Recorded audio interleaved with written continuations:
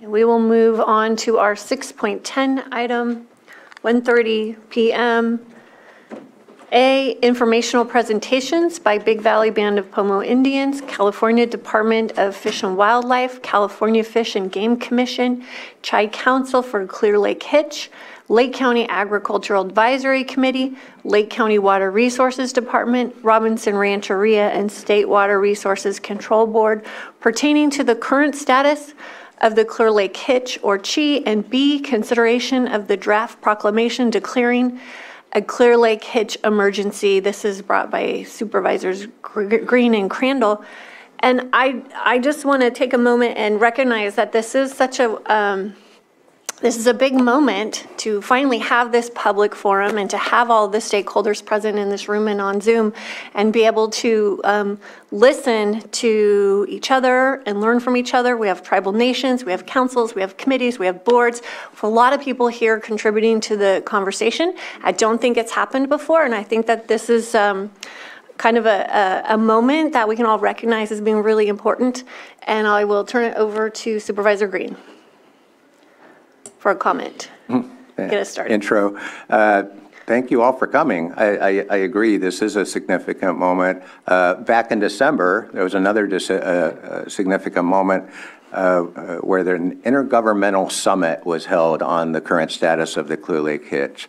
And um, uh, it was so significant in that it successfully brought together a lot of our uh, partner agencies, uh, state and federal agencies, uh, and our uh, native sovereign nations uh, to bring forward um, important information. We've been talking about the hitch for years, but certainly uh, events in recent years have highlighted just the significance of this decline. And it does create challenges uh, for everyone involved in that. We have to come to a greater understanding of where we're at. So I want to thank all the people that put on the summit in December. That was a really significant start. And uh, my hope is that today's presentation won't be as detailed and as long as that day-long summit, but I hope it will be able to communicate to our residents and our stakeholders uh, the importance of the issue going on, uh, give them information. Uh, There are two parts to this agenda item. The longer part will be uh, these informational presentations, uh, which our Water Resources Department will uh, be helping to coordinate.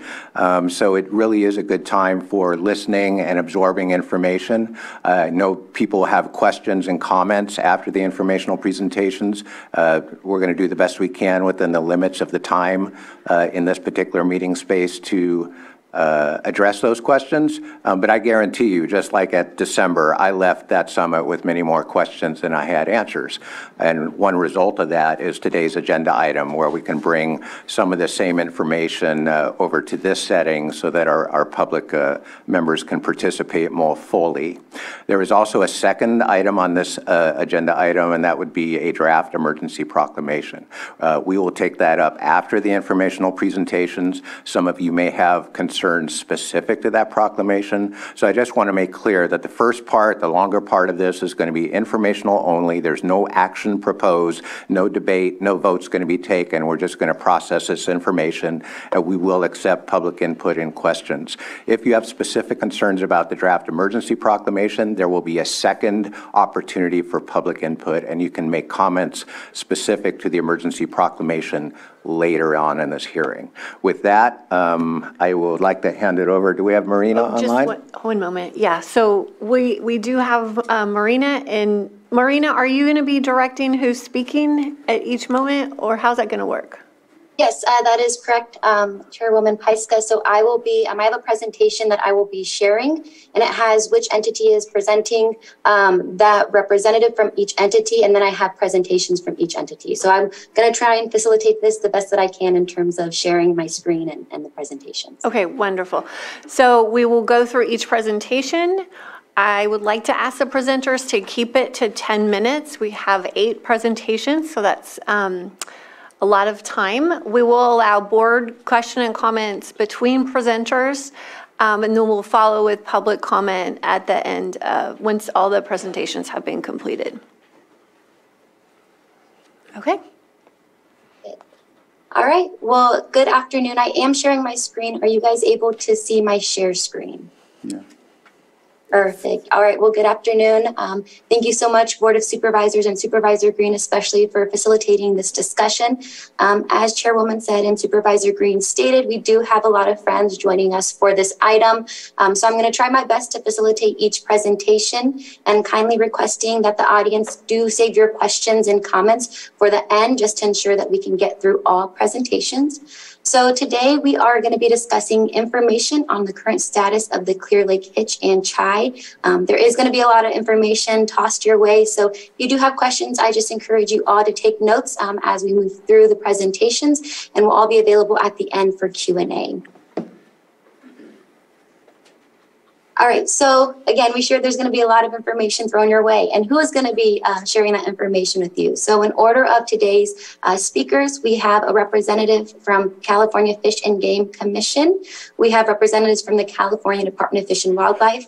We have representatives from Big Valley Band of Pomo Indians, Robinson Rancheria, Chi Council for the Clear Lake Hitch, Lake County Agriculture Advisory Committee, State Water Resource Control Board, and your friends at Lake County Water Resources Department. So I'm going to go ahead and pass it over to uh, Vice President Erica Zavaleta with the California Fish and Game Commission, who is going to get our discussion started. Thank you, Marina. Can you hear me? Great. Yes. Good afternoon, Chair Pyska, Vice Chair Chair Simon, and, and members of the board and the public. Thank you for the chance to participate in this crucial conversation. And I'm Erica Zavaleta, Vice President of the California Fish and Game Commission. And I'm just going to provide brief context for this critical issue and how we've come together around it in the last several months. So I won't be going eight or 10 minutes. The emergency situation for Clear Lake Hitch, a native fish that the California Fish and Game Commission listed as threatened almost a decade ago in 2014, was brought to our attention at our August commission meeting last year. We requested input from our close partners at the California Department of Fish and Wildlife, which I'll refer to as the department, on the hitch's status, condition, and recovery efforts at that point.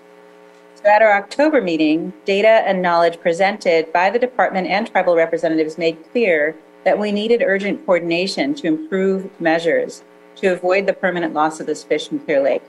And so also at that October meeting, we asked the department to support bringing together actors to solve this emergency. And the department responded in an amazing way. It quickly co-organized last December's emergency summit with several tribes from the Clear Lake region. And the summit included participation by tribal leadership, staff, and members, and representatives of agencies with authority to help address the emergency needs, including the U.S. Fish and Wildlife Service, the California State Water Resources Control Board, the California Department of Water Resources, and the Lake County Watershed Protection District. The summit helped establish where we are, what Clear Lake Hitch needs, and what some of the actions are that might meet those needs.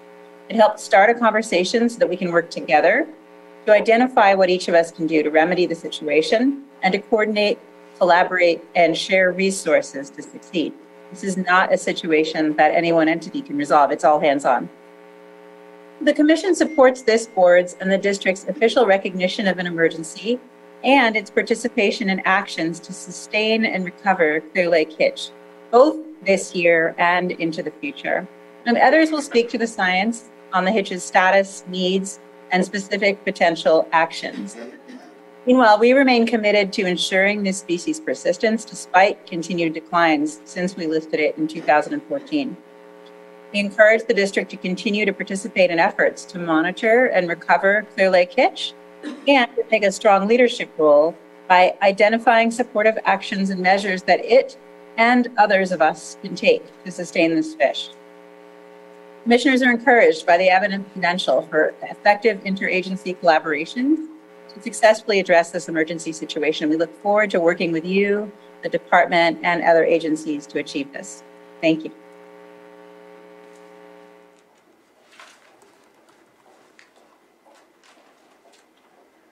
Thank you, Vice President Zavaleta. And I would just like to state that we, uh, folks on Zoom, were getting feedback um, during uh, Vice President Zavaleta's um, discussion. So I just want to make sure we get that taken care of before we move forward. And it looks like it might be coming from um, the laptop in the board chambers. Do you have a mic open on your machine? There's feedback in the Zoom room. Are you currently hearing the feedback? No. But I did get a few messages from folks in Zoom that were having the same issue. How about, um, I want to make sure that folks are able to hear Commissioner Zavaleta. Okay, My recommendation would be that people uh, speak closer to their microphones. The last speaker was very hard to hear. all right.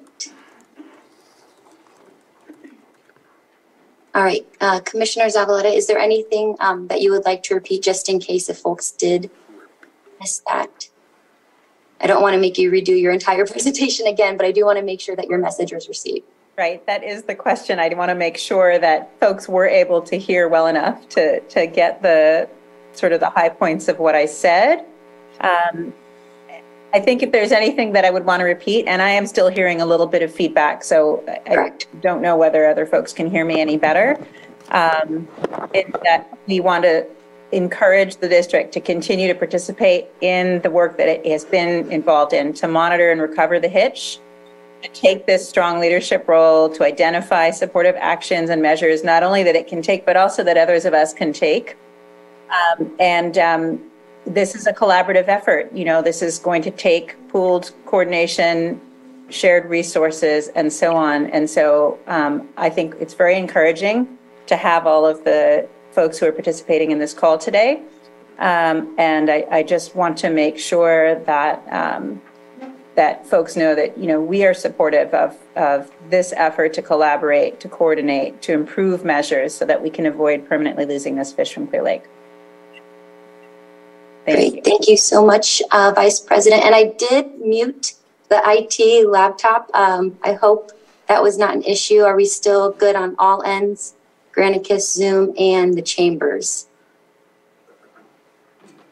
It seems fine in here. Okay, it did seem like the feedback was coming from that laptop.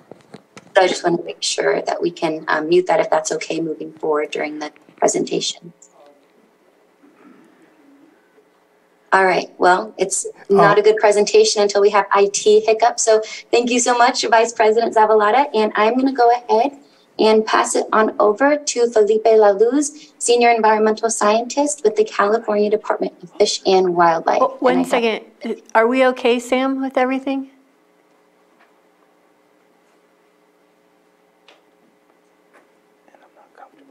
The IT laptop has to stay on, otherwise Zoom doesn't hear, or will not hear the participation in the, in the, uh, uh, in the broadcast in the, in the uh, facility. So what was happening is I had the volume up too high because of this last speaker who we could hardly hear. Okay, perfect. So we'll continue to move forward and cross our fingers. Just one other moment. Joan? Joan? Joan Moss? Yeah. Hi, over here. Okay. Would you mind moving your chair over here out of the way of the exit, please? It's just that I, I wanted to cough, but I wanted to hear it too. Okay. It's, it's just that you're blocking the exit, and we have a lot of people in here. It's better, It's yes. better, okay. And if you have to cough, um, maybe being in a room filled with people packed to the brim is, Okay. Okay, Marina. Okay. I think we're ready now. Awesome, thank you so much. Um, all right, so I'm going to pass it over to Felipe La Luz, um, who will be giving the next portion of the presentation. Good afternoon, everyone. My name is Felipe La Luz. I'm a senior environmental scientist with the California Department of Fish and Wildlife. And I've been coordinating the department's uh, hitch recovery and restoration efforts uh, since August. Uh, I first became aware of the plight of hitch uh, during the tribal committee meeting that uh, Vice President Zavaleta had mentioned. Um, I do want to thank um, the Board of Supervisors and all the agencies and entities that have come forward and just acknowledge that this is a situation that is moving much faster than we are used to moving at state agency, as a state agency. Um, and I want to echo uh, the previous comments made in that the issues facing Clear Lake Hitch do not fall under the purview of any single entity, and it's going to take all of us uh, to make sure this species remains on the landscape. Uh, Next slide, please.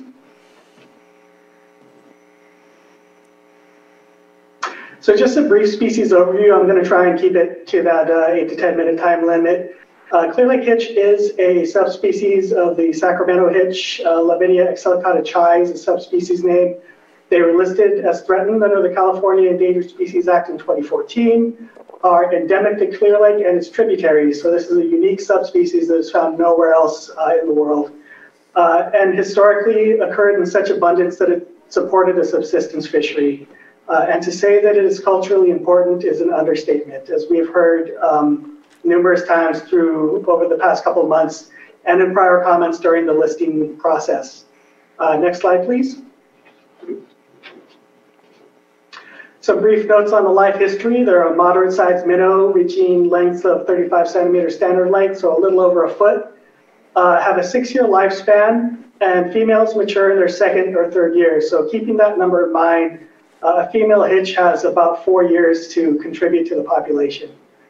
Uh, juveniles rear near shore and in tributaries. Uh, able, they're able to move out um, as rapidly as two weeks. However, uh, information that we're gleaning from our fish rescues um, are telling us that we need a better understanding of how they use the tributaries. Uh, the adults occupy deeper water and they feed all life history stages, feed uh, very low on the trophic level, primarily on aquatic invertebrates. Next slide, please. Um, spawning requirements. So this is really getting to the meat of why we're here. Uh, they're potamodromous fish, meaning that they rear and grow mostly uh, in the lake and mature in the lake and then utilize the tributaries to uh, spawn. This spawning run typically occurs from February through May, uh, sometimes extending into June if conditions support it. And they spawn over shallow, clean gravel, again, primarily in the tributaries. Uh, there is documentation that some spawning occurs within the lake. Um, some historical accounts documented by Kimsey in 1960, uh, based on actual visual observations of, of hitch spawning. Uh, and more recently, Fred Feyrer from the USGS, uh, United States Geological Survey, used some more sophisticated uh, geochemistry approaches to show that some spawning does occur in the lake. Uh, this life history, plasticity, or flexibility is not uncommon in California native fishes. Uh, and we believe is one of the mechanisms that allows uh, hitch and other native species to persist. The most uh, common and well-known example is uh, rainbow trout and steelhead, where an adult steelhead can grow up in the ocean, move into freshwater, and have a um, offspring that, that live their entire lives within freshwater as a rainbow trout. And this sort of life history plasticity allows hitch and other species to uh, take advantage of these boom years uh, and create big enough populations to get them through the bust years. You know, we all know that California's hydrology is very variable.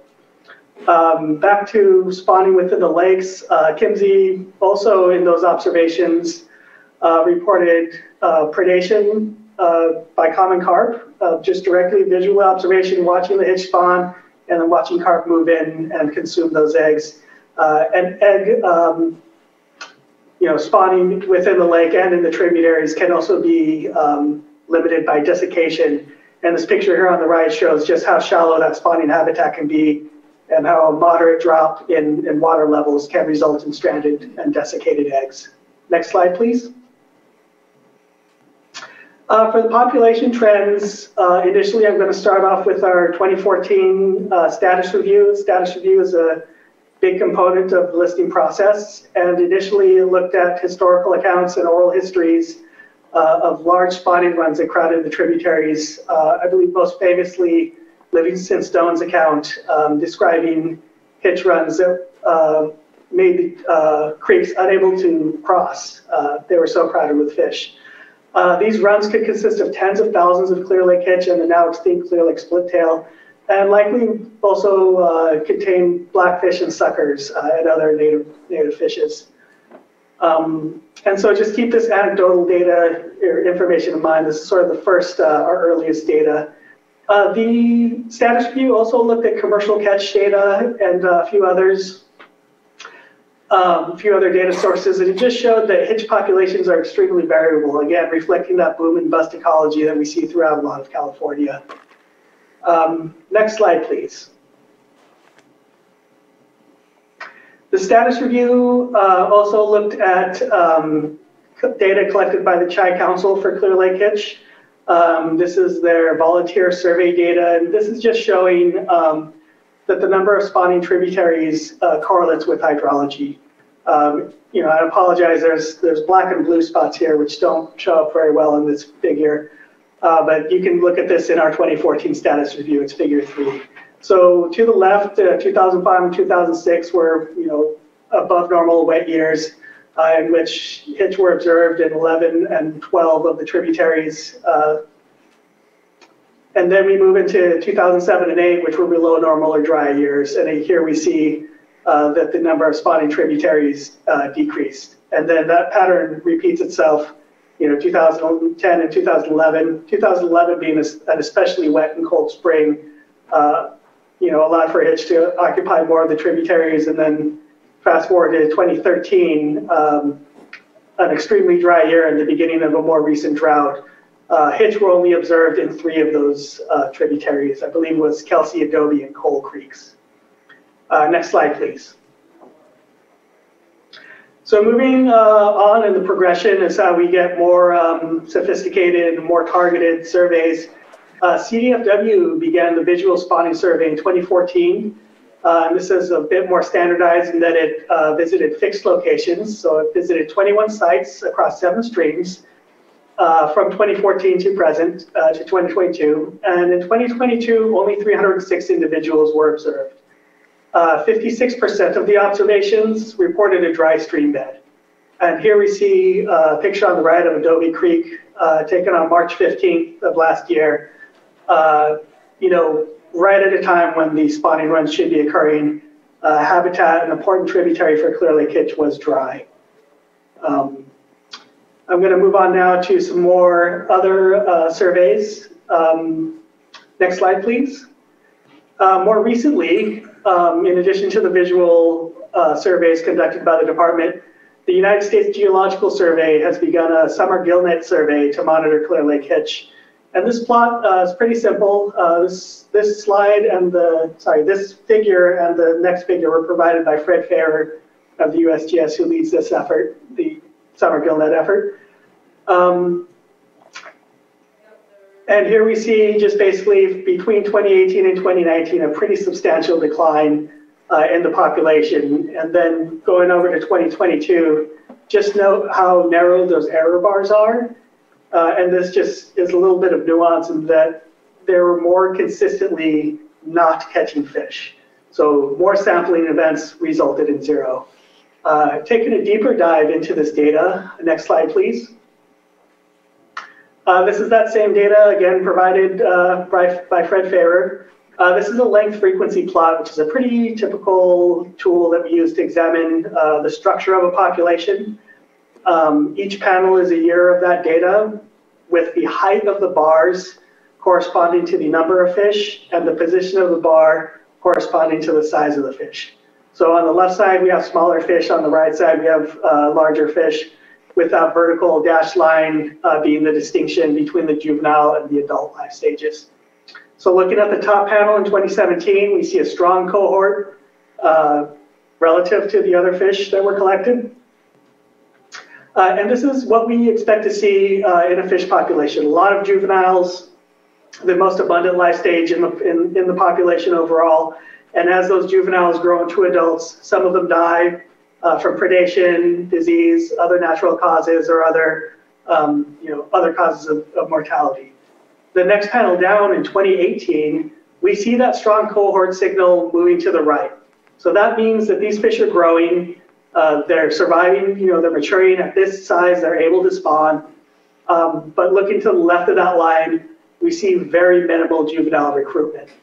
And then moving on into 2019, 2020, and 2022, sorry, 2021 and 2022, um, we see that pattern repeat itself and the continued decline in which there are no juveniles recruiting to the population. And in 2022, only six individuals were collected, including two juveniles.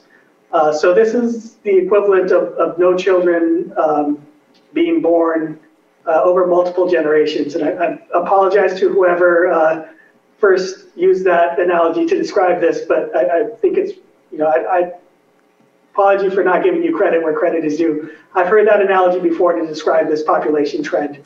Um, but it's an apt description and really drives home the point that there is a bottleneck um, somewhere between adults um, laying eggs or having high quality eggs uh, and juveniles surviving to adulthood or multiple bottlenecks that we need to address. Uh, next slide, please. Um, so there are many factors affecting the decline of Clear Lake Hitch. Um, first and foremost, uh, we want to highlight the loss of spawning marine habitat, again referring to that 2014 status review. There's an estimated 92% loss of historically available habitat due to physical barriers, either in the forms of dams or levees or other um, structures within the stream. Um, again, speaking to how important it is to have access, you know, the area, the amount of, of habitat available uh, does affect the number of fish that uh, that habitat can produce and support. We also need to look at the quality of habitat. Uh, in addition to having water in these tributaries, we need to look at riparian vegetation along, along the banks to ensure that there's sufficient shade to maintain water temperature uh, that they can survive in, as well as providing cover from predators. Um, some of these uh, other effects are more ephemeral in nature. Um, so we think of a barrier as like a dam, but some barriers can also be uh, associated with a massive, a rapid decline uh, in stream flow, uh, which leads to strandings, uh, desiccation of adults, eggs, and juveniles. And this image here uh, was taken by my colleague Ben Ewing in March of 2014, showing an adult stranding event. And I'm sure this, this image will, um, will appear in other presentations. this happened right after a large flow event in which a lot of hitch, adult hitch were able to enter the stream uh, and the stream uh, flow declined too rapidly for the adults to move out. Uh, not to mention any eggs that they may have produced uh, would have also been stranded. Um, other factors, of course, non-native species, uh, both competition and predation um, in competing with food resources. Again, they feed low on the trophic level, so there's potential that they could compete with, uh, be outcompeted by threadfin shad, uh, as well as inland silversides. And inland silversides in other areas have been identified uh, as predators on larvae and eggs. And of course, we can't um, talk about Clear Lake without talking about water quality and contaminants, uh, particularly harmful algal blooms and dissolved oxygen uh, in the summertime. Um, so again, many factors affecting decline, but we believe that the main factor, the main mechanism occurs somewhere in, in the production of juveniles. Next slide, please. Uh, some of the efforts that we are taking to address um, the decline, we summarized in a letter of support to the county sent to Director De Leon on the 13th. And again, we encourage collaboration with us and the other entities and agencies uh, at the table to examine releases for Adobe uh, at Adobe and Highland Springs Reservoir. Uh, the department has provided previous comments um, indicating that we have concerns about the timing of releases and how they may uh, impact Clear Lake Hitch. Uh, and we are also um, encourage collaboration on further examination of the groundwater surface uh, sorry, groundwater surface water interconnectivity uh, to get a better idea of how groundwater pumping uh, may affect um, stream beds. And again, just to reiterate um, in that letter and to repeat again here, we encourage collaboration both in the emergency effort that's occurring in the Clear Lake Hitch Task Force and the State Water Resources Control Board implementation team and longer term strategies like the U.S. Fish and Wildlife Conservation Strategy Team. Um, so these two teams, you know, the task force and the implementation team are more of a rapid response uh, as opposed to a longer term um, uh, conservation plan. Um, but these groups have a lot of overlap and we're all going to need together to, to keep these fish on the landscape. Next slide, please. These next two slides, uh, I just wanted to include as reference for for folks. Um, there's been some confusion about the responsibilities and roles uh, and the permitting process, which I will readily admit can be can be uh, confusing and frustrating. Um, but these slides, please refer to them. They will be included in the materials. Uh, and just uh, want to emphasize that we're here to help. Um, we can provide consultations, provide information, uh, and I would direct any interested parties to email R2 info. So that's Region 2 is our department's region that includes Clear Lake uh, at wildlife.ca.gov for more information. And we'll put you in touch with staff that can help you uh, navigate the permitting process. Uh, next slide, please. Uh, and this is just a checklist. Uh, again, I encourage you, if you are doing work near or in a stream bed, to look at this permit and contact us. Um, you know, again, culverts, uh, any maintenance or road bridge crossing within the water course, please contact us and uh, work with us to um, assess if you need a permit and, and how to navigate that process. Next slide, please. Uh, so in conclusion, you know, there's a lot of momentum uh, surrounding Clear Lake Hitch, largely driven by this rapid population decline. And this is uh, a part of a longer term decline that we've observed. Uh, it's supported by the qualitative comparison of oral accounts in the visual survey, as well as the more quantitative assessment of the recent USGS data. And we believe it's driven by the near complete juvenile recruitment failure, uh, which we've observed in recent years. Uh, and we're here to help with permitting and restoration, uh, as well as working with our you know, partners developing better science and addressing data gaps. And again, no single entity has the power or authority to solve these issues. It's going to take all of us working together. Um, and I believe this is my last slide. Yes, thank you.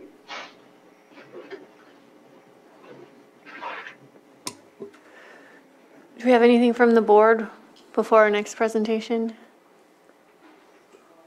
Okay.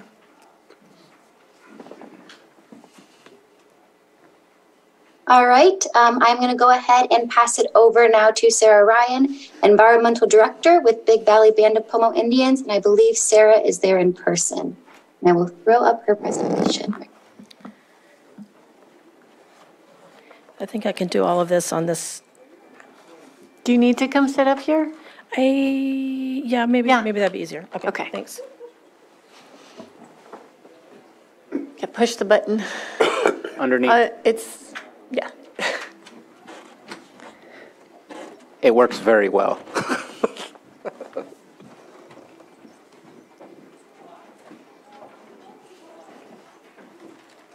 So,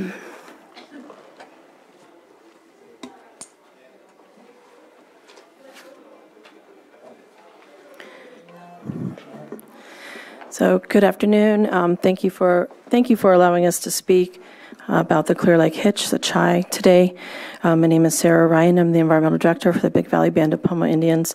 And I'm mostly going to be looking that way since it's really big and I've got new glasses. So um, the mantra, the logo, the the refrain that we've all been saying for uh, most of uh, last summer and and through now is no more loss of species on our watch. Uh, we uh, I've heard it from the agencies, I've heard it from tribal leadership, uh, other leadership, and certainly as staff for the tribe, um, we don't want to have um, have this the Clear Lake hitch go extinct. And once we heard from this state biologist that unless some big, big things change, uh, we'll be losing these, uh, we will most likely lose a species, it really threw us into high gear. So I, I do want to show um, on this slide that uh, we are going to have a few slides on enforcement, creek water usage, and some of our recommendations that we made during the Clear Lake Hitch Summit in 20 in uh, December. Um, and we also have a lot of people at Big Valley who are very involved in Clear Lake Hitch um, in terms of their whole life cycle. And some of those folks are in the audience today, and I just want to thank them all for coming. Um, and I, I, know there are uh, other tribes uh, who uh, and tribal members who are here as well, and tribal leadership. So thank you for for coming. Uh, the right picture, the picture on the right, is an example of what uh, somebody, a farmer, has done to make sure that there's enough water in his irrigation pond for his vineyard. Um, we had to work really hard with CDFW wardens for a number of years to actually get that ditch that that person created, as, as well as those boulders removed. Uh, he then put in a well, which is about five feet from the creek, uh, to make and lined his uh, his pond uh, to make sure that he had enough water for his vineyard. But that is something that you know. Um, we've all have to be vigilant about if there's water crossings that are uh, reducing the downstream water. It's happening um, in, in multiple places around the around the county, and it is something that impacts the Clear Lake Hitch because it means less water downstream, and the hitch can't get past that. So next slide, please. The slide that uh, Felipe just showed, I have on here as well. And I just want to point out that Clear Lake Hitch are in the news right now. You see some headlines. Um, there's also some publications about it. There's research. Uh, and as I mentioned, both state and federal biologists have identified a drastic reduction in the number of Clear Lake Hitch and have stated that unless more is done, we'll lose the hitch within five years. Next slide, please. So enforcement. So relying on enforcement can be problematic people have to report their neighbors. That is not always fun. Nobody wants to do that. So, uh, and, and it is not, you know, because of budgets and whatnot, it's not like there's wardens and other law enforcement that are out looking for issues. But a few years ago, I wanted to look at how many times Fish and Game Code uh, 1600, which is basically stream bank, stream bed uh, violations, uh, how often that went to the DA's office and how often it was prosecuted. Because I had heard that there was a problem with that. And sure enough, after looking at the data, we found that about 13% of the time, and looking in a five year period, there was actually corrective action taken. In a lot of cases, it was dismissed because not enough data, or what the wardens did was just try to handle it in house, um, tell the people to throw some straw down, which is one particular um, case I'm familiar with. So violations have to be reported, and also enforcement often doesn't lead to corrections made. So we can't just expect that law enforcement is going to be out there handling the illegal diversions and some of the other things that are causing um, both a degraded habitat as well as uh, loss of water. Next slide, please. So we've noted that, um, uh, and I have a slide showing this, but um, the the spawning season for the Chi um, historically versus now is about cut in half. The creeks do not run, the major tributaries of Clear Lake do not run during the time when the Clear Lake hitch fry need to be returning to the lake. So as was mentioned in earlier presentations, the, the, the adults go upstream, they spawn, they make it back down to the lake, hopefully, but then those eggs have to hatch. That takes a certain amount of time. They have to hang out there, they have to eat, and then they have to get back.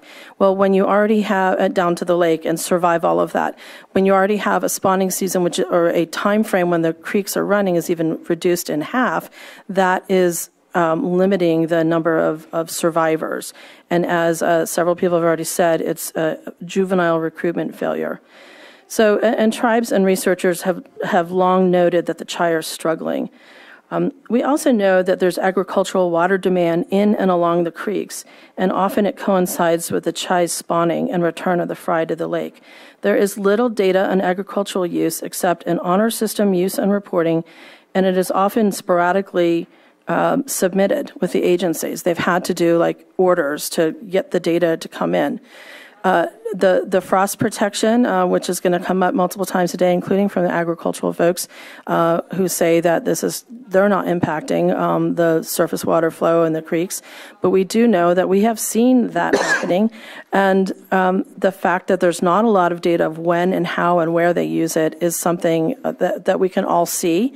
And uh, and review um, is a problem. We, we also think that just in general that, that the, our agencies, all of us, the county, the tribes, that we have not prioritized data collection on surface water use, groundwater use, and land use. Um, and, and that has been a focus for Big Valley's uh, environmental department. We are primary, and we are primary focused in the Big Valley Creeks. You're going to hear me mainly talking about the Big Valley Creeks, because these are part of the ancestral lands of the tribe and they are the regular places where tribal members congregate to catch a fish and manage the natural resources through many, many generations of stewardship knowledge. Uh, another thing about the Big Valley Creeks, so a recent study of USGS and the strontium levels in the Clear Lake Hitch, that's basically in their ear bones, show that more fish originate in Adobe Creek than any other creeks. So we're really focused on Adobe. Biologists know that a healthy population of fish requires that the population is spread out in multiple areas to reduce disease and other issues. So even though people are saying, you know, you could say, well, Middle Creek is fine, Kelsey Creek is fine. No, you have to have, the biologists say you have to have more uh, more location um, than than just a couple for them to uh, to stay healthy. And finally, um, we know that other Big Valley creeks, Cole, Manning, and Thompson, have water quantity issues, and they can't support a robust population of the Chi. But we've mainly been focusing on Adobe because of its absolute proximity to Big Valley lands, um, and also because we know it has the most severe problem. Next slide, please. This, um, this graphic uh, shows that um, it, it shows that timing of irrigation, frost protection, spring irrigation, whatever you want to call it, and also the flow of, um, uh, this is showing Kelsey Creek, the blue is Kelsey Creek in a wet year, so you can see spike, spike, spike, that's like heavy rains, it stops. And then in a dry year, it's like one big spike in February, and then the, the flow is very low. Well, during this time when the water is drawing down, that is when there's frost protection, there's even irrigation, and you can see right in that window that there are fish kills and fish rescues happening in multiple creeks. Um, and over the last eight years, there have been multiple documented fish kills and fish rescues in creeks during their spawning period because there's not enough water in the creeks. That's the bottom line. Next slide, please. So our first recommendation was that there were surface uh, to the agencies uh, and also, um, you know, just to, to the county, that there are surface water curtailments on all Clear Lake creeks for declared dry years during the Chi spawning season. There is a precedent for that. Yolo County doesn't get Clear Lake water when it's below a certain amount. There's already a precedent. Um, next slide, please. So uh, um, the tri- uh, Big Valley, uh, ha- and with their hydrologists, cons- um, consultants, and others, um, have been doing quite a bit of uh, modeling and monitoring on Adobe Creek. In 2020, we completed a study on Adobe Creek to try to improve identification of in-stream habitat in areas of potential stranding. What you see here is that as the, um, so at the top it says CFS, so that's cubic feet per second, so it's basically the flow as the flow reduces and you um, as you go down through you go through April and May, you can see where the squares are that, uh, that, that are outlined here is where uh, where there are um, stranding. It, it's not going to be deep enough. There's not enough flow, and therefore these are there are multiple locations by May where there can be stranded, and even somewhere between April and May. Now this is just. Um, this is just uh, using a, a one-dimensional hydraulic modeling. Um, we're now moving into a 2D modeling, but it it really is important to have enough flow in there to get over the barriers, to deal with the, and, and, and to have that flow in there for the full length of time that the, the fry need to make it back um, to the lake. And so we found that as water flow reduced below 34 cubic feet per second, many locations on Adobe Creek became impassable for the hitch, given their depth requirements. Next slide, please. So just to kind of um, uh, back to that slide, uh, or to show a little more detail on that, um, we have uh, been looking into these things since 2017, particularly in Adobe Creek, um, with uh, various sources of funding. Next slide, please. This slide is pretty busy. Uh, it's using a State Water Resources Control Board slide that they showed during their listening session. That upper slide is showing um, the, the, these are surface water diversions. So it's when people have pipes into the creeks throughout the whole county and what they're using it for. And this is all based on the data that people have to submit if they um, have water rights on a creek, which is basically um, everybody who's got uh, almost everybody who's got um, who lives adjacent to a creek has. Uh, those uh, types of rights and are allowed to put that water to beneficial use. But we question whether there's enough in the creeks for all users, which includes the flows needed for the Chi to spawn and for their young to return to the creeks. The, the chart on the bottom is our own review of those same uh, reports, uh, statement of diversion and use reports that go into the water boards, and it's showing the what people are using it for. They have to report it. They're using it for frost protection between March and May. They're doing, um, you know, 75 acre feet of water for frost protection. That's one particular one for. This is Adobe Creek. This is just a snapshot. Um, of uh, some of the usage that's happening. So it's their own reporting that uh, we're basing this on, uh, and the demand is high. Um, and uh, if the, you look at the CDFW letter that just uh, came into you, uh, they say that for groundwater usage and for the wells that are near the creeks, that CDFW, Department of Fish and Wildlife, expects that a meaningful portion of stream flow depletion is attributable to shallow groundwater extraction. So all those wells that are placed near the creeks, um, they're placed near there for a reason. um, and so when they're pumping and they're pumping for frost protection or other uses, um, it is to uh, be able to, uh, it's, it's having an impact on the creeks, is what CDFW is expecting. And it's also what um, our review did uh, in the Big Valley Groundwater Sustainability Advisory Committee that we were in. And the, the water, uh, State Water Resources Control Board map on the top part shows that many diversions are occurring in the main, main Chi spawning creeks, and the data shows that it's during the spawning times. Next slide, please. So another of our recommendations is that Adobe Creek and other creeks need some gauges so we can see actually what the flow is. And matter of fact, the tribes um, this particular year and other, uh, you know, moving forward, we're going to have people out on a daily basis, is my understanding. I know we're planning that with Big Valley in our area to look at specific areas to see if stranding is starting to happen, if the water level has dropped uh, uh, to, uh, to, the point where we're going to have um, stranded fish. But having live reading gauge in there is also going to be incredibly helpful. We are also asking for, you know, we are doing modeling and data collection, so are other tribes, and this is something that needs to be supported. It's not like there's just a ton of money going around. I mean, these are expensive things to do. Next slide, please.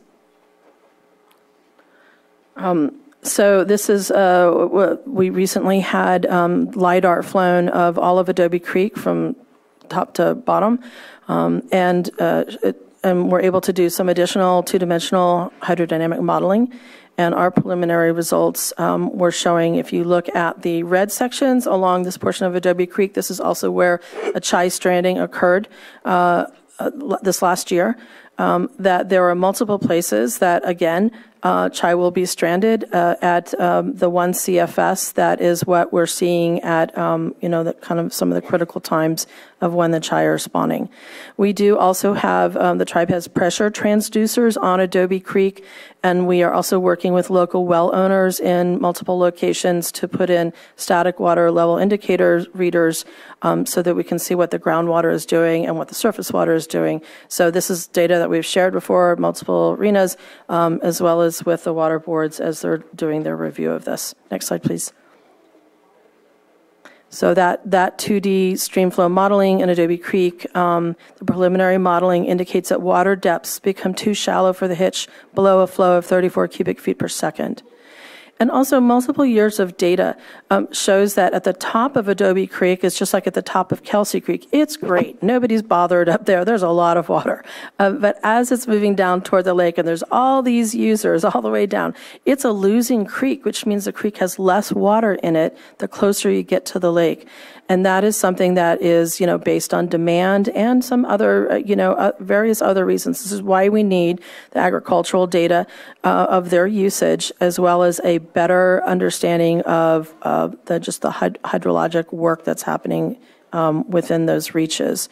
Uh, Big Valley and Lake County are finalizing an MOU to install a pressure transducer below Highland Springs Reservoir because we really want to understand how much water is actually leaving the reservoir and be able to factor that into some of our modeling. So hopefully that will be um, finished soon. Next slide, please. Um, this is actually a graphic of some of the uh, showing uh, ad- uh, at Adobe Creek uh, near Soda Bay Road. Um, we have a, a, a um, well watcher, basically, so a, a, sonic water level indicator in one of the wells that are nearby, as well as a pressure transducer. So it's showing, if you look at that December, January, February, the one thing we can say for certain is that um, while the groundwater, so you see the, the there's a flow, so that blue is flow, but as the well is recharging, and there wasn't much rain during this, as we all know, as the as the well is recharging, and so that's the green line going up, the the surface water level is going down in the um, in that same area because we have stuff right in that same spot. Um, as uh, the other thing this can tell us for certain is that that last little blip before the red line is when a little rain happened. The Chi were like, yes, they started going up the creeks, and there was an immediate drawdown because everything was so depleted. It gets depleted during this time. So that little rain barely made any difference. It was uh, disappeared very quickly, and that's why that Chi stranding occurred and an observed fish kill um, in April, which is when you know we would really want to be seeing a lot of hitch in there. Next slide. So the tribe is also asking for uh, and recommends that uh, there is a release of water that maintains that 34 cubic feet per second or somewhere around there. Like we said, we're finishing the modeling. We know the water boards and CDFW are also looking at that. But we do believe uh, for Adobe Creek, one of the solutions can be um, a release of water from the reservoirs during the um, historic spawning period. We also support aquifer recharge projects, which will keep that groundwater level um, higher. Next slide, please. Um, we also recommend that there is groundwater pumping curtailments uh, near the Clear Lake creeks for declared dry years during the Chi spawning season. As I mentioned, as you can see with the graph, there is absolutely a connection between groundwater pumping and what is going on with uh, how much surface water is left. We did provide an evaluation of that in the Big Valley Groundwater Sustainability Plan. We did reject the, that plan uh, and recommended to DWR uh, that it gets uh, corrected for the issues that we saw um, with the uh, evaluation and uh, of the data. Um, and of course, we haven't heard back what the the answer to that is, but we are hoping that they will um, improve it based on other data. Next slide, please. So, in summary, um, the uh, the CHI can't wait for perfect data. There is data already. We've got some data, and we think that there's enough to move forward with improved water management. We also think that agricultural water use data sharing is needed, um, and and actually, um, you know, factual uh, equipment um, data would be quite nice uh, because a lot of it is anecdotal and that can be problematic. Um, and I just want to point out that uh, there uh, is literature and there is research from um, Fred Feyrer, who is, uh, I know, um, participating in the call or in this meeting today or available. Uh, he is with USGS, and uh, his uh, he says that the uh, fry it might take between 11 and 152 days for the fry to make it back to Clear Lake. So it's not just oh in a week and a half they're gone. Uh, and matter of fact, uh, I believe that um, Robinson Rancheria's biologist might be speaking about something you know a rescue that they had to do quite a few months after um, what we see as a Chi spawning run. So we do believe that curtailments are necessary during the dry years and that better management of the water needs to happen now. Thank you.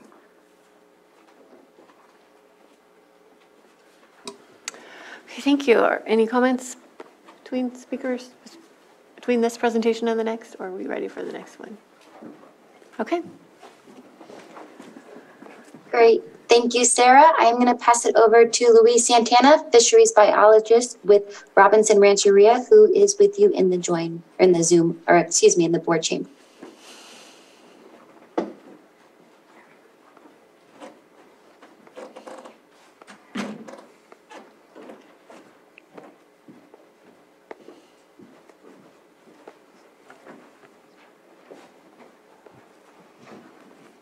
Good afternoon, everyone. Thank you for having me. Um, I'm not going to go too much into the biology. Uh, I'm going to focus more on habitat and what we're already doing to, you know, try to work around the habitat that we have, and then just potential for restoration of that habitat. So this is just showing uh, the Big Valley Basin, um, and the reason I'm showing this is because last spring I participated in a uh, adult hitch rescue with CDFW um, that Big Valley Rancher, Rancheria reported to them. And so we went into Adobe Creek to um, perform some of this rescue, and it included other tribes in the area Robinson Rancheria, Habematolel, Upper Lake, Big Valley. I think that was it at the time, but it was there's also CDFW employees there and uh, local citizens.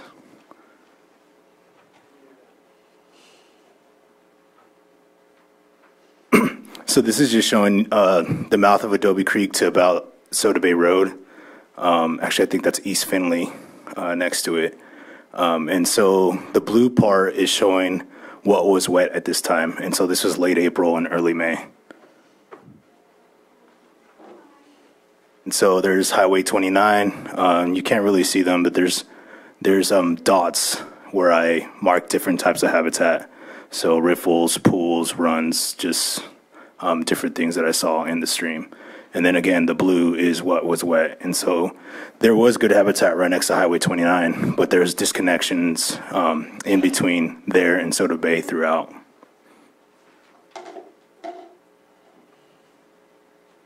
And so this is one of the, this is um, upstream of Highway 29 to about Bell Hill Road. And there's actually a really good section of habitat available for hitch to spawn and rear in. Uh, but when the streams do go dry, they lose their access back to the lake. Um, and last year, that whole stretch went dry, so anything that did survive after May didn't make it. And so this is showing the reservoirs, um, from about Bell Hill Road to the reservoirs. And there is some wetted habitat in the area as well, but again, there's a lot of disconnections.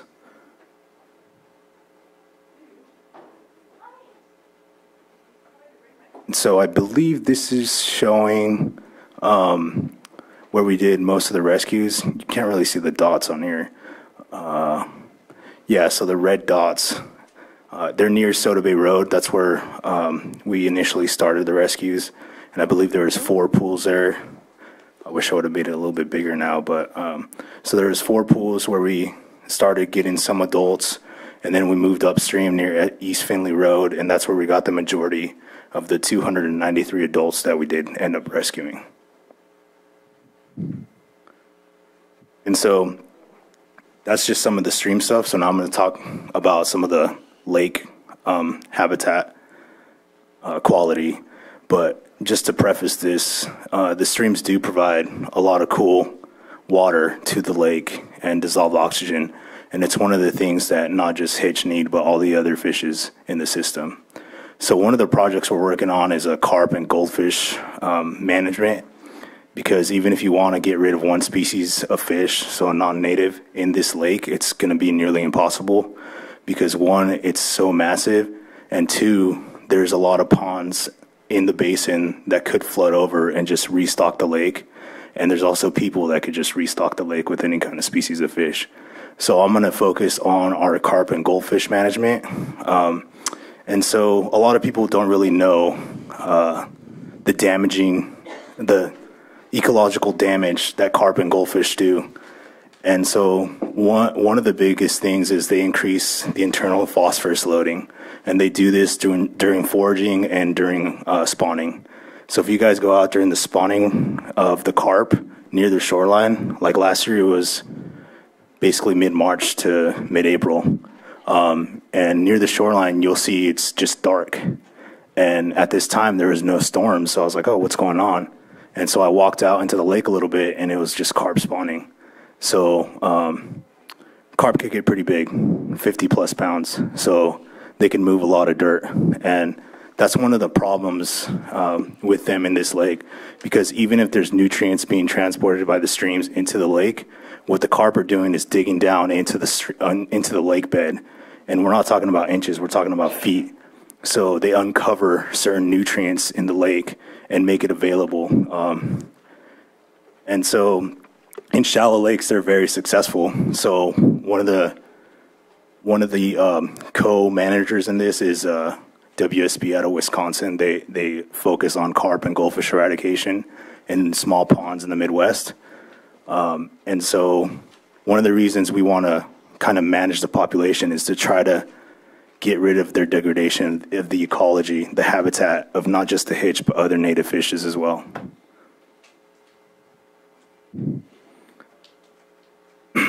So, in some studies uh, on these lakes, they showed a negative relationship in macrophyte abundance and carp biomass. So, basically, what macrophyte is is uh, the food available for other native fishes. Um, so, elevated carp biomass, so just overall uh, weight of carp, resulted in 71% of northern wild rice distribution on Clam Lake in Burnett County, Wisconsin. And so here it's just like, oh, we don't have wild rice. But you could kind of compare that to Tule's. Um, these carp get big, and you know we do have uh, some good tule beds, but it's probably a good assumption that the carp could kind of unbed some of these tules, especially the younger ones that aren't well established.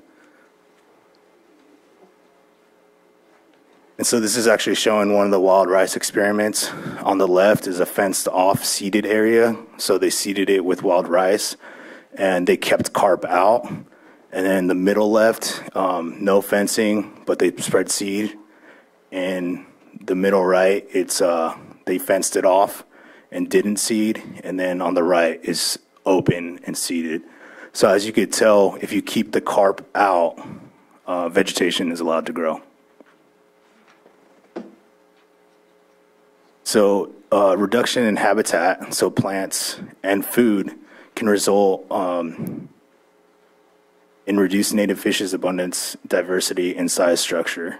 So, when you take their habitat and food away, their populations decline.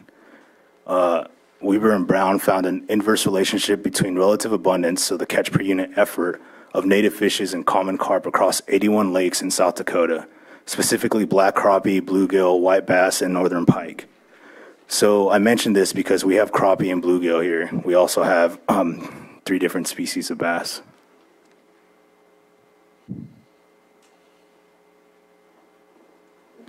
So uh, last year we started phase one of our study. And so the catch per unit effort for carp and goldfish on Clear Lake was not established. So what we did was we established that. And so um, what we assessed was that if we had 80, 89 pounds of carp per acre in the lake, it was ecologically damaging.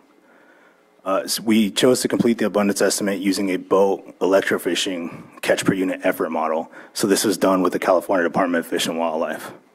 Uh, so the next thing we did was we tagged 30 specimens. So this was 20, I believe 21 carp and nine goldfish. Um, so the whole point of this uh, to tag these fish is because they congregate in the winters and especially before they spawn. So if we know where they're congregating, we know where to go in and get them and just get um, get rid of them as much as possible. Uh, so this is one of the congregating behaviors. It's just a, a nice little table. Um, they showed them, they followed them seasonally, and it's it's very predictable once you do have them tagged and and you could locate them. Um, so eradication, if possible, in these kind of areas, that's where we would focus on it. And there's different ways to get rid of them. We're not entirely sure how we're going to do it. That's one of the reasons we're going to do a feasibility study in the next couple weeks, just so we could get a better idea of how to approach this situation. Uh, so I already started uh, monitoring where they're moving, and because our boat is down, I've only been going along the lake on the roads, but we can see that they're starting to congregate on the um, north shore of the upper body and the lower arm. And I'm not entirely sure why they're doing that.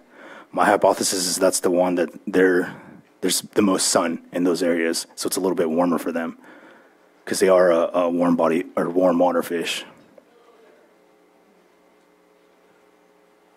Um, so this is just showing congregating behaviors uh, um, in the months that it was occurring. So as you can see, the white is uh, what was going on in December, and so they are showing a congregation pattern. So these are just my sources. Um, yeah, so the habitat thing, I, I think I want to, you know, I do want to address that. We obviously we are in a drought, but the other thing is our streams are no longer natural. Um, they're more straight, and in valleys they should be meandering back and forth. And so when they're straight like that, the water just goes. It doesn't slow down. It takes away from replenishing an aquifer. So when they're able to meander, just back and forth, if you guys know what an oxbow lake is, um, they create oxbows, the water becomes slower, and so our aquifers are able to fill up. Um, and you know, there's ways to do restoration efforts like that, but it definitely cannot be done by just one group of people uh, one team. It's definitely a collaborative effort. And so, you know, in the in the year that I've been here, I've been able to work with all the tribes in the area, U.S. Fish and Wildlife, USGS, California Department of Fish and Wildlife, um, higher education institutes, Cal Poly Humboldt, UC Berkeley, UC Davis. So it takes a lot of people to be able to um, actually do restoration efforts for fishes. And you know, one of the one of the things, like Sarah mentioned, we did do a, another rescue last year, and it was uh, us, Robinson Rancheria, the county, and Habematolel Pomo of Upper Lake. And this was done in Cooper Creek. It's on the north end of Tule Lake. Um, so if you're passing Bachelor Valley going towards Ukiah, it's one of those creeks. And so Caltrans reported seeing uh, fishes that were stranded in this puddle. And so Ben Ewing from California Department of Fish and Wildlife sent me this email, sent me a picture. He's like, hey, can you just do me a favor and just go make sure that there's no hitch in there? And so I'm like, yeah, sure. And in the picture, you could see clearly that there, it was carp. Um, so when I got there, I didn't see any carp, but I had my net with me. So I did stick my net in this puddle that looked like, it just looked like mud. It was like completely brown. And so I caught 10 hitch, 10 juvenile hitch. And um, they're about this big. And so this was in August. So this was in a creek in August. And so the spawning run would have occurred probably in April on that side of the lake, just because it's a little bit colder. Um, so, I mean, we, we don't necessarily know all the impacts that are occurring because all the streams are very different. So, for example, some Sacramento sucker have already started their spawning run. Um, and so, hearing that, I went out to Middle Creek um, to the locations where I know they would go. And I had a feeling they weren't going to be there just because uh, flows were still too high and the water was too cold. And, you know, that was the case. They, they like to um, go based off of temperature and dissolved oxygen. And so they wait till it warms up a little bit after storms and then they start making their migratory run. And in Middle Creek, I thought it was a case that that wasn't going to occur because there's a lot more water in Middle Creek. And so we, we have to be able to work together in many areas to actually understand what's going on because every spawning run of hitch is going to be different. And the last species to go extinct was actually here, the Clear Lake splittail, a very close relative to the Clear Lake hitch. It would spawn in the streams after the hitch, and so their water was no longer available in April and May when they would be spawning, and especially when they were making their way back down to the lake. And one, once they got to the lake, they'd have to compete with non-native species that were introduced to their habitat niche, which is near shore. So the, the hitch are able to go out into the middle of the lake and avoid competition with non-native species, where the split tail, they inhabited the same parts as all the other um, species, which was near shore. So that's one of the reasons they went extinct. With that, I'll take any questions. Do we have anything for the board or next presentation? Okay, Thank you. thank you.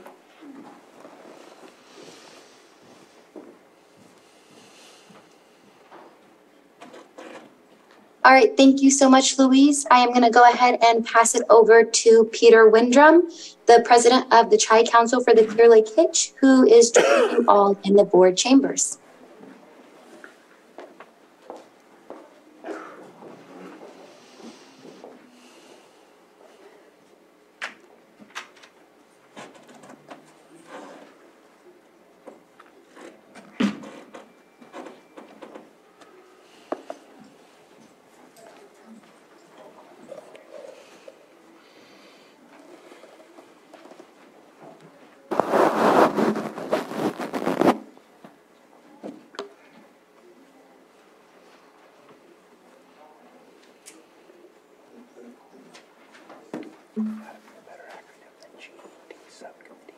Just checking, Marina, real quickly, do you have the other set of um, slides that I sent you this afternoon? Or did I send you these? I have this one, but I can check uh, real quick, Peter, um, just to make sure I have the most recent one. Thank you. So I'm going to stop sharing my screen for just a moment, if that's okay.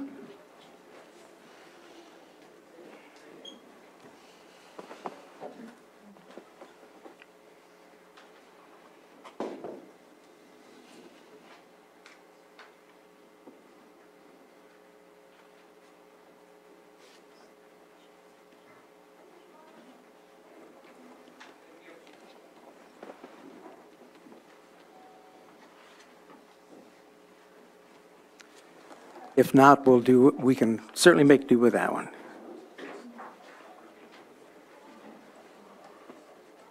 I believe I have it. Just give me um, a few seconds as it is downloading. Um, if it's going to take more than 35 seconds, I'll go back to the one I had up there initially. Thank you.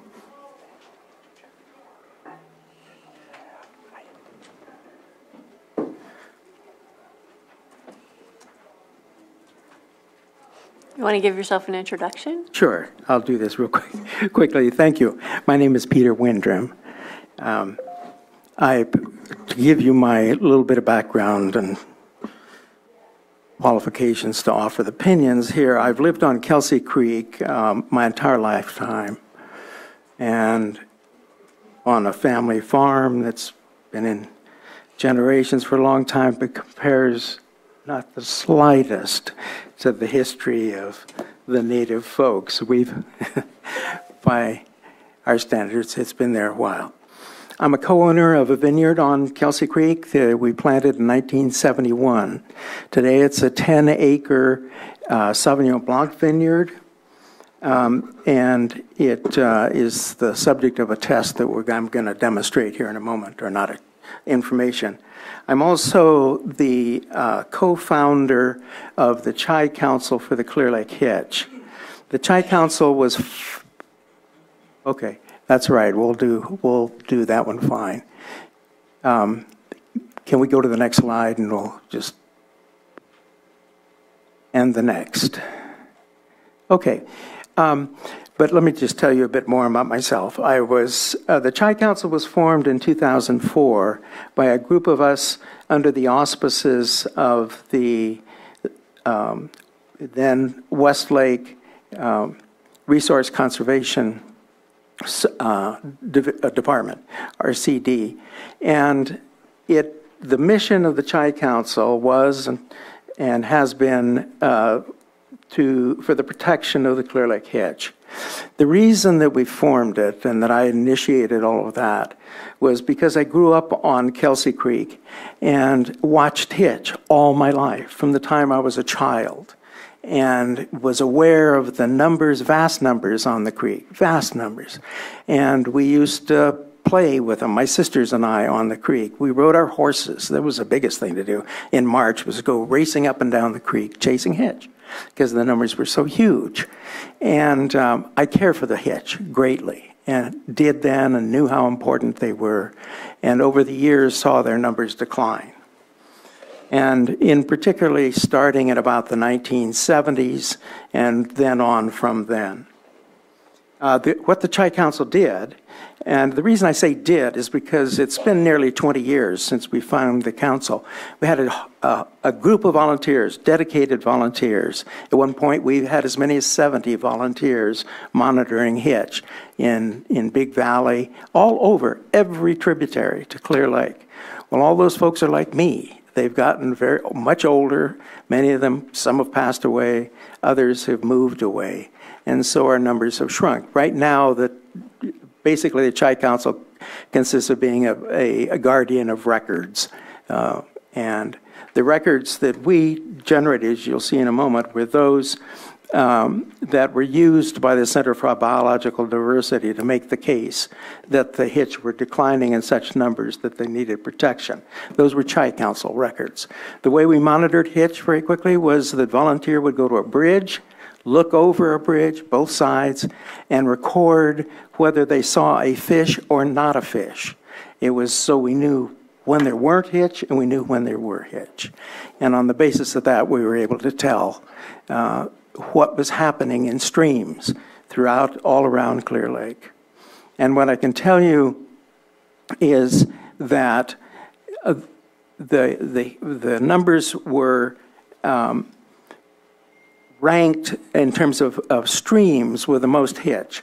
Adobe, Adobe uh, Creek always had hitch. Of all of the streams around uh, Big uh, Clear Lake, Adobe Creek has always, always had hitch. Kelsey Creek was next, and then it came on down. And it was really unique because Adobe Creek is unique. It's not like any other creek. And as I'll come in a few minutes, it's uh, it's not a good creek to use as a template for every other creek around Clear Lake. And the reason is because there are two reservoirs upstream. No other creek has reservoirs, and the behavior of Adobe Creek is different from any other stream. Um, going on very quickly, I was a contributor to the U.S. Fish and Wildlife Conservation Strategy and um, member of the Big uh, Valley Groundwater Sustainability Plan. Um, so, um, before last year, for the, for the year, the time that the plan was being developed. Um, of course, conditions affecting survival in Clear Lake introduce non-native species. The silver sides and the threadfin shad compete for food. Largemouths, bath, bass presentation and disruption of spawning runs. That's not talked about too much, but when the hitch, because bass attack, and I invite you to look at a look at um, uh, uh, YouTubes of bass attacking prey. They're underwater, and it's ferocious. It's just ferocious. And so they're, they're attacking schools of hitch when they're coming in and disrupting them from coming into the creeks. The other big fact that's about them that's not on this, well, survival, physical barriers, and I'm focusing now on Kelsey Creek. Physical barriers to the spawning grounds. There are two on Kelsey Creek. One is the detention structure, which is um, downstream from Kelseyville, a mile and a half, and then the footings on the Main Street Bridge that are an absolute barrier to hitch going upstream and cuts off about over eight miles of spawning area. The degradation of the spawning beds, the gravel beds that you've seen have been degraded in all streams because of gravel mining. There are fewer fish entering those streams every, not every year, but as we've seen on, on uh, Fred's slides, the numbers are going down coming into the streams. The real question is, overall, is what's happening in the lake. So the question then becomes, could we go to our next slide and we'll see. This is the big question that I sought to and seek to address in this paper, as well as some comments about Adobe Creek. The question is, does groundwater pumping for frost protection in Big Valley reduce stream flow in Kelsey Creek during the hitch spawning runs? That's the proposition that's being made, and you just heard that proposition, is that groundwater pumping for frost protection reduces stream flows and hence harms the hitch. Next slide, please. This is um, looking an aerial view of, of uh, Big Valley, and I had to point out these little, little uh, orange. The blue line is, of course, Kelsey Creek. The yellow line is Highway 29, where it crosses uh, Kelsey Creek. That's Kelseyville, the town of Kelseyville, right there. At that, um, starting at the very bottom, there's a gauge maintained by the U.S. Geological Survey of the stream flows in Kelsey Creek. It's been maintained at, at that location since 1947, and all those records are available. The next one, uh, a little orange one, kind of squiggly line, is where is one of our two farms, and that's where I live there on Kelsey Creek. It's just a, and we've been there since 1976. My wife has owned that spot, and I've watched fish. Can't get any hitch because they won't can't get up there right now. Going up to just above where the next, where the blue line cross, crosses the yellow. In other words, Kelsey Creek goes over, goes um, under uh, Highway 29. The next one up is the uh, um, Main Street Bridge that bars Hitch from coming up anywhere heading south, which would be down from there. Next um, I'm sorry, it's back, that one is our other farm, uh, which has the 10-acre vineyard on it and goes right on Kelsey Creek. Up above that is uh, the detention structure, which is at the end of the gravel section. And then the last one is the gauge maintained by the California Department of Water Resources.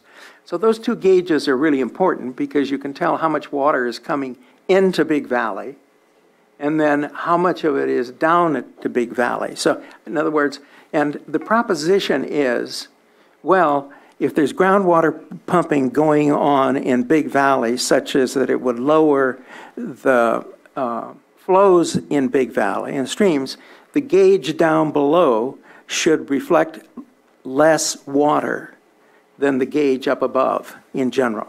That's it. It doesn't. And that was checked out by the engineers on the Big Valley Groundwater Sustainability Basin, and they found no evidence that water in Big Valley was being reduced, in uh, Kelsey Creek was being reduced by groundwater pumping. So, um, notwithstanding folks saying that that's not the same, not the case. We're, uh, we pump water uh, for frost protection and overhead sprinklers. We have a pump that's 600 feet from the creek and a reservoir that's 1,200 feet from the creek. That pump is a 20 horsepower pump, and it runs these overhead sprinklers and uh, from a 180 foot deep well. We irrigate with a drip system, which uses a very small amount of water relative to frost protection. We have a pipeline that runs from that well, by the way, 600 feet from the creek to the creek. It's available for pumping back into the creek. We will do that if it appears to be a contribution to the hitch flows. We're, we're here to do that. Now, the, excuse me here for just a second, keep following my notes. Frost protection, ba- could you maybe go to our next, please, slide? Let me see.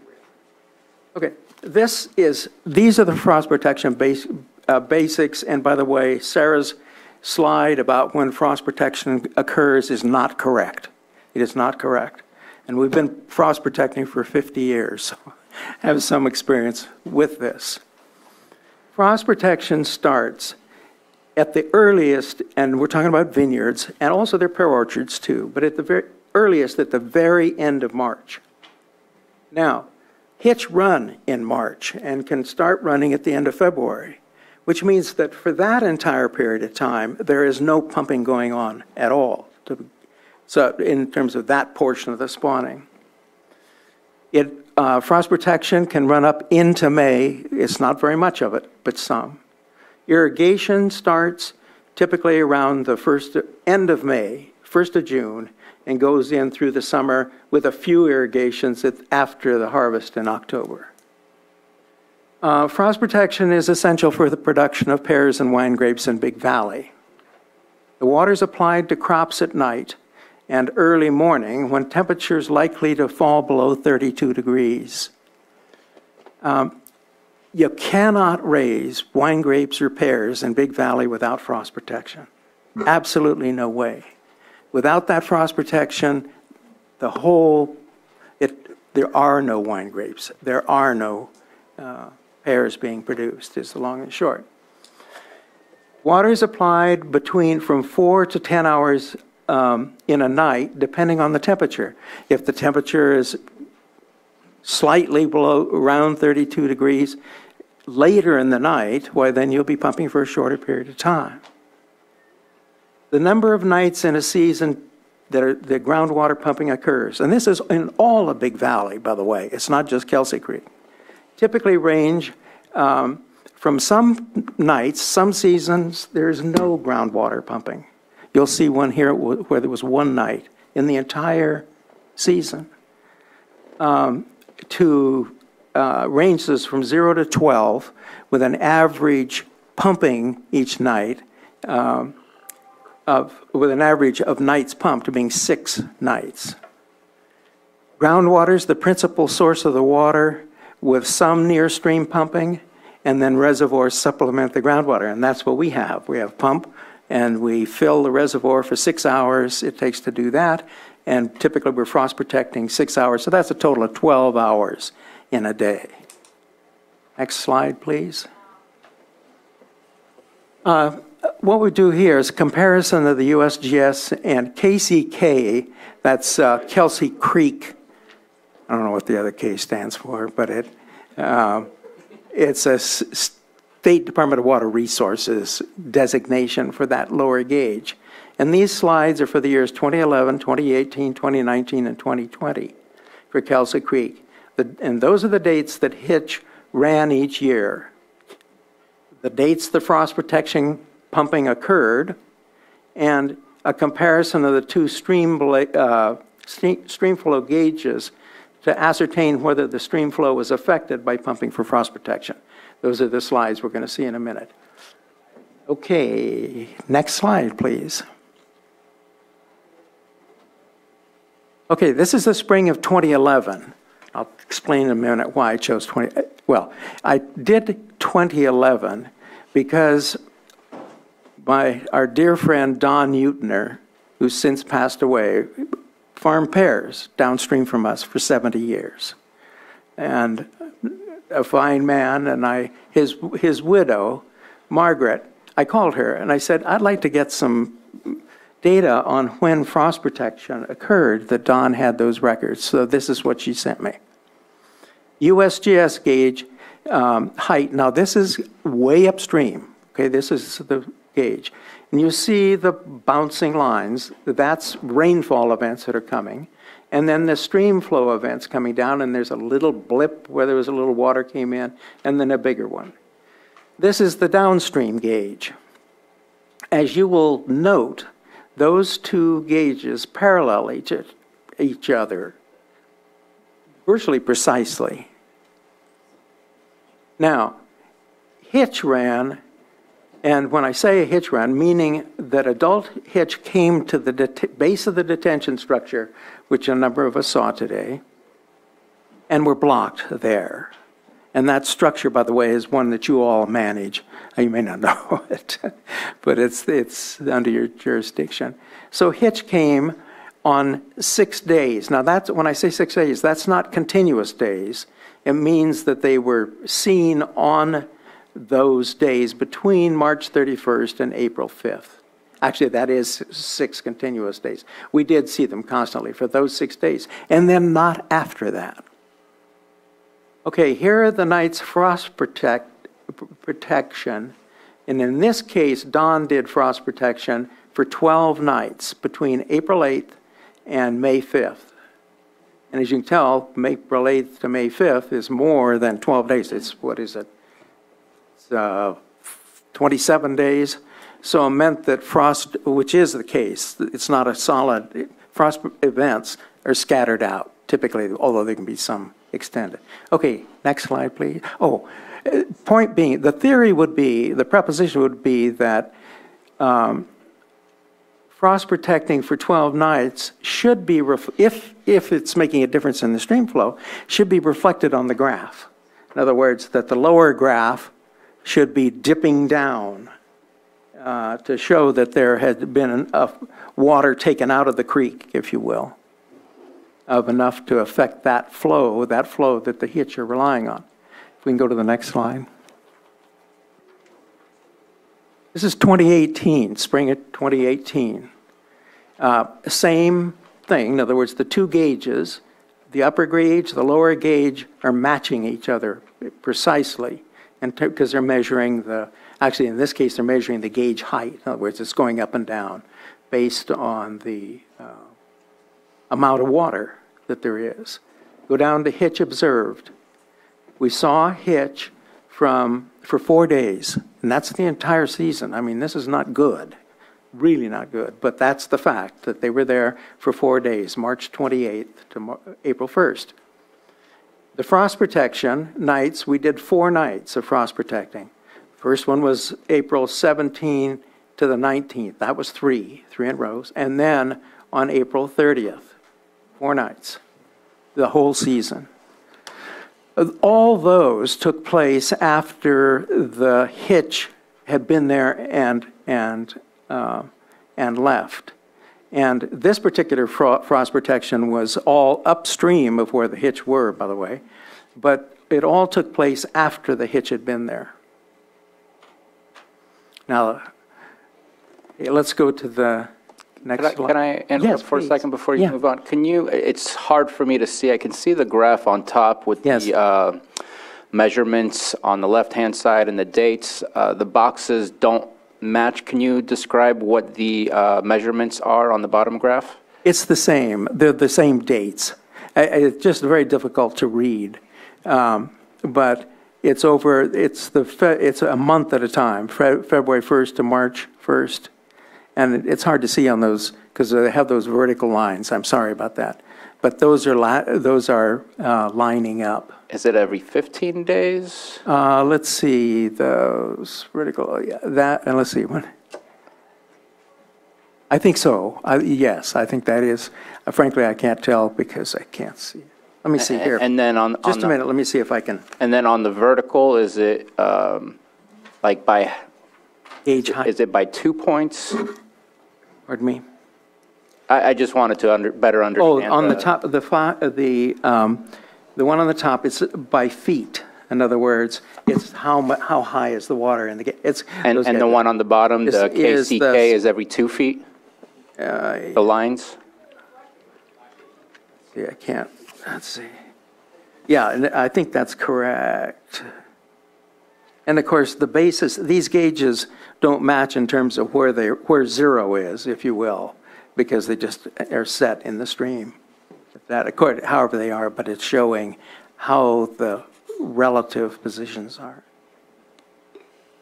How they go up, go up and down, basically, is what is happening. 28, are we four days, 2018? Is that, I don't know if that answers your question? No, that, that, that is good. I don't believe that, uh, if you can send us um, your presentation so I can get a better look at it, it's hard to tell from right here. I'd be happy to do that. Attached. Um, I don't remember seeing this specific one. I, maybe I went through all the charts and I'm just not seeing the comparable. He said he had a new one.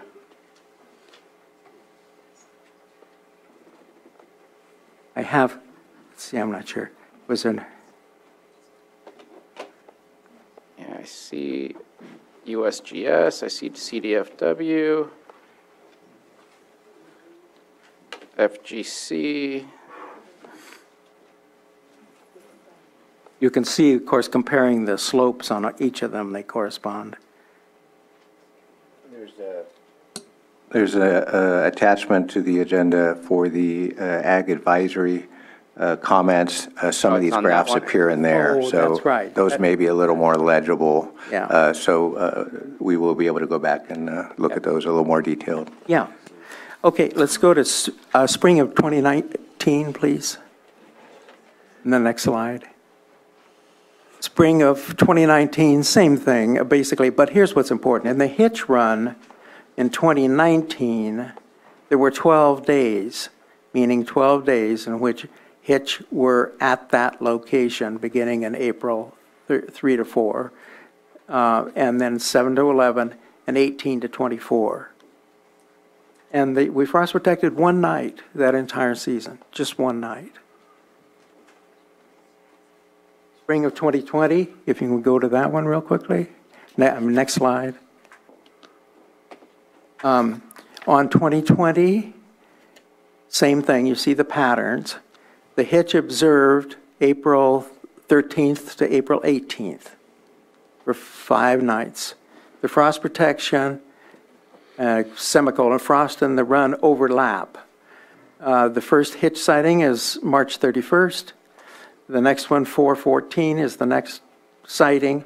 And then A- uh, May 5th, uh, May 3rd to the 5th is four nights where there was frost protection going on. So if we go to the next, and but again, uh, you see the the comparison of the two gauges. I don't belabor this thing, but next, next, uh, Okay. This is um, an important calculation that I did to see if it, what it tells me. Is, the question is frost protection as a percent of the spawning season. In other words, how much frost protection pumping is going on in that season. So I used as a spawning season is February 15th to May 15th. Now, of course, in our example, they're not doing that, but that's what they ought to be in terms of that whole period of time. And that's 90 days, and converted to hours is 2,160 hours. Frost protection events occur on average six nights per season, and groundwater is pumped onto vines for six nights per, per six hours per night, and 36 hours of frost protection pumping per season. In other words, this is the pumping. This is not filling the reservoir. That's the next one. Okay, and then, so 36 hours is spent pumping for typical frost protection season. A pumping to fill the reservoir is another six hours for each of those days um, per season. So pumping to fill the reservoir plus pumping to spray water onto the vines is 72 hours of frost protection pumping per season. 72 hours. Now, if you calculate that as a percent of the entire spawning season, you divide the hours spent pumping with fro- for frost protection, that's 72 hours. By the spawning season hours, which is 2,160, I put in an extra zero there, shows that pumping for frost protection takes up less than 5% of the spawning season time. Less than 5%.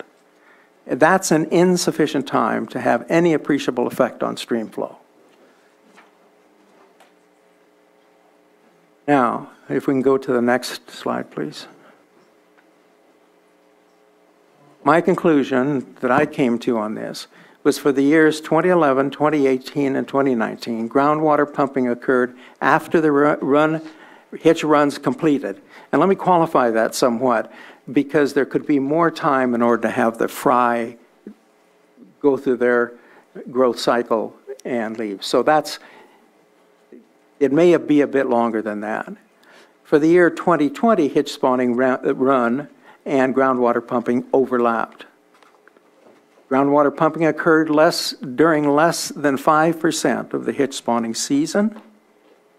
And groundwater pumping for frost protection in Big Valley does not reduce stream flow in Kelsey Creek during the hitch spawning runs. Those were my conclusions from that data. Next slide, please.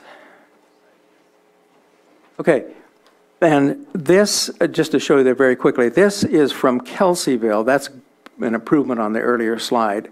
You see Kelseyville, Main Street Bridge, that's an absolute block to hitch going upstream.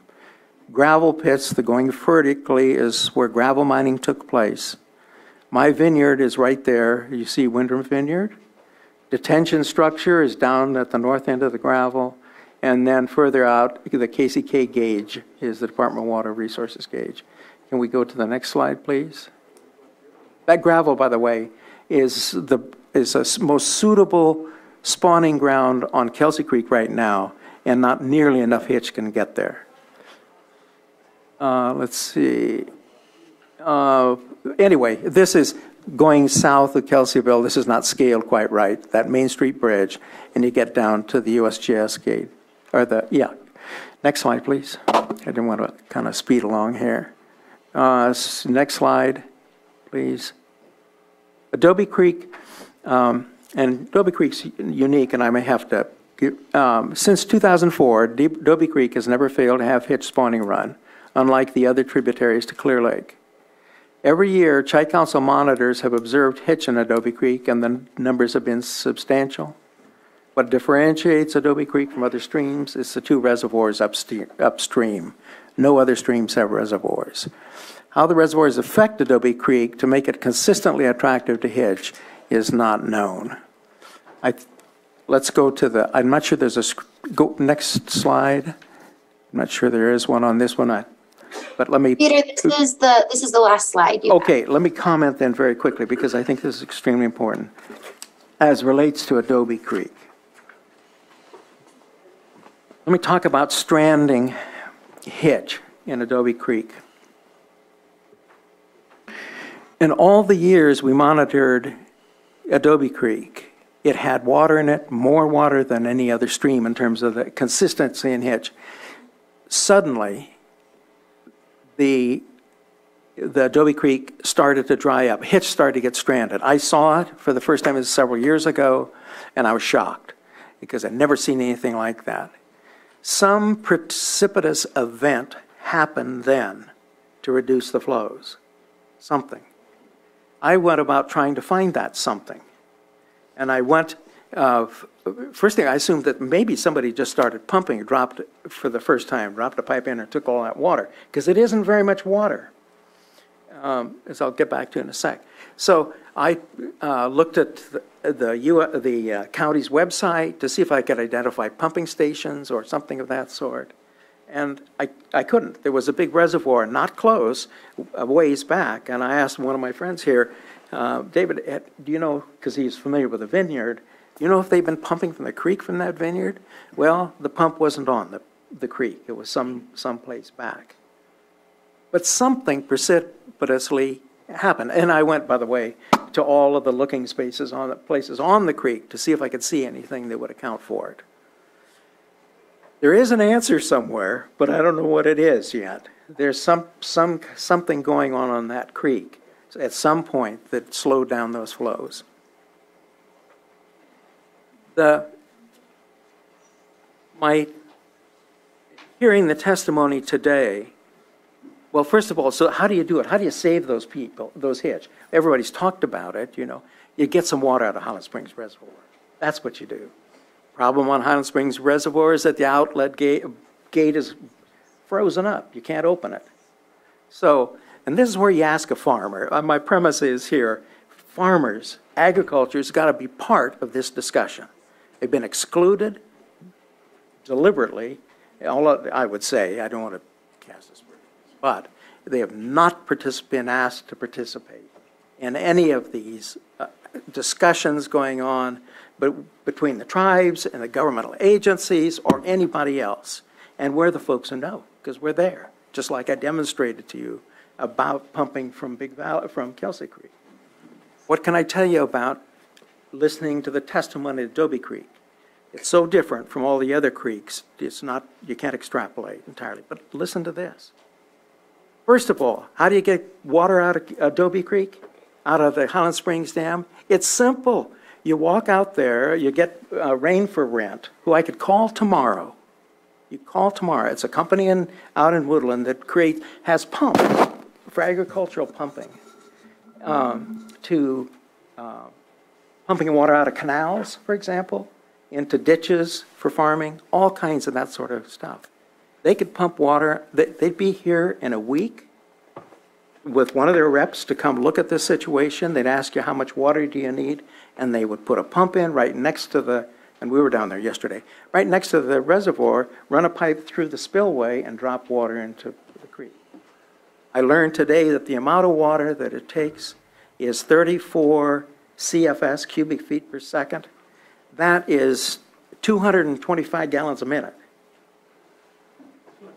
That, you can produce 225 gallons a minute with a 20, ga- a 20 horsepower pump. Actually, it'll produce more than that. So the thing that floors me is hearing this, te- why in the world didn't you put a pump in this creek right then and save all these hitch? Every year, could do it until that thing gets fixed. That's a farmer's perspective. Why is that? So, anyway, so where do we then go? I guess I see, so, so what, then these other facts, and folks can, maybe I construe them differently from other people, or, no, incorrectly, let's put it this way. I'm not saying it's good, but a female hitch, everything I'm reading in the literature, carries an average of 36,000 eggs. That means that for a thousand hitch, that's 36 million eggs for a thousand hitch. First thing it tells me, I think from college biology, is well, that means that there's a high mortality rate in, in eggs. That's why you have so many. But that's still a tremendous number of eggs. Now, if you get a year like you've had all these dry years, and so and the hitch numbers are dropping, this year we'll have a tremendous amount of rain and flows in these streams. They ought to be working just fine. Peter, Um, So, we, we've got to move this I'm sorry, I presentation. apologize. Okay, uh, that's the end of it. Uh, Let me say one concluding thing. Hitch are losing their war in Clear Lake. They're starved by silver sides and threadfin shad, and they're consumed by bass. I'm sorry. Agriculture has to be included in all of these discussions, all of them, but with all of them. And ag, I submit, has been wrongfully blamed for the decline of hitch and its authority, and that's the essence of it. You all need farmers in every one of these meetings in order to have the data and the information. You don't see in any of these documents, I mean, agriculture essentially has been excluded. We need to be at, at the table so that you all can consider what the facts are that we can bring. I apologize, Madam Chair. Thank you very much. Thank you.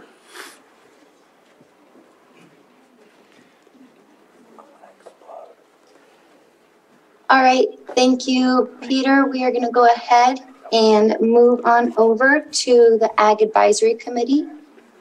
Let me pull up the slides.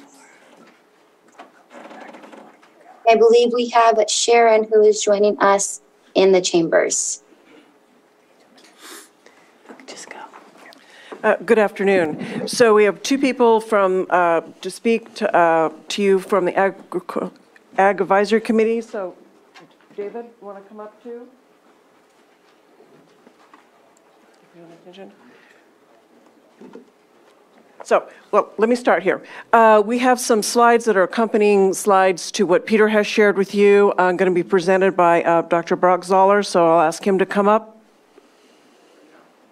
Does he need to go up there? You, you, you can come up here if that's what you'd like. Okay. I just want to let everybody know, we have a, a hard stop at 4 PM. We have to take a break. Um, So we'll go for the next 15 minutes or so, and then we'll, we'll have to stop whatever we're doing right at that time and then come back.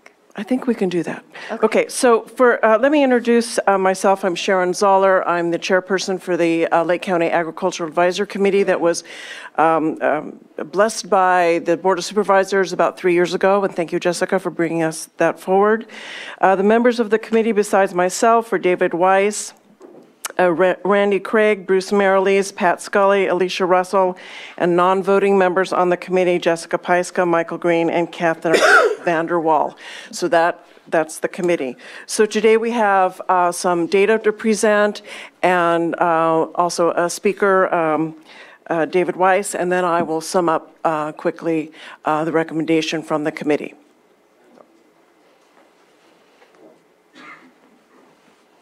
I have just a few slides. I need to talk to the microphone very closely in order for you to hear me, so I'm going to take this off, and uh, I also need to be able to point to the data.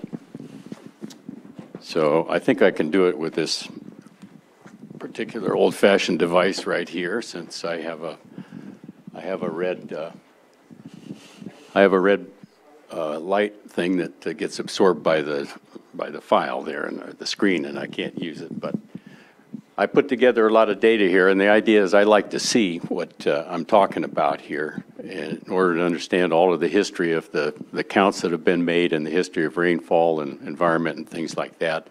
And I like to put it all on the same screen so you can do comparisons with it. So what I've got here, sure.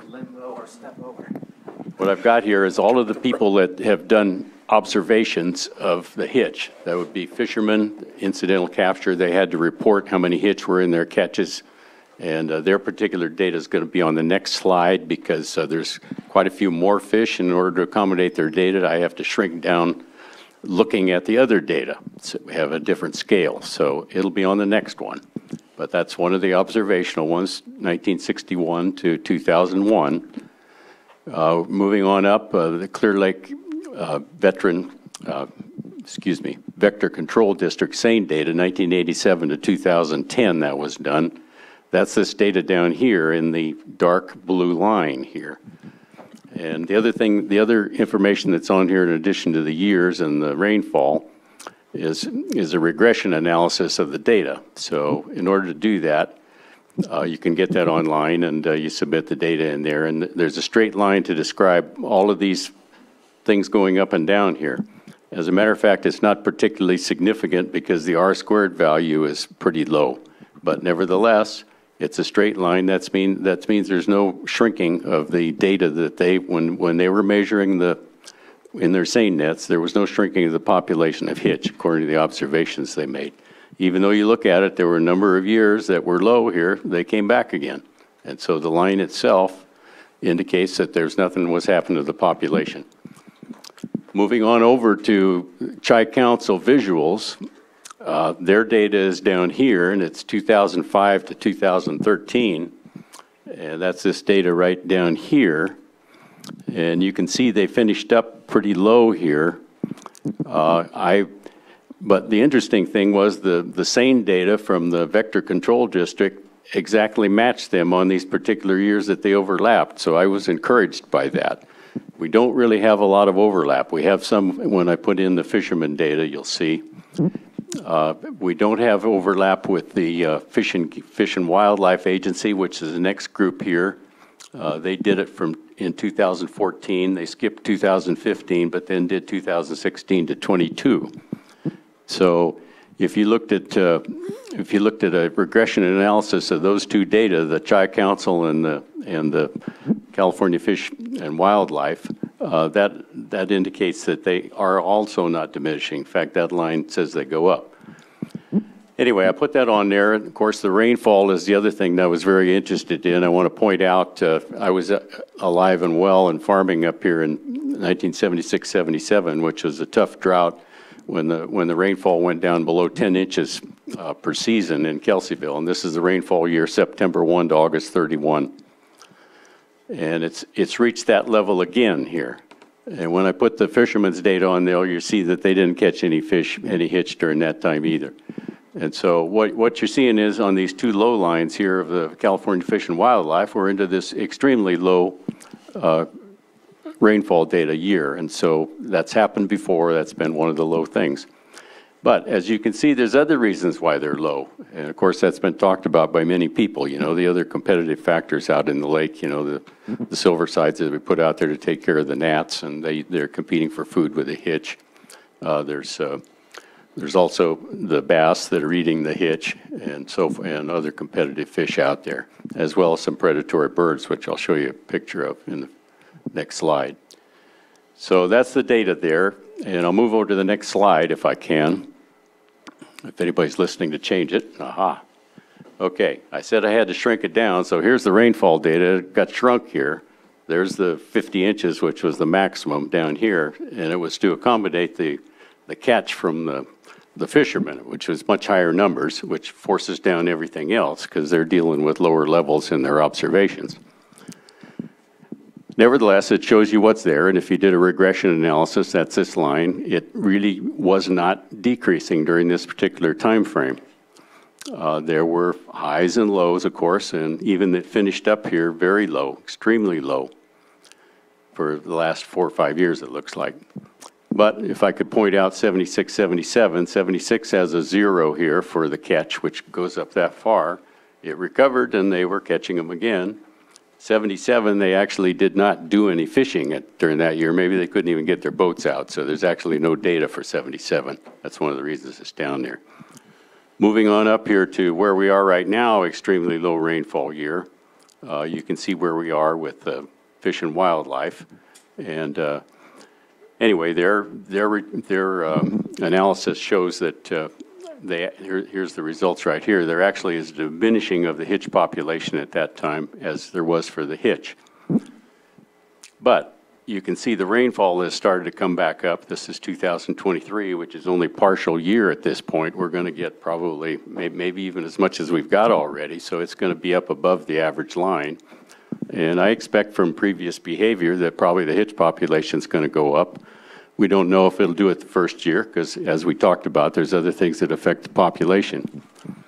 But nevertheless, uh, it looks to me like the normal situation, it has ups and downs in the population. And of course, these are not as big of populations as the Indians experienced, or even I saw when I first moved up here in the 70s and 80s. I saw some pretty big hitch populations spawning in, in Kelsey Creek. But as been pointed out, we have a detention structure out there, which people talked about at the time, and they put a fish ladder in it, but it doesn't function as well as they thought, and somebody needs to be maintaining that a little better so that the more fish can get above the detention structure, spawn around Dorn Crossing up to the current bridge across highway, the highway into Kelseyville. And that we've talked about a long time because that, is- that is a clear obstacle that the hitch don't get by. We live up Kelsey Creek another mile further and we've never seen hitch there. And we're back looking at the creek every day, really. So there, it's a complete barrier, and if you go look at it, you can see why. There's no way for very many fish to be able to get up there. So that needs to be worked on, and that would expand the rate, the area where the hitch could spawn, uh, very simply, really. So why aren't we doing that? Those two structures, working on those fish ladders. Next slide. We talked about one of the things I had, I and my wife have to be going across the lake with some other people that had a boat in 2013, in, in October, actually. And these were pelicans that were in the mouth, of- near the mouth of Kelsey Creek. And I don't spend a lot of time on the lake, and I, but I have seen pelicans across the lake sometimes, not nearly so many. And I've seen them flying over. They're beautiful, but you don't see them all the time. But there were incredible numbers that particular year. And each one of those pelicans eats two to four pounds of fish per day per bird.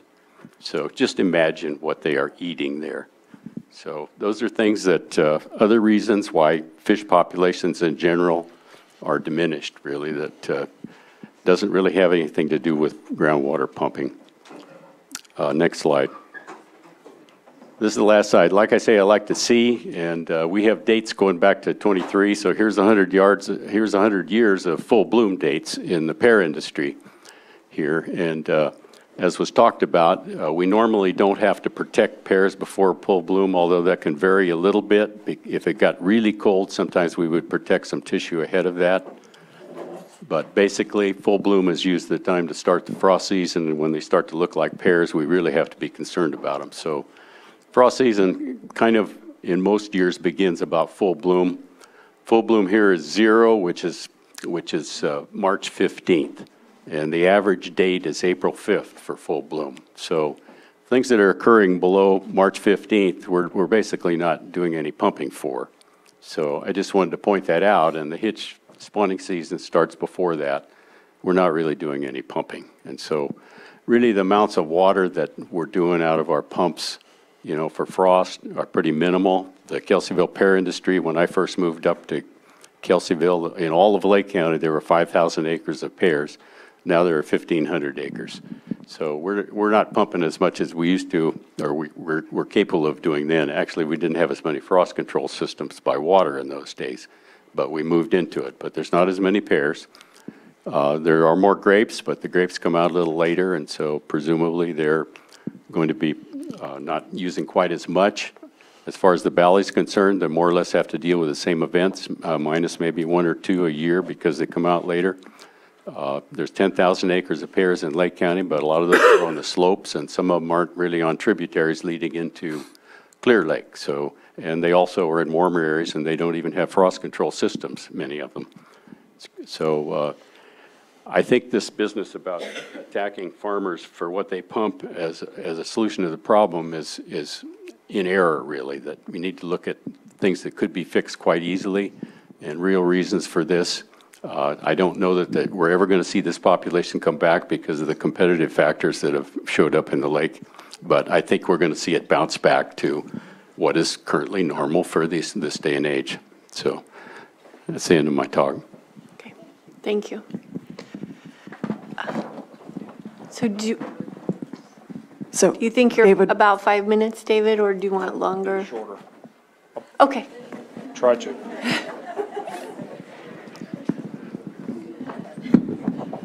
I'm a farmer. I'd rather farm than talk. But thank you for having us. Um, I, so I'm David Weiss, and I'm a, I uh, own Bella Vista Farming Company. We farm grapes and pears uh, throughout the Big Valley area and other parts of Lake County, but entirely within Lake County. So we've been here for 30 years, and, um, which is, a you know, a far cry from um, the Windrems, uh, let alone the Native American population that's here and's been here for thousands of years. So I have a very small um, perspective, but I think it's valuable. Um, My concentration is about the, the uh, proposition that groundwater pumping is affecting stream flows, and I disagree. And I want to remind the board that um, we just spent a huge amount of time and money preparing the groundwater sustainability plan. I was part of that group that uh, advised the board on that. And what, um, there, that, that report, if you haven't read it, is, is replete with many instances uh, citing the uh, inadequate data, um, but general conclusions that groundwater pumping is not affecting stream flow.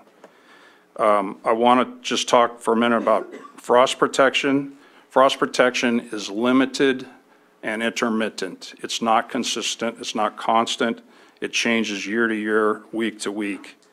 Um, It happens a few hours at a time, as Peter's discussed, on a few nights each year, and it totals less than 5% of the total spawning season.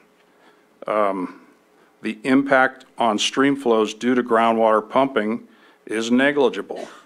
In that GSPAC, or the uh, Groundwater Sustainability Plan, here are quotes that I've written down, a few just for, um, to illustrate the point.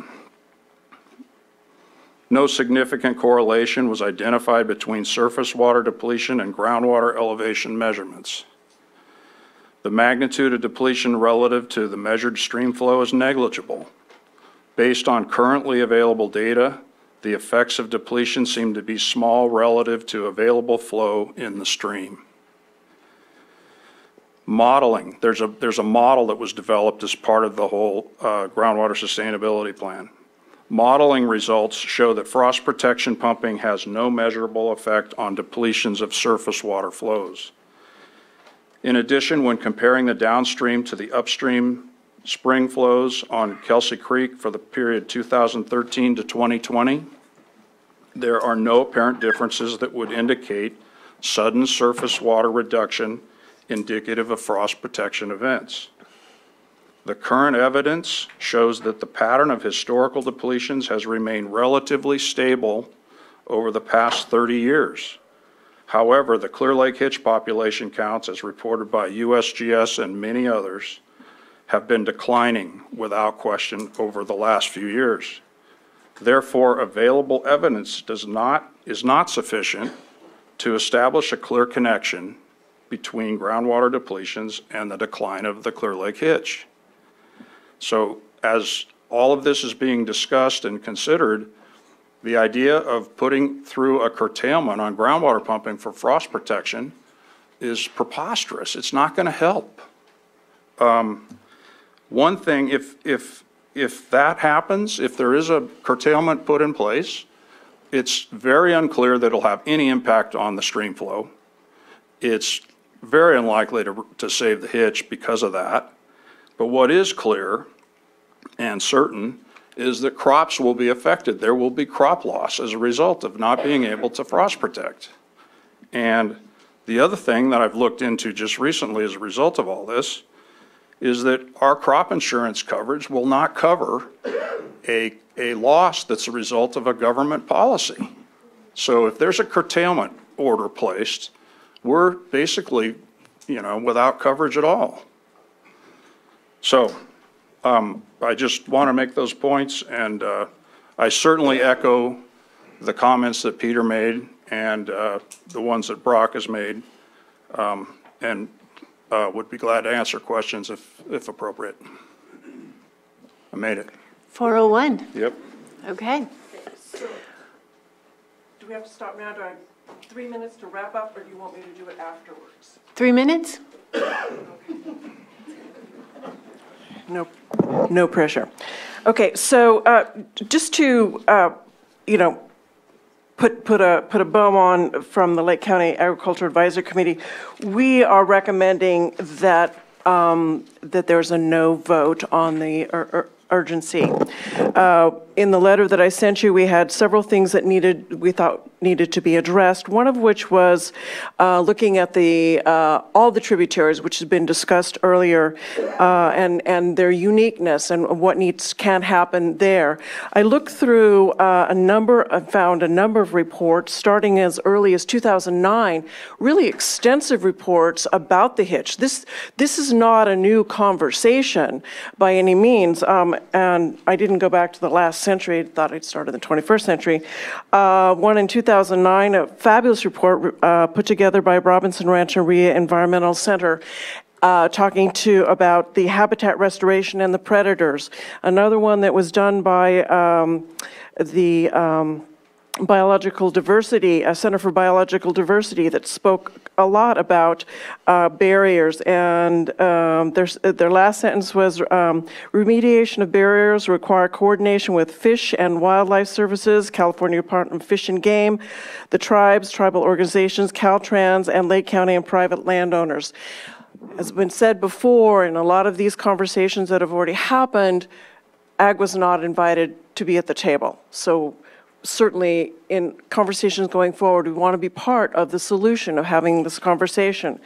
In the last uh, report that I found that was very extensive, 378 pages, uh, that was put together um, by the uh, Department of of Fish and Wildlife, in that report, four times there was a list of excuse me, 14 bullet points of things that can be done, should be done right away to, to help support the hitch sli- um, survival. And with that was a very extensive evaluation of 10 of the tributaries, what needed to happen. This was in 2014. So a question is, a wonderment is, why is this still a list? And that it hasn't been implemented.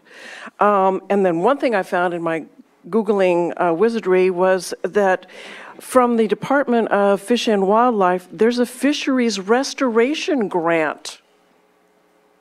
I found that 25 uh, projects were granted this year.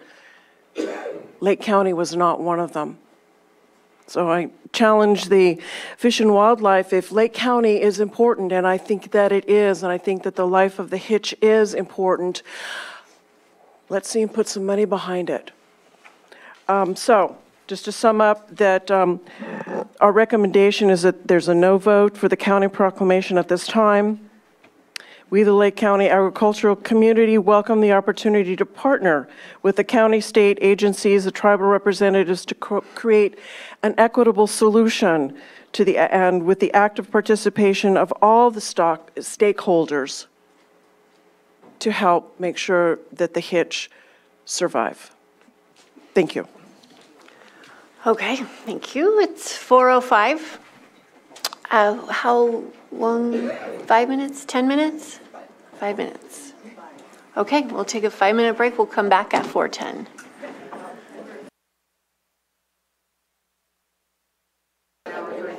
It's okay. All right. We're at 4:14. We're coming back from our, our break. If everyone could please have a seat, we can get started again. I want to remind our presenters that we're going to try and stick to the 10 minutes so that we can um, get through this material.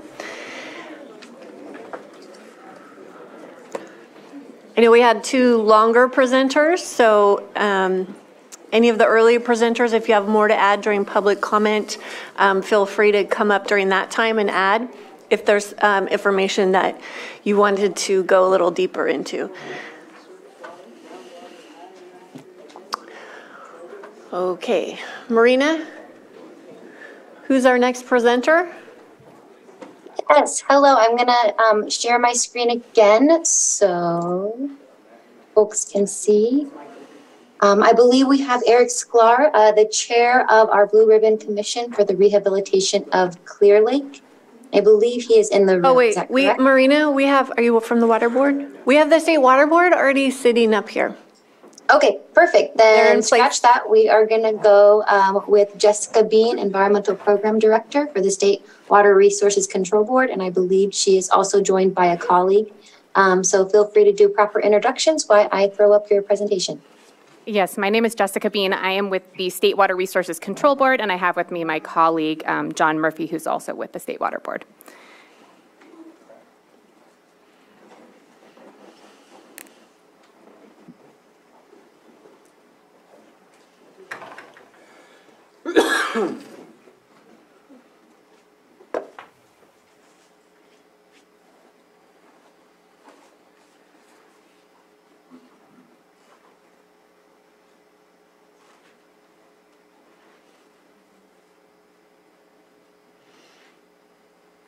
And Marina, you can just jump to the second slide.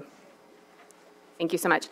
So just a really quick introduction to the California Water Boards. There's one state water board and nine regional water boards. Um, we are regulatory agencies. We protect water quality. Uh, we regulate drinking water. We administer water rights, and we provide financial and technical assistance uh, throughout the state. Next slide, please. In terms of the California Water Board's work in Lake County thus far, it's primarily been focused on by our Central Valley uh, Water Quality Control Board, which is the gray um, area, Region 5 right there, covers a pretty substantial area. And their work has uh, been on total maximum daily loads, TMDLs, irrigated lands program, and waste discharge requirements. And they are also participating in the Blue Ribbon Panel. So, what we are here for today is really leaning on the water rights component that we do administer water rights in the state for surface water. And that has to do with managing flows. Um, when we administer water rights, we do have to take into consideration uh, balancing of beneficial uses, including public trust needs, which includes flows for fish.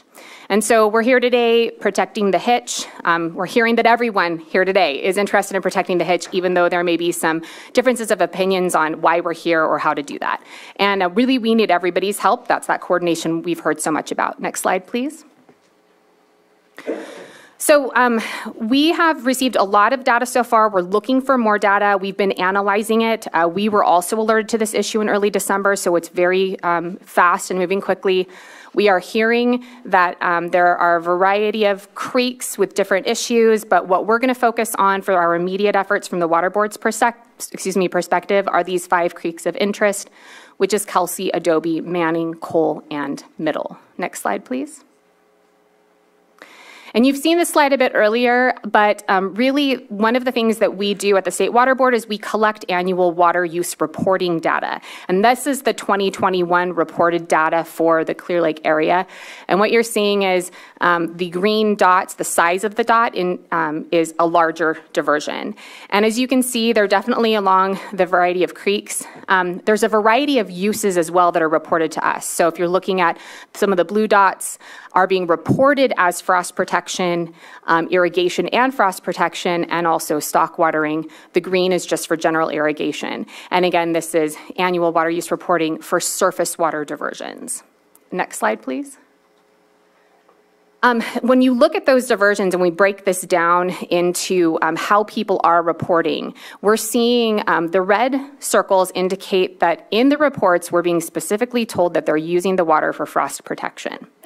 And then in the, uh, the yellow uh, circles is indicating spring irrigation. So that could be frost protection, that could be spring irrigation. It's not specific to us. Um, we don't quite know. So this is the general data that we're looking at. And I do want to preface that one of the issues we have with reported data is that we don't have a high frequency of the data being reported. It is, an, it is a big gap for us.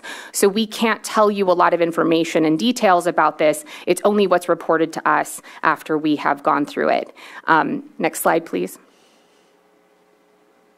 So this is some primarily, excuse me, primary land use data that we have pulled together uh, through our analysis. And as you can see, the purple color indicates vineyards, which is the predominant um, uh, excuse me, crop, and then you have your fruits and nuts, uh, which are in the red color. And then the gray area would be urban use. And then obviously we have other uses in the area too, but I think the, you know, the purple and red jump out at us as well as the gray. Um, next slide, please. And so I jump here to data needs and other questions because I just really quickly went through our slides on that. And we are having a listening session on February 1st where we'll go into greater detail about these this pieces of data that I'm showing you. Um, but really, we just have a lot of questions, and a lot of that does revolve around groundwater. We regulate surface water, and so we have some data on that. Um, however, we do need more. But in addition to that, we do not have a lot of um, groundwater data at an adequate scale that we can make determinations on. We need to be able to um, look at information on a specific level, and um, sometimes aggregated data that we're seeing in maybe groundwater sustainability plans doesn't allow us to do an independent verification of these things. And for us to make a determination as a re- regulatory agency, we need to be able to have good, high quality data to make decisions and have them be um, enforceable. So we're looking for things like diversion volumes and timing rates. We do want to know about groundwater surface water interactions, both how to identify those and measure those. Um, we can get some of that through knowing where well locations are, um, obtaining well log, logs, depths to screens, the size, pumping rates, pumping tests, this kind of information. Um, we're also looking for groundwater quality. You heard uh, it mentioned the potential for an immediate action could be to pump water from a groundwater well and put it into the stream, which seems a little bit backwards if you're thinking about if groundwater, if groundwater is the issue, then if you're pumping into the stream, you're taking water out. But for an immediate need to get just enough to get the fish down, that could be an option. Um, we are hearing that there may be groundwater quality issues that could prevent that. Um, and so we are looking for groundwater quality. And so we're looking for folks who'd be interested in sharing any water quality information they've collected to us. Um, we're also uh, looking uh, on needs for more flow gauges. We want to know about the temperature, timing of frost protection actions. What are the resources we can look at, again, to independently verify the information that we're hearing because there is um, there are different points of view and different um, conclusions that folks are coming to right now. So we're also looking for historical records or logs of fish kills and fish rescues, again, frost protection dates, and then any other information people feel could be valuable. Next slide, please. So, from the State Water Board's perspective, we're looking at a two pronged solution essentially. Uh, we're looking at immediate uh, things we can do to help the hitch, very you know quick projects, things that can be undertaken quickly, and then long-term actions because we do recognize this is a longer-term problem that we're not going to be able to fix in a year or two or five even. And so I just mentioned the fact that we need better data to understand the problem and potential solutions. We do plan to do some enforcement in the area. We have an enforcement team at the water boards, um, specifically looking at illegal diversions. Um, we've heard that there may be a cannabis component to this for illegal cannabis grows. We have a um, some enforcement staff specifically looking into cannabis. And we are, from the board's perspective, going to commit resources to come and do enforcement in the area on things like surface water diversions that may be illegal. We're also going to be uh, working with our uh, Department of Fish and Wildlife counterparts to look at um, some of the areas and things where there may be overlap between enforcement actions. Uh, for this year, we're looking at voluntary actions to keep water in the creeks. Um, I'll go into those a little bit more detail in a moment. Again, collaboration, we really want to get effective solutions and make sure we're getting the messages to all the folks that are out there that need to hear it. And then we are a regulatory action, uh, excuse me, agency. And so if going through voluntary actions and this process doesn't work, um, you know, there may be the need for regulations, and we can talk about what that looks like in a couple more slides. Next slide, please. Again, I, I, went through the enforcement component a bit, but I do want to mention a few other things um, in addition to cannabis and diversions. There could be illegal reservoirs and water storage. Um, I mentioned that reporting is a problem. We're, we're, seeing issues where we have a lot of um, data we're not getting, and so we'll be looking pretty closely at that. Are there people diverting but not providing that data to us, and can we get them to, um, to give us the data that we need? Again, coordinated with Fish and Wildlife. Next slide. The voluntary actions that we're, we're looking at based on some potential solutions we're hearing from would be, you know, reducing diversions or pumping, again, surface water diversions or groundwater pumping, um, coordinating diversion and pump timing if that is something that is uh, that we find is causing the problem, potentially alternate frost protection methods, uh, pump backs, which I've already discussed, and any other ideas that folks have. We are we want to hear about those, bring them to the table. I will say that we're hearing a lot about um, potential stream bed uh, maintenance projects, things like that, that that may be an option. That is not under our purview, but it's definitely something we'd be interested in coordinating with uh, Fish and Wildlife and other folks on. Next slide, please. Again, mentioned this, but going into a little bit more detail, we really would love to see coordinated local solutions if there are folks that are willing to step forward and help us get the data that we need um, or share the messaging. Also, you know, sharing data with neighbors. Sometimes folks just, um, some folks may be talking really well, but others may not, and, and knowing what that is. Um, we also need to help identifying who needs the most help. Uh, we don't know the area as well as you do, and so we want to know uh, are there smaller farms that maybe could use more support than others, but just identifying some of those hard to reach folks. And then um, one thing we have for a long-term question is, is there interest in off-stream storage ponds uh, for some of the folks that are diverting from the stream? And that would be something that we'd like to talk to folks about. Next slide. Uh, going into the regulatory component, again, um, in terms of how water rights work in California, uh, folks who want to divert from a surface water stream do need to get a permit, and um, they do not own that water, but they have the right to use that water. And there are other beneficial uses that have to be considered in that. And so uh, we want to make sure that that water is being used beneficially. And so we need good, timely information on that. Again, we talked about size of diversions, groundwater use, uh, reporting violations. We do have the CalEPA reporting portal. If folks believe there is a diversion um, that is illegal, they can report that. It'll come to us and we can investigate it. Again, coordinating with CDFW and long-term frost protection um, is something that we've heard about. These are all um, some of the questions we're asking when we're thinking about what kind of actions could we take. If we don't get the, the data we need to make the decisions, there is the potential for an information order. So that would be a regulatory mechanism that we could use a little bit more quickly to specifically get information about groundwater use and locations and things like that that we don't currently have access to. So ideally, we would get that voluntarily, but that is a mechanism we could use if we felt the need to. Um, in addition to long-term frost protection, there are other types of regulatory elements, but to be honest, we don't believe we have enough of the information nor the capacity to put one of those into place immediately. So we don't see that happening this year, but it is something that could potentially happen if we're not seeing success in um, uh, voluntary actions next year or maybe the, the year after that. Next slide. Just to remind folks, it is early in the effort, and there are a lot of drivers to this. Um, we've, you know, we're hearing it's complex. There are a lot of variables, so we're certainly not interested in pointing fingers at any one potential issue. The water boards, however, are coming at this from water supply perspective, at least from the state water board, and so that's where a lot of our focus is going to be on. Um, but we do want to find solutions, and we don't want the uncertainty to lead to extinction. So that is something that is extremely important to us. Next slide. Quickly, we've already started this work. We're doing a lot of engagement. We've been meeting with um, some of the re representatives from the tribes, also coordinating with federal, state, and local folks. We have been meeting with county representatives as well, and doing community engagement, working um, to meet with the farmers and um, different agricultural interests in the area. And then we've held some public listening sessions as well. Next slide, please. What we're asking from community members is to commit to specific voluntary actions, consider becoming a local coordinator to help keep up momentum. That local coordinator does not have a definition. We're looking for folks that are just willing to step up and help to make some of these things a reality. Um, we're looking for data sharing and help with answering our questions um, and connecting with hard to reach folks.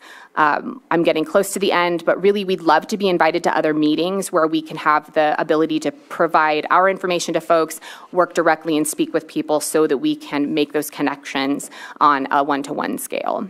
Next slide. Uh, we did have um, a listening session last week, and then we're here right now, and we do have an upcoming listening session. So if anyone is interested in participating, this information is on our website, but we encourage you to attend. Um, there will be a presentation, but uh, a large opportunity for discussion. Next slide. And what I do want to point out is that we, if you're interested in keeping up to date on what we're doing, you can email us at clearlakehitch at waterboards.ca.gov, um, or you can sign up for our email update list. We have a sheet right out in front here for anyone who is interested today to just provide your email. We'll sign you up today. There's also a QR code if you want to use your phone to get to our website. And we are done. Thank you. Um, I have a couple questions. Absolutely. So with this, um, we've heard from many different stakeholders today, and we've gotten a lot of different, uh, we've got a lot of information. And I, it seems like the, you are going to be sort of the collecting body of all of this. Is that true? Well, I wouldn't say we're the collecting body of all the information, um, but what we are trying to do is be able to um, independently verify what we're seeing. You know, people are showing graphs and charts and they're telling us, you know, here is here is what we're seeing. And we want to be able to verify that. You know, we need to it needs to be reproducible so that we can see those same things. It, you know, again for us there's the water component. Um, we also there's also hydrogeology and a lot of issues like that. There's the, um, so I wouldn't say we're going to be the collector of all data, but we need a lot of it to be able to make our decisions. So what we want to do is not necessarily be a repository.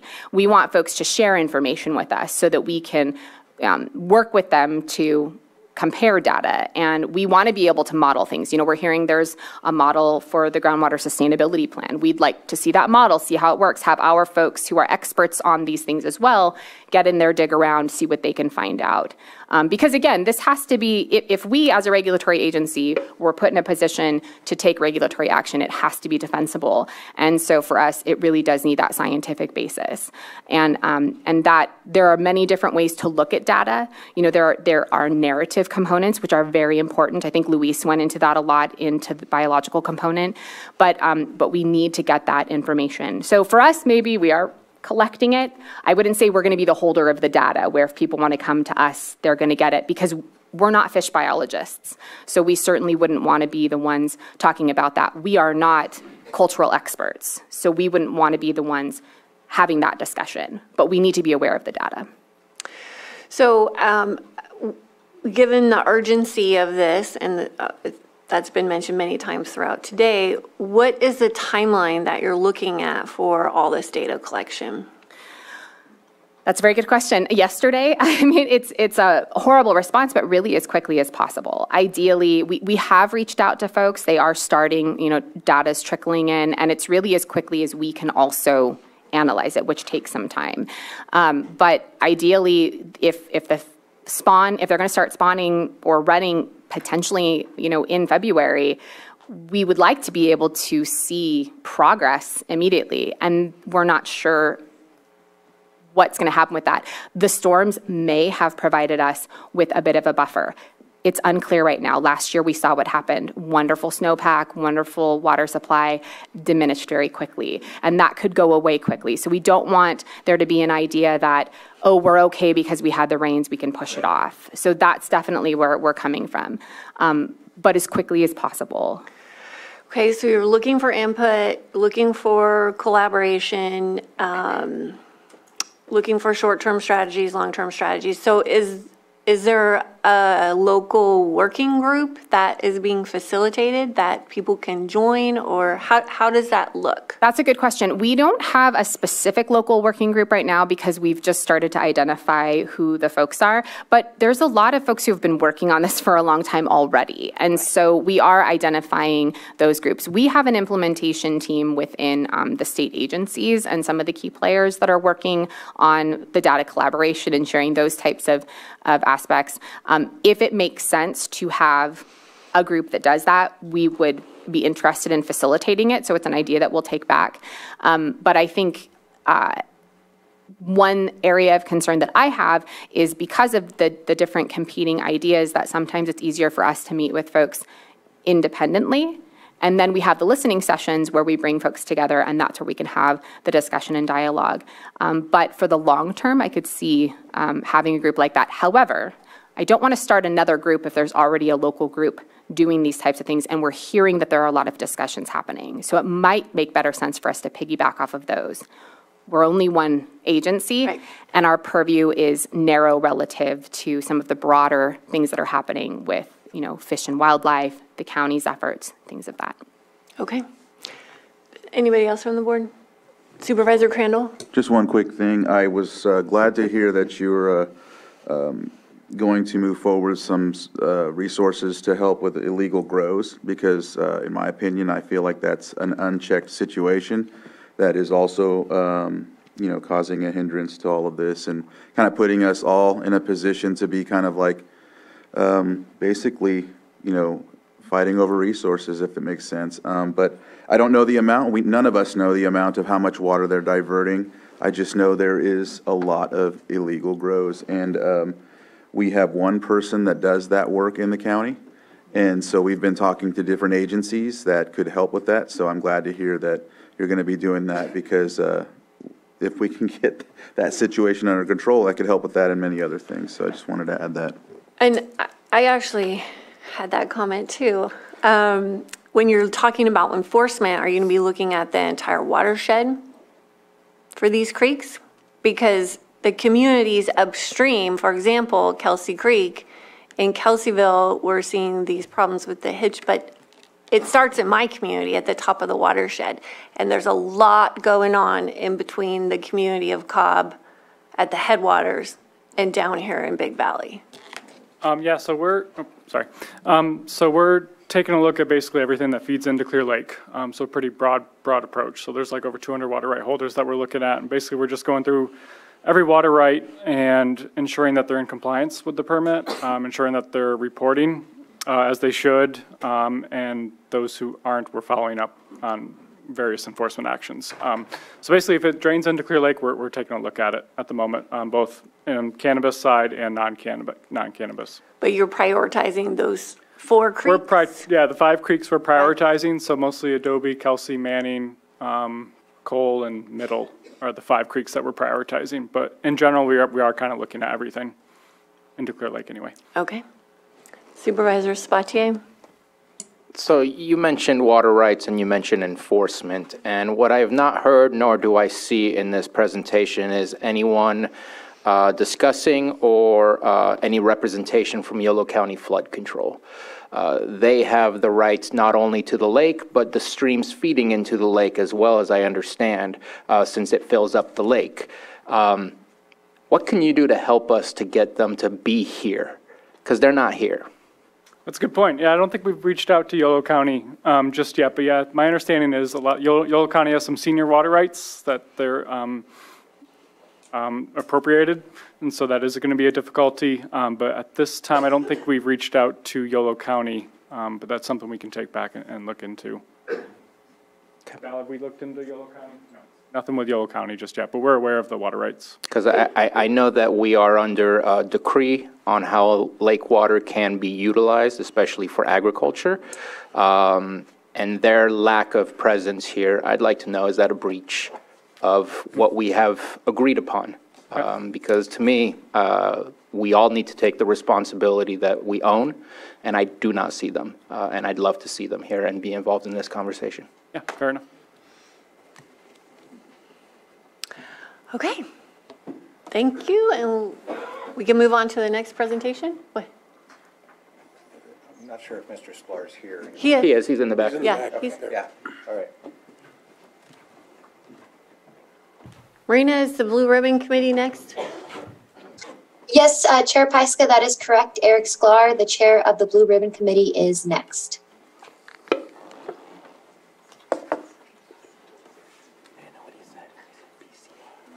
Good afternoon, uh, Chair Pyska and uh, Supervisors.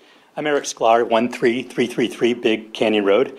I'm a member of the California Fish and Game Commission, and at the request of Natural Resources Secretary Wade Crowfoot, I chair the Blue Ribbon Committee for the Restoration of Clear Lake, the BRC.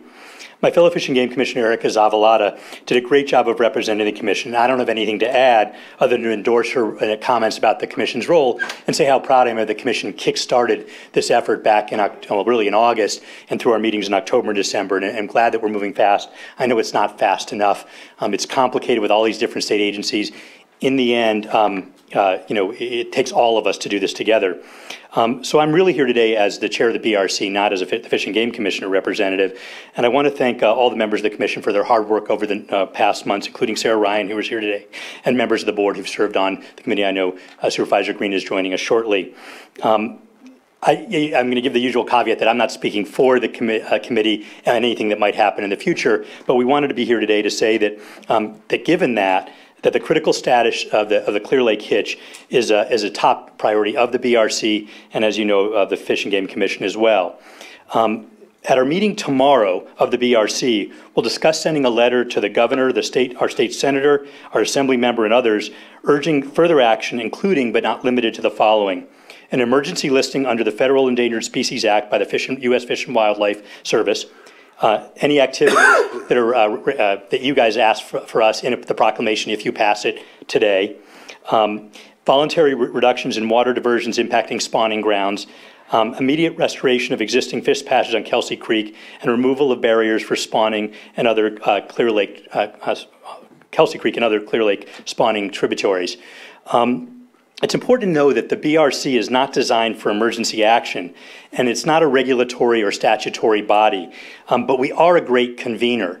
Um, and so one of the things that we, will talk about, which uh, was you know brought up in the last presentation, is possibly providing a facilitator who can be a regular coordinator of all these different groups, because there's a real possibility that one hand won't know what the other's doing, and we need to have that coordination. We have a facilitator who's terrific, and if the committee agrees, we can make that facilitator from Sacramento State available to help with this.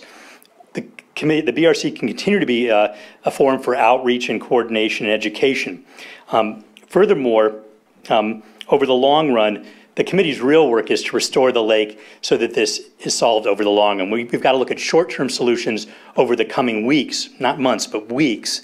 But over the long run, we, we want to work with the supervisors and with these other organizations so that over the long run, we restore the lake so all the tributaries are functioning properly, so the lake is clean, deal with invasive species that are predators of the hitch and other uh, uh, native species. Um, and so um, we just wanted to be here today, say that we, we look forward to seeing if you have a proclamation that includes a request from the uh, committee, which we'll respond to in our meeting tomorrow. So we'll be watching to the end of the meeting to see uh, what you'd like us to do. Um, and I do want to mention one thing that was brought up by the ag groups, um, and I'm sorry if they feel that they haven't been included. I'm a farmer. I've been growing grapes for 45 years. Um, and so, and I'm the chair of the BRC and I'm 20% of the Fish and Game Commission. So you've already got some agricultural representation, representation on those bodies. Um, and all the meetings are, are publicly noticed and, uh, and, and are open to the public. We did have a, a member of the far, uh, representative of the Farm Bureau from Lake County at the BRC meetings regularly early on, and I haven't seen anybody from there for a while, so I'd encourage the ag community to send somebody. Um, but I just want to thank the, the supervisors for really taking a lead in this, keeping us uh, all moving on it. You got to keep kicking us because, you know, there are, again, there are a lot of groups involved, and if we're going to get something done in the next weeks, it's going to be incumbent on all of us to keep pushing. So thank you very much for the effort. Thank you.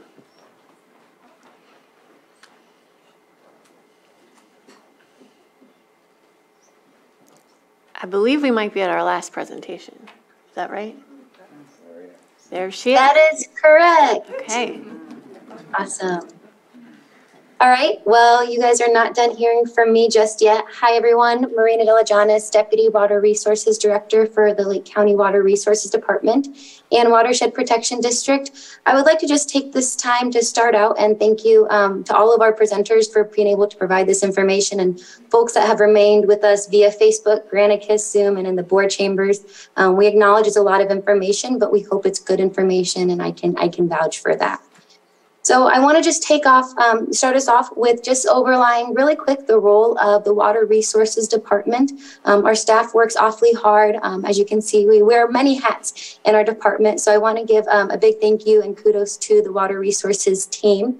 Um, what we are tasked with here in the Lake County Water Resources Department is the protection and preservation of Clear Lake, um, California's largest natural lake. And with that, as you can see, I've highlighted some programs here, programs and projects that we in the department oversee that compile and actually reach this goal of the protection and preservation with Clear Lake. The ones I have highlighted um, to me are the ones that directly impact the Clear Lake hitch. When we talk about protection and preservation, you have to think of all aspects, right? So whether it be about the environmental, I mean, also advocating for those that don't have a voice, um, specifically the hitch, right? And then also the economic um, aspect of it as well. So some of the specific programs and projects that we oversee with the Water Resources Department includes aquatic plant management, aids to navigation, groundwater monitoring and management, um, specifically as it relates to California Sustainable Groundwater Management Act, um, which I will be, excuse me, I just dropped my water bottle, um, discussing later on in the presentation, lake bed management, Highland Springs Recreation Area, stormwater management, surface water quality monitoring, environmental education and outreach. We love to talk about our lake and share any data that we have and information regarding such. And then the Middle Creek Restoration Project. So with this, as you can imagine, it definitely takes a lot of coordination and collaboration with folks from tribal entities, state and federal levels, um, and local groups as well. Um, so I definitely want to give thanks to those folks that we actively engage with.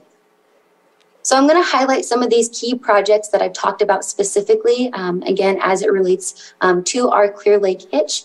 So the first part I want to touch upon is Highland Springs and Adobe Reservoir. So we at the Watershed Protection District are tasked with overseeing Highlands, um, Highland Springs and Adobe Reservoir, um, both of the reservoirs and the two dams associated with such. That is because it is a flood control structure. So Highland Creek specifically, um, you can see some information here. So this is an earth-filled dam with a maximum height of 61 feet and a length of 510 feet. Um, you can see information here regarding the primary um, spillway, the storage, and then the secondary spillway as well. The primary spillway limits outflow to Highland Creek to 560 CFS. And as EPA Director for Big Valley Rancheria, Sarah Ryan stated, we are in the process of placing a transducer, um, collaborating with Big Valley um, Rancheria, and we're hoping to bring that MOU before the before the board in early February. So once we are able to actually um, put that in place, that's going to be really exciting for us to be able to see that data um, and be able to share that data um, specifically with the community. So just highlighting a little bit about the operations of our Highland Creek Reservoir and the dam operations. So the primary spillway limits the Highland Creek to 560 CFS as shared. When inflow exceeds the outflow, the reservoir levels increase. The stored water is detained until inflow reduces to below outflow. This reduces the peak flows downstream and reduces flood risk. All while flows are reduced, high flows are prolonged. So again, the, op- the goal of this is flood risk reduction um, and flood management, hence the reason we operate these two uh, structures.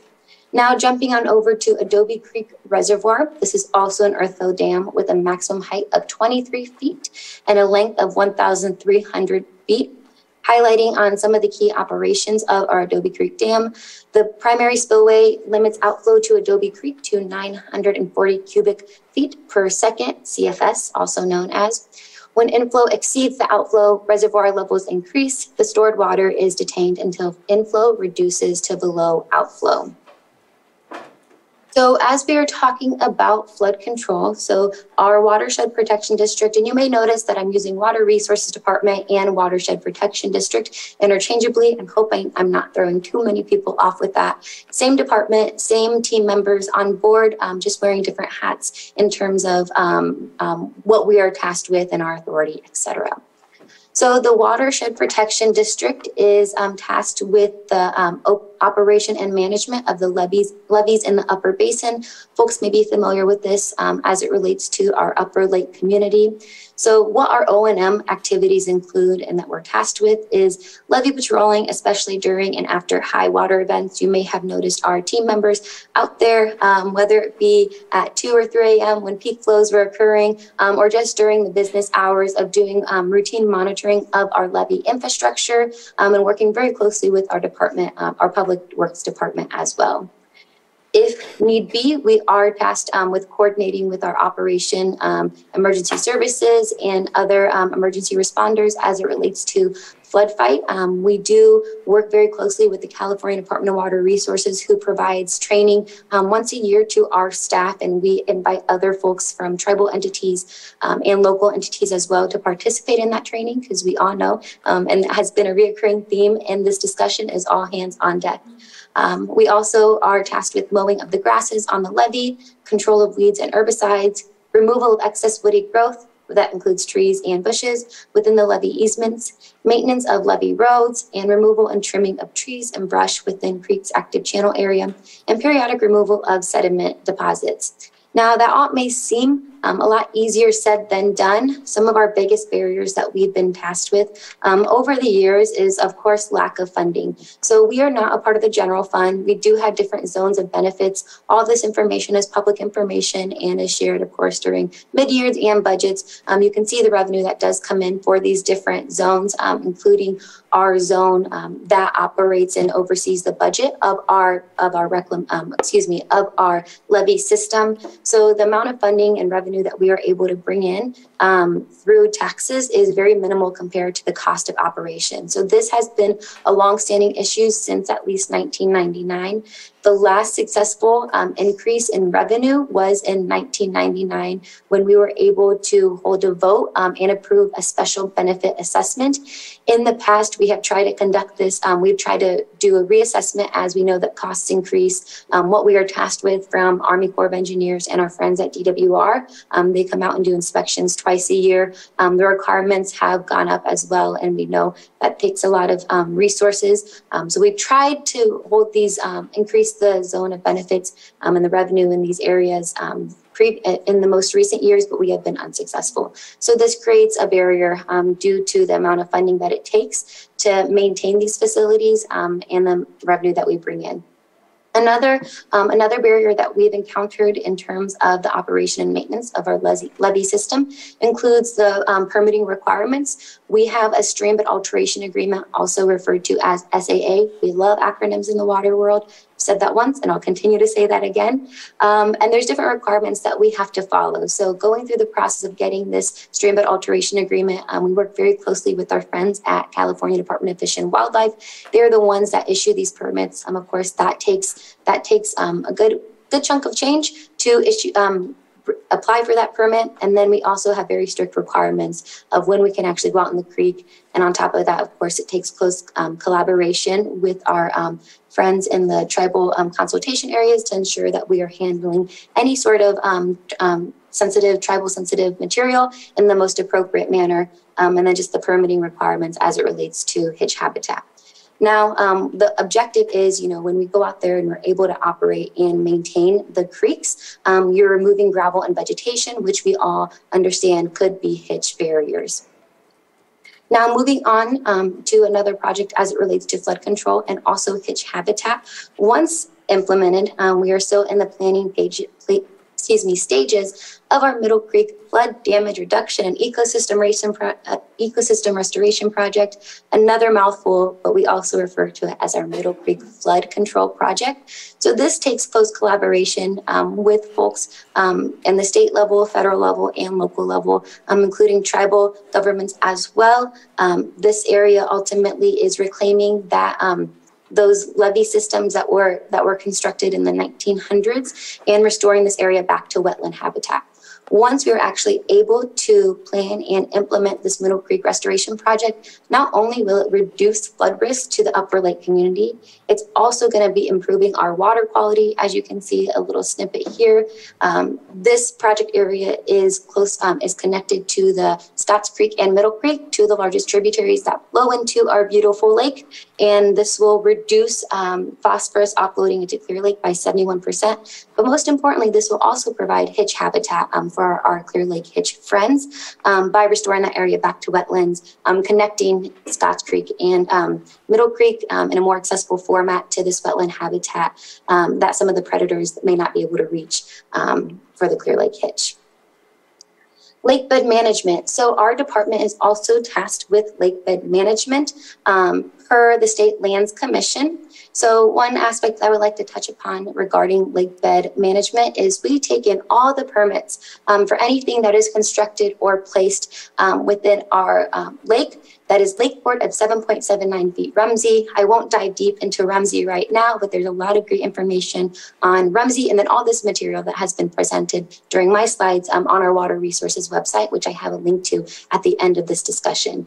So with that, um, we have worked very closely with CDFW for the past few years to modify our lakebed encroachment permitting process to reduce any impacts that the, the development and um, and repair and um, installation of these lakebed structures may have on specifically the Clear Lake Hitch habitat. How have we done that? One is com- constant communication, education, and engagement with the consultants and the contractors that develop on the lake, with the parcel owners. And then, most importantly, we have required that every encroachment permit that comes in for lakebed permitting completes a supplemental environmental questionnaire. And we worked again very closely with our friends at CDFW to develop this specifically to the Clear Lake Hitch habitat. So what this questionnaire does is, as folks apply for this permit, we are able to gain a better idea of the project-specific location. And not only do we have them fill this out, but we at Water Resources go out there and fact check um, everything that is on this questionnaire. We send all this information to CDFW because there is a work window that we um, we we have consultants and contractors strictly follow um, due to the Clear Lake Hitch spawning habitat. Again, it takes a lot of close collaboration and coordination with different entities. Um, I just would like to highlight that aspect um, and those modifications that we have done and will continue to do. Um, now, groundwater has come up a lot during this discussion, so I would like to highlight um, just a few information and bis, um, bits and pieces of material that were outlined in our Big Valley Groundwater Sustainability Plan. If you want to read the 890 pages, I have the link here of our GSP. Um, I think it's an interesting read, but if not, um, I would just like to briefly cover our GDEs. The link is here. It is currently in review from the California Department of Water Resources, who is tasked with um, overseeing the Sustainable Groundwater Management Act, which we have one priority basin in our uh, county that complies with SGMA, the Sustainable Groundwater Management Act, which is our Big Valley our Big Valley uh, Basin. Now, our Big Valley GSP was approved by our Big Valley Groundwater Sustainability Agency, GSA, which also serves as the board of directors of the Watershed Protection District and uh, your board of supervisors, who I am speaking to. So uh, just very quickly, um, I have two slides here regarding groundwater dependent ecosystems, another acronym. Don't worry, there's not going to be a quiz at the end of this. GDEs. So GDEs are defined as ecological communities or species that depend on groundwater emerging from aquifers or on groundwater occurring near the ground surface. So SGMA outlines very clearly what we have to develop in our GSP um, and basically the focus is to avoid undesirable results. All of this information is on our water resources website and on um, on the uh, Lake County, or sorry, excuse me, the DWR website regarding SGMA. So the identification of GDEs can be performed by assessing whether a habitat would exist if groundwater levels were deeper than the root zone. If the answer is no, then it is a GDE. If the answer is yes, the ecosystem would exist if groundwater levels were deeper, then it is not a GDE, and that is important.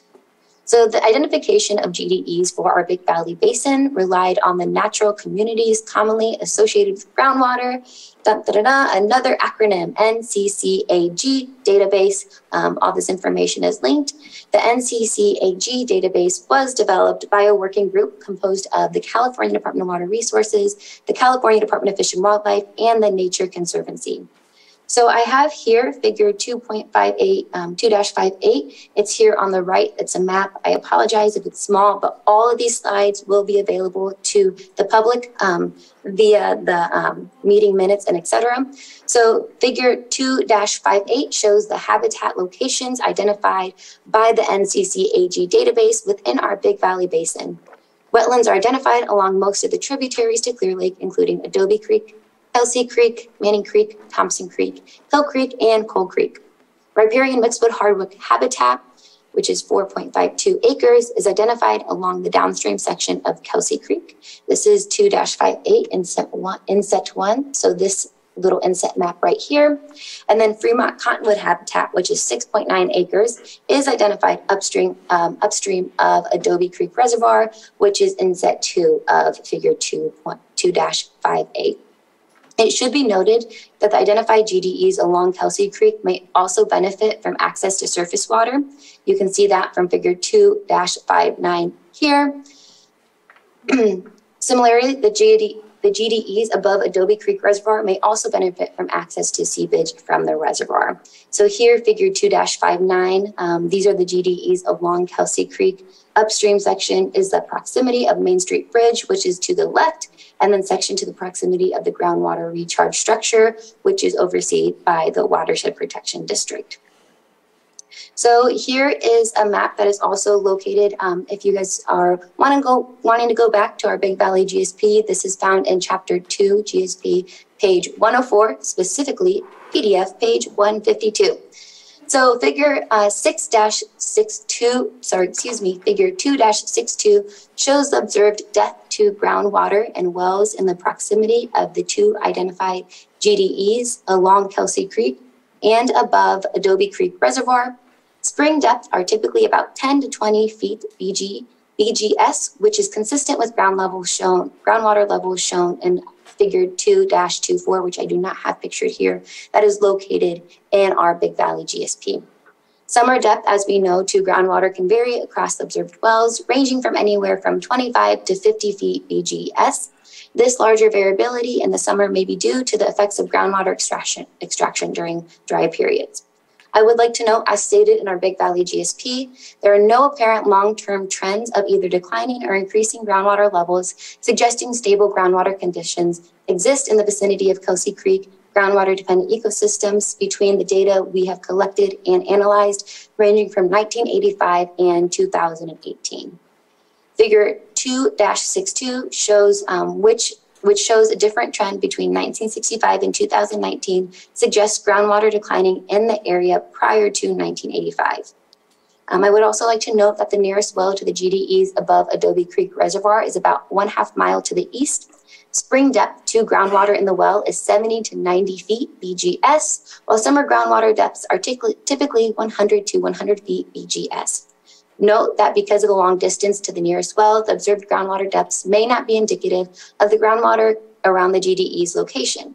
And that leads me to another aspect that we have highlighted um, in our Big Valley GSP is data gaps. We acknowledge that this was a quick um, process. This was a quick timeline to develop our GSP. Um, I definitely want to give thanks and appreciation to our Big Valley Groundwater Sustainability Plan Advisory Committee and the expert consultants and hydrologists that help us develop our G, um, GSP with that, we outlined um, different data gaps, one being what I just recently stated. So, what are we doing to um, repair some of those data gaps? Um, we are actively moving forward with the repairment of some of these data gaps and filling in these data gaps to ensure that we have the best available data. Um, again, this definitely takes a lot of close collaboration and efforts. Um, really looking forward to our continued efforts in collaboration with Big Valley Rancheria. Share, um, Sarah shared some awesome research that they have done, and I know Water Resources as well has been doing um, some active work, and we are continuing those efforts for efforts for groundwater monitoring. I also want to give thanks to the state who have continued to support us in the development our of our GSP and our compliance with SGMA. Um, one recent um, effort that we have completed is the technical support services from our friends through DWR. Um, this is support services from our friends at the state that we have taken advantage of, um, and that they are actually expediting our application for two of our wells, um, including what you can see them highlighted here, which um, one being well 008-026-19. This is a parcel close-up, and then also well um, 024-201-15. Now, these wells um, are located one again on Kelsey Creek and Adobe Creek. The purpose of this is to aid in the high um, recent high profile efforts to save the Clear Lake Hitch. Um, and again, we are hoping that these wells are installed and the monitoring is able to um, begin by summer of this year. And we do have, um, I just would like to go back that we also do have um, seven additional wells with that TSS application um, throughout the Big Valley Basin that the state is planning on moving us forward with um, come later in the year or early 2024. Um, but they did expedite our request to monitor those two wells, one on Adobe Creek and one on Kelsey Creek. So that's exciting. Um, super excited for that. Now, um, again, as I wrap up, I understand we've thrown a lot of information, but I do just want to um, commend again the efforts that local entities have done, the state and federal agencies have done as well. Um, we, at, on behalf of Water Resources, we're continuing committed to continued um, the prioritization and protection of our Clear Lake Hitch and the habitat and conservation efforts, including collaboration and um, and such with local, state, and federal agencies, including our friends from tribal entities as well. Um, we have been prioritizing hitch habitat protection and conservation. But as everyone has said here, um, it definitely takes a group effort. And I'm really excited that this item is coming before the board um, to continue to gain the encouragement, momentum, and support for such. Um, I would also like to end on um, a different note as well. So stating that since 2015, um, you know, this isn't new for us here in Water Resources. We have um, prioritized the hitch. We have continued to prioritize hitch habitat and conservation and doing all that we can to do such. Um, since 2015, our district has applied for over um, to over $10 million in grant monies through different state and federal agencies um, for hitch habitat and conservation and have been unsuccessful to date um, multiple times. And this is through different state and federal agency grant applications. Um, we've also product, um, completed follow up with the um, grantor see how we can modify um, these grant applications that we have developed, made such revisions, and still have been unsuccessful for applying for a variety of different um, programs and um, projects through these funding opportunities. So, hoping to continue to apply for, for funding, um, as that is one big barrier for us at Water Resources, um, and of course, and just continuing this momentum. Um, here I have a picture we've shared um, previously. I know Luis Santana and Sarah Ryan have stated, um, but again, these are just images from the Adobe Creek Clear Lake Hitch Rescue that our staff um, were able to identify and work very closely and quickly with um, friends from um, different tribal entities and CDFW to rescue all the hitch that were stranded in the four different four different pools. Um, and although the hitch do not look right, um, very happy in this image, all the hitch were um, were alive and were able to be rescued appropriately. So on that note, um, I'm going to open it up to the board for any questions, and I also will welcome um, Director Scott DeLeon of Public Works and Water Resources to chime in um, for public questions and comments. Uh, thanks, Marina. I don't really have anything left to add. Um, it's uh, you, board. You've heard a an awful lot of uh, information today. So I'll be available to answer any technical questions or anything you might need.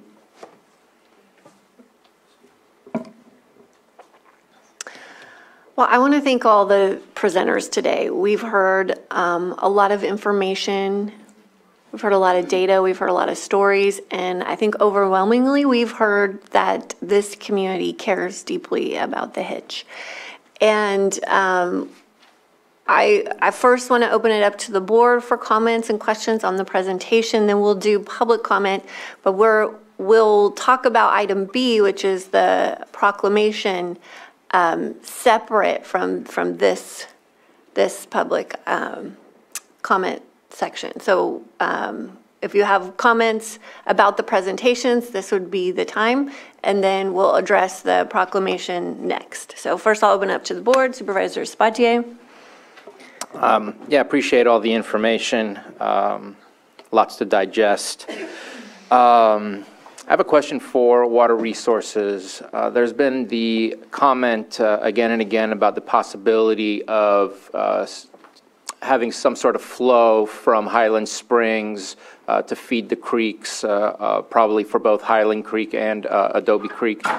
And kind of curious, based on the CFS that we're hearing, which I think was 34 CFS is what's being requested, and if that's per second, and I tried to do some quick math and looking at the overall acre feet of what is available, my, my math tells me we would need 10,000 acre feet. And I don't know that we have 10,000 acre feet. So that, it, just to make sure that we don't talk about something that can't happen, uh, am I correct that we don't have the capacity of water available to us to provide that 34 CFS? Well, the, the, the quick answer is no, we don't have the capacity. Um, the Adobe Creek and, and Highlands Creek dams were created uh, as flood control facilities. That's been covered already today. Uh, and you know, using, uh, if, if Highland Springs was full uh, and you release 34 cubic feet per second out of the dam, um, which doesn't mean it's going to reach uh, downstream to the areas where those fish need that water. Uh, but let's just presume that it can do that. Um, it would drain a full, uh, a full Highland Springs in 16 days. So obviously, we're going to need to release a lot more water than that uh, if we were to even get close to trying to get water down uh, to uh, to the area where they're spawning. Uh, and so, no, the capacity is just not there. Um, uh, again, uh, the facility was never intended for that. It was it, it, was a flood control facility. also, it's important to, to note that during periods of drought, the the reservoir rarely fills up. I mean, it, and I don't have the numbers uh, from what it's been over the last few years, but uh, it has not any, not been anywhere near full. Uh, So um, uh, again, that's just a reduction in the available capacity. So the, the- again, the short answer is no, we don't have the capacity to do that. Okay, I appreciate uh, the response to that. Um, And I- I'll quickly just finish. I think one of the highlights that was spoken of um, by uh, Deputy Director Deligiannis is uh, Middle Creek area, and uh, today we have Fish and Wildlife, Fish and Game um, speaking to us, and we, ha- th- I haven't seen a partnership to help us push that project through the finish line. And, and I sure hope that we can take advantage of this situation while we are in discussion uh, to work together to make that happen. That's 1,200 plus acres that we would be able to add to not only water storage and flood control, but also for hitch habitat for spawning grounds. Uh, and I think that's an important potential because I think there's many pieces to this puzzle, and that is definitely, in my opinion, one major piece of the puzzle that I hope we can pass through the finish line. Um, This is something that I, uh, am very passionate about finishing, and uh, sure hope that we can this- take this opportunity to move it forward. Supervisor Green? Yeah, just do a little housekeeping here. Uh, I know they weren't presenting, but we do have a U.S. Fish and Wildlife uh, on Zoom, and they either wanted to present a comment or clarify or be available for questions. So Marina, maybe you can uh, uh, kick in and uh, clarify what's, uh, what's up with that. Thank you. Yes, uh, thank you so much Supervisor Green. Um, so we do have friends from, um, the U.S. Fish and Wildlife Service. We have Michael Fris as field supervisor and Amber Aguilera, biologist with U.S. Fish and Wildlife. Don't want to throw them on the spot, but I would just like to open it up to them, um, to share any final comments, um, before we do move on with the item and open it up for public comment. Hi, I don't know if you can hear me. This is Michael Fris. Yes, we can hear I you. don't know if you can see me either, but um, I'll, I'll talk anyway. Okay, I I wrote down, so we wrote down some comments here um, so I can avoid using the word um too often and make this go quickly. Um, But again, I'm Mike Fris. I'm the field supervisor in the Sacramento Fish and Wildlife Office. I'm joined by Amber Aguilera, who also works in the Sacramento Fish and Wildlife Office. And um, I've got uh, a few comments I'd like to make just before we dig in. Um, The Fish and Wildlife Service is committed to conserving the hitch. We care about the importance uh, to the tribes, the, the fish's importance to the tribes in the region. We care about its importance to the local community and economy, and we care about its role in the local ecosystem. We're committed to conserving this species. We have been and we will continue to invest in efforts that are contributing to the conservation of the species. The service has provided and will continue to provide funding to both the USGS and the local tribes for monitoring, research, and habitat restoration projects related to the Clear Lake Hitch. This information, both scientific and historic, will help us as we assess the status of the fish ourselves. We currently are preparing uh, or, or pursuing internal funding um, for fish passage funds within the Fish and Wildlife Services coffers um, to, to provide for more uh, funding for fish passage, uh, fish barrier removals. Second, the service is about to embark on a process to reevaluate the status of the Clear Lake Hitch. We've received a request to emergency list the hitch that we expect to respond to in, in the month of February.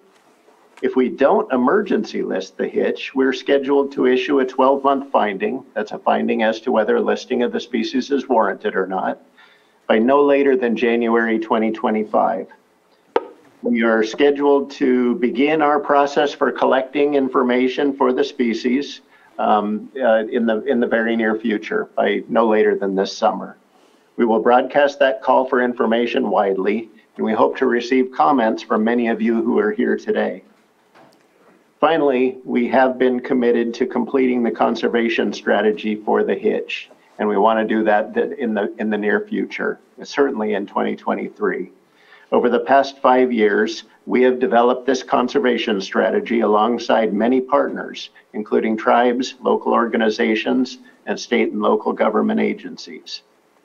The strategy itself addresses issues that are impacting the Clear Lake Hitch and the watershed that you've heard about from other speakers today. The current version of the conservation strategy, although still a draft, identifies goals, objectives, and actions that are needed to improve the species and the habitat. Because these actions have been specifically identified, the draft strategy has also already helped secure funding for several restoration projects. The service views this conservation strategy as a species recovery plan, and we intend to complete and implement the strategy regardless of the species federal listing status. In sum, we're dedicated to continuing coordination with the state, with the county, with local tribes, and the rest of the community to protect and conserve the Clear Lake Hitch. And I'll stop there and be available for, for questions. Thank you. Supervisor Green? Yeah, this came up at the summit, and uh, if you can just clarify, and for the people in the audience, this has uh, two bouncing balls. So there was a, a court settlement uh, uh that uh, did send U.S. Fish and Wildlife, basically rebooted the examination and uh, 2020, uh, uh, the initial ruling was that uh, listing under the Federal Endangered Species Act was not warranted at that time. There was a lawsuit and a settlement, and so the reexamination, what you're calling the 12-month uh, listing examination, is going to proceed uh, under that court order and hopefully wrap up no later than January 25. There's a second bigger ball floating out there right now, and that was the request made by the Fish and Game Commission, followed up uh, by the request made by the tribes and the Center for Biological Diversity that would uh, basically declare the fish endangered now under the federal law uh, while the review continues as to whether it should be permanently listed or at least listed under the 12 month. Um, there was a lot of back and forth about what the potential impact of an emergency listing would be if it happened right now, or the potential impact if it was uh, declared endangered under federal law, concluding your new review. And one of the comments uh, made would be, hey, it may shake loose some money uh, that would not be available otherwise, so we can uh, get some uh, projects going to actually save this fish. Um, but uh, we didn't dive into some of the other uh, potentially disruptive impacts of that. So can you just give us the 30-second elevator speech, which is impossible, I know, um, but the potential impacts, good and bad, that could come if emergency listing is granted? If, if an emergency listing occurred or if the species were listed, um, what that confers, what the endangered species confers is, a, is in part is a prohibition on take of the species. So that means if somebody's out there, you know, killing or harming uh, the, the species, there would be prohibitions against those sorts of activities. Now, there are ways around that. Certainly, it, you know, listed species are taken quite often, and there are ways of permitting that process. We work with federal agencies to authorize the take of listed species through a federal consultation process. Often when we're working with a federal agency, there are other local sponsors, either the state or local government or private landowners that are involved in that. But our consultation is, is with the other federal agency who has an obligation to consult with us when they have, when they take actions that could potentially, you know, harm this, could potentially affect the listed species. I, I recognize this is all a little bit of legalese, but hang, bear with me. Now, when there are no federal agencies involved in, in an activity, there is still a prohibition on take, and take is, you know, if you will, illegal at that point in time. Um, a private landowner or a state or a private company can come to us or uh, to to um, work on getting a take permit for that species. And we have a number of mechanisms by which we can actually authorize the take um, of otherwise lawful activities. And the, some of the things that you may have heard be, about before are habitat conservation plans, um, candidate conservation agreements, safe harbor agreements. There's a number of different mechanisms we use to authorize the take of a species. So overall, yeah, the, the species is is protected from, from take at that point in time. Now, as you've heard from some of the other speakers, is is with the Clear Lake hitch, one of the challenges here is that there's no real smoking gun. Um, you know, it's, it's, it's not as though somebody's going out and killing the species, you know, purposefully or anything like that. So, so take prohibitions become a little tricky and we would, we are still wondering what the net effect of, of a federal listing would be in an area where it does not seem that there's a whole lot of federal actions going on. Um, and so we're not, we're, we're, we're not quite exactly sure what our role would be in this particular system. Nevertheless, you know, the, the species listing would draw more attention to the species, um, potentially add more, you know, funding opportunities. However, we have not experienced ourselves any instance where, you know, funding, our ability to fund actions for the species was limited by whether it was listed or not. Um, so, so far, so, so good. We've been doing really well on our ability to, to get funds for this species, and we're hoping that would continue. I'll stop right there and see if you got follow-up questions. No, thank you. That, that, that was the 30-second elevator speech. Perfect. Thank you.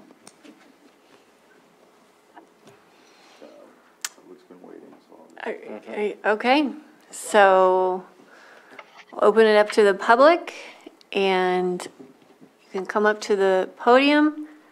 Please keep it to three minutes. When you hear my timer go off, uh, we have a lot of people, I think, that want to speak, so let's uh, move through this respectfully and, and get through our time, and, and then we'll get to item B.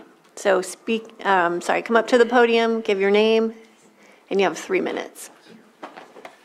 Good afternoon, uh, Commissioners. Um, So I thought I should stand up and say something since my name was on the previous slide. I'm Fred Feyrer. I'm a research fish biologist with the California Water Science Center with the U.S. Geological Survey based in Sacramento. Um, So I'm the one who's responsible for all the USGS data you've been hearing about. Um, I don't have anything necessarily to add to what others, including the Department of Fish and Game, uh, Wildlife, has addressed today. Um, But I am available to answer questions today or anytime at your convenience if you have them about our programs and the data. Thank you. Supervisors, I'm Phil Moy. Um, I have a question for the, uh, the Fish and Wildlife Service regarding the, the listing and a potential incidental take in regards basically to uh, what if? What if there's a stranding of hitch in a stream after it's listed, emergency or otherwise, and someone says, oh, it was groundwater pumping that did it. It was this, this vineyard or that vineyard or this uh, orchard.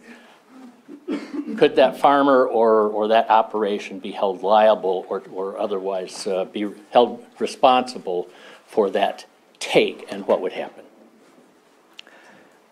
Thank you, and um, yes, if you could answer that question, that'd be great, thanks. I could try. That's, that's a real tough thing to speculate about. Normally, you know, it, it's, there's a lot of circumstances that would go into that, um, that would, that would probably make a difference. Overall, you know, if, I- would, I would say this, if, if you're finding dead fish in the river because the river is dry, you know, you know, our, our, you know, folks would have to draw the chain of events to kind of, you know, place blame or, or, uh, you know, cause on, on certain activities.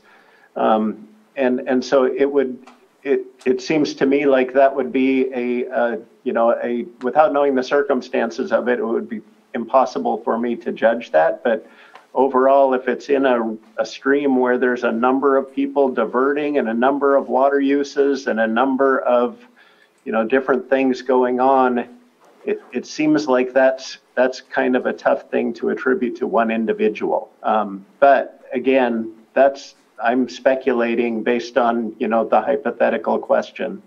So I have a tough time with that one.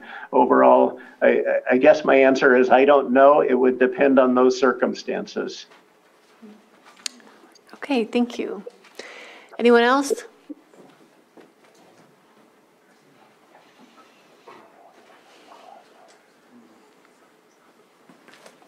Good evening, uh, Board of Supervisors. Thank you guys so much for bringing this all together. Wow, huh? Um, So I I have a question for Marina.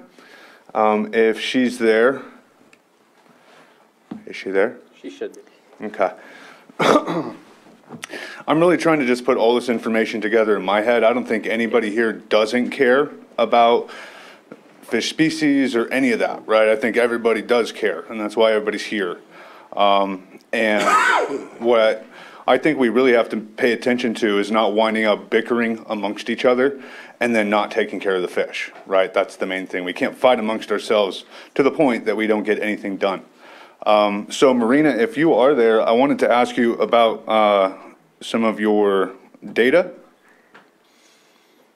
Go ahead and ask. She's there. Okay, um, so if I understood you correctly, it sounded like you said to me, um, that groundwater levels for the time periods that you looked at in between Kelsey Creek, or Adobe Creek and Kelsey Creek, that they were stable. Did I understand that correctly? So yes, um, if you follow along on PDF page 152, um, the statement that was made on the presentation was there are no apparent long-term trends of either declining or increasing groundwater levels, suggesting stable groundwater conditions exist in the vicinity of Kelsey Creek groundwater dependent ecosystems between 1985 and 2018, the data that was collected and analyzed. So this figure um, that we have that I shared, and I can go ahead and share my screen again just to make it easy for everyone. One second.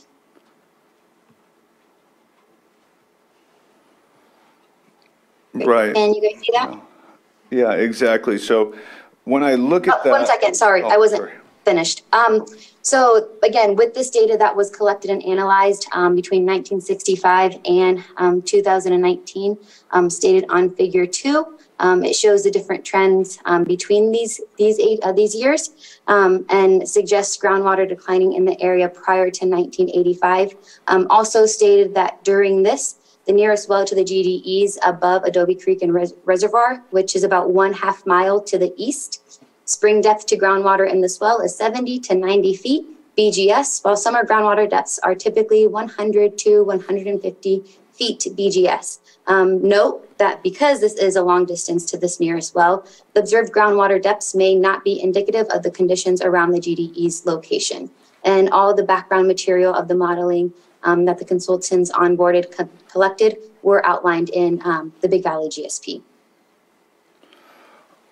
Okay, excellent. So, um, so, you know, and, and hopefully nobody takes us the, wrong direction. I, I'm just trying to clarify for myself. So if we're saying in the vicinities of the streams that we're talking about, right, in general vicinity, groundwater is relatively stable. If we're going with the premise that when we pump groundwater out, we're dropping the level of the stream, that would seem like they don't coincide if the groundwater's stable. Do you, uh, maybe I'm tracking wrong here, but if groundwater's stable and I, and, but we're seeing the streams go down, then it would seem like the water that is for the stream is not connected to the groundwater. And again, I'm just talking out loud as far as I'm trying to understand how these things correlate. So maybe somebody could chime in and, and help me understand better if, if that's a good presumption or if that's a bad presumption.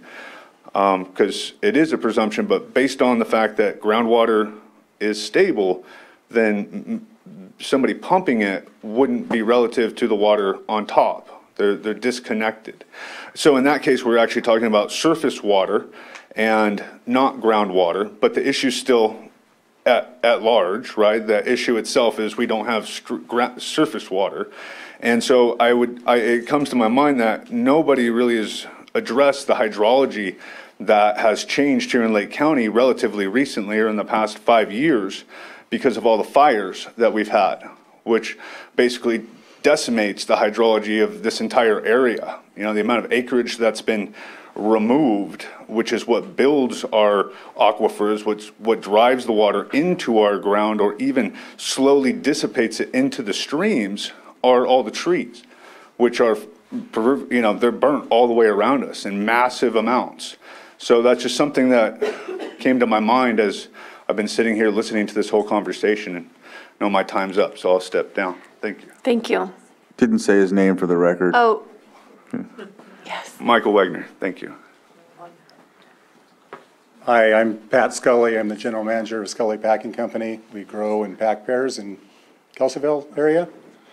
Um, At the risk of using my three minutes, and I hope this doesn't use my three minutes, but I'd like Marina, to ask Marina if she could go a little deeper into what the correlation was between surface flows of groundwater and pumping that was concluded in the GSP.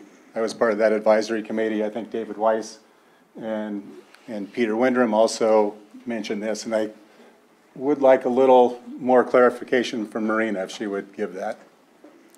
okay, I'll pause your time while she answers the question. Okay, thanks.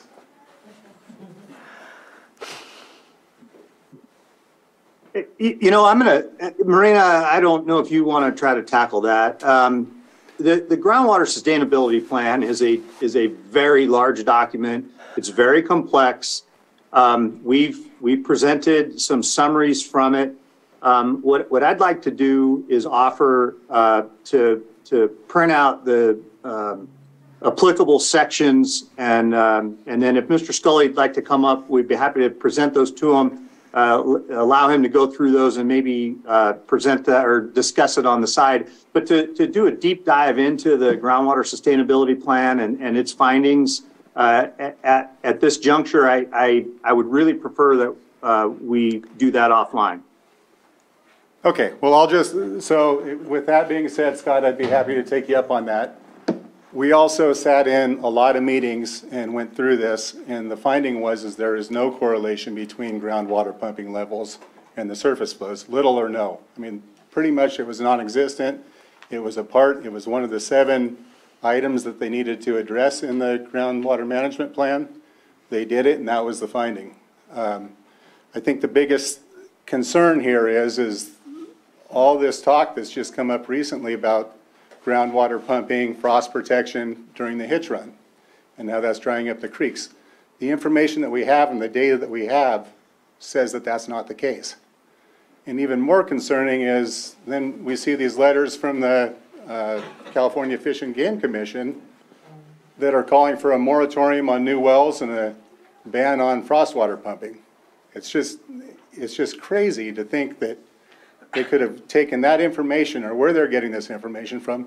I know during the course of the GSP, uh, Sarah Ryan was, we were all told if we have any information that would make a different story than what they were coming up with, to present it. Nothing was presented. That's not true. Okay, Well, It wasn't Well- presented in the meeting. I'll let you, okay. So that being said, um, I hope you consider that when, when you're thinking about kicking this up to the, to the state to solve this problem for us. I think we all are committed to solving the hitch problem. Uh, You know, I don't think we need to be letting 34 cubic feet per second out of Adobe Creek to enhance the flows a little bit. That would, that would certainly help.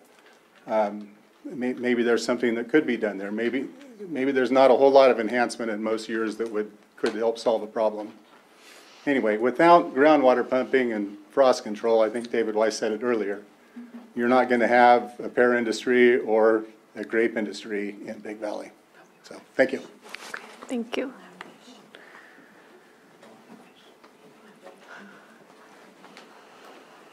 Rebecca Harper, Lake County Farm Bureau. I just had a question specifically for Michael Fris. He mentioned very briefly the Clear Lake Hitch conservation strategy, and I'd be appreciative if he could just give a brief summar- summary of the importance that the finalization of that document has with regard to the voluntary actions um, and implementation steps that are to be taken with regard to the hitch.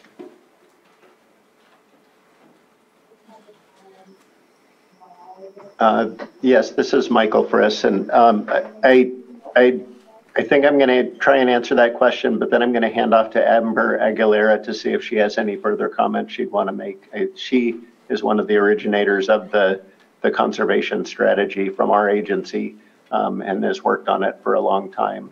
Um, You know, we've been working on this for five years as a number of actions within the, the, uh, the conservation strategy, which um, are, are designed to either get more information or specifically to, to identify what types of, of information or what types of restoration projects um, are needed, you know, to, in order to help conserve the species. Um, That is a collection that is done by a number of, of, of stakeholders, members of the tribes, um, state agencies, um, um, local ag uh, participants, I believe, as well. And, and, and so it is, it is um, a document that we're, we're trying to finalize. Ultimately, it's our document, but we'd like to get the conservation strategy signed off by uh, the other participating members there. Um, Once it is signed off, um, that means that there's an agreement of a, a, a plan or a strategy to move forward, at least generally on those actions, and would help to identify certain actions that folks tend to agree on are priority actions for the species.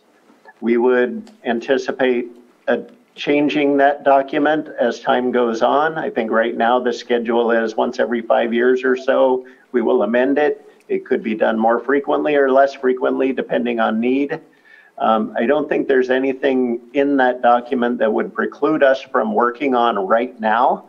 So, you know, finalizing the conservation strategy document is important because I think we would like to get the symbolic, you know, agreement from others that they are on board with conserving the species. But it does not mean we could not implement some of those actions, you know, right now. I hope that helps clarify, and I'm going to hand off to Amber to see, uh, to see what I missed. I, I think, I think just in, I don't know, should I, I, I think we should just proceed if you Yeah. want to respond No, to that. that's, Okay, that's all I great. was looking for. Okay, thank you.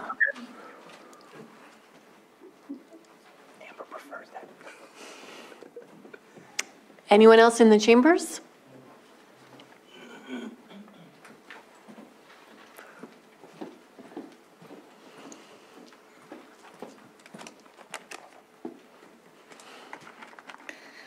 Hi, uh, Jeanine Pfeiffer, ethnoecologist, um, consultant with Big Valley Band of Pomo Indians, uh, both the EPA and the cultural director, um, former UC Davis, San Jose State lecturer, master's in agronomy, if you know what that is, agriculturalist.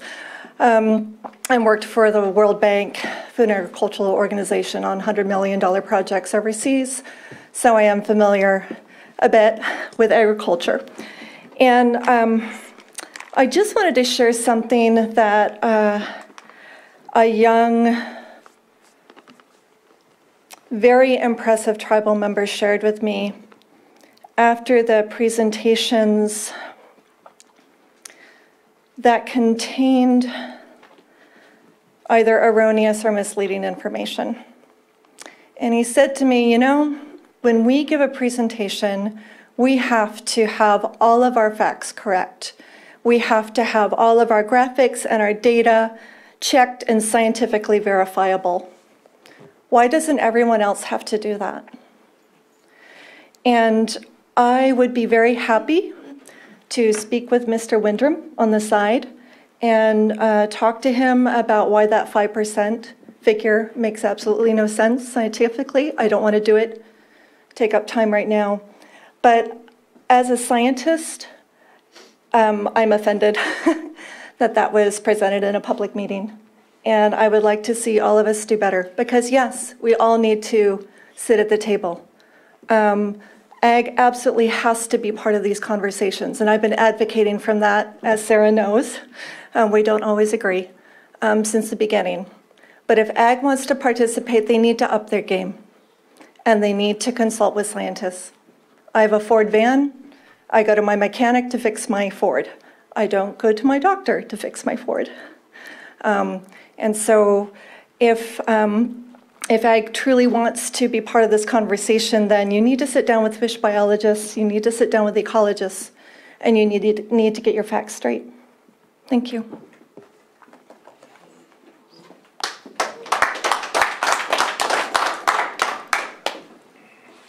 You have a comment or, okay. Yeah, just real quickly, in the interest of time, uh, I don't know who's going to tap out first, the Chi or me at this point, but um, I- I want to hear that, and some of the comments you may continue peppering here. I understand it's a lot of information, especially the CDFW. Um, uh, But, and I do agree that even the available uh, evidence presented, some of it today is more anecdotal in nature than uh, rigorous scientific analysis. That said, it, it, it's still useful, it's still informative, it still gives us something to talk about. Uh, I am more concerned about some of the misstatements that have been made regarding uh, some selective reading of the groundwater sustainability plan, uh, that it absolutely proves there's no connectivity uh, in these streams. So I picked out some selective reading, and I just want to let people know. Uh, the issue is not settled by the GSP, one way or the other, all right? It has not been proven that there's no connection at all. It has not been proven that this complex hydrology does exist. In the Big Valley Basin, there's two primary streams, Kelsey Creek and Adobe Creek. The potential exists for these streams to be interconnected to groundwater. During the wet winter months, streams are predominantly sourced from rain, and in the drier summer months, the streams, there's little to no flow. During wet conditions, the creeks may gain water from groundwater or lose water from groundwater. During dry conditions, we're in three years of drought plus, the creeks are losing water to groundwater. However, confirmation of the impacts of surface water as well as the characterization of this hydraulic connectivity would require additional intermediate surface water gauges and monitoring with new shallow monitoring wells to better understand the nature and the timing of the hydraulic connectivity in the creeks. Further, as Marina pointed out, there have been identified habitats along these creeks. Um,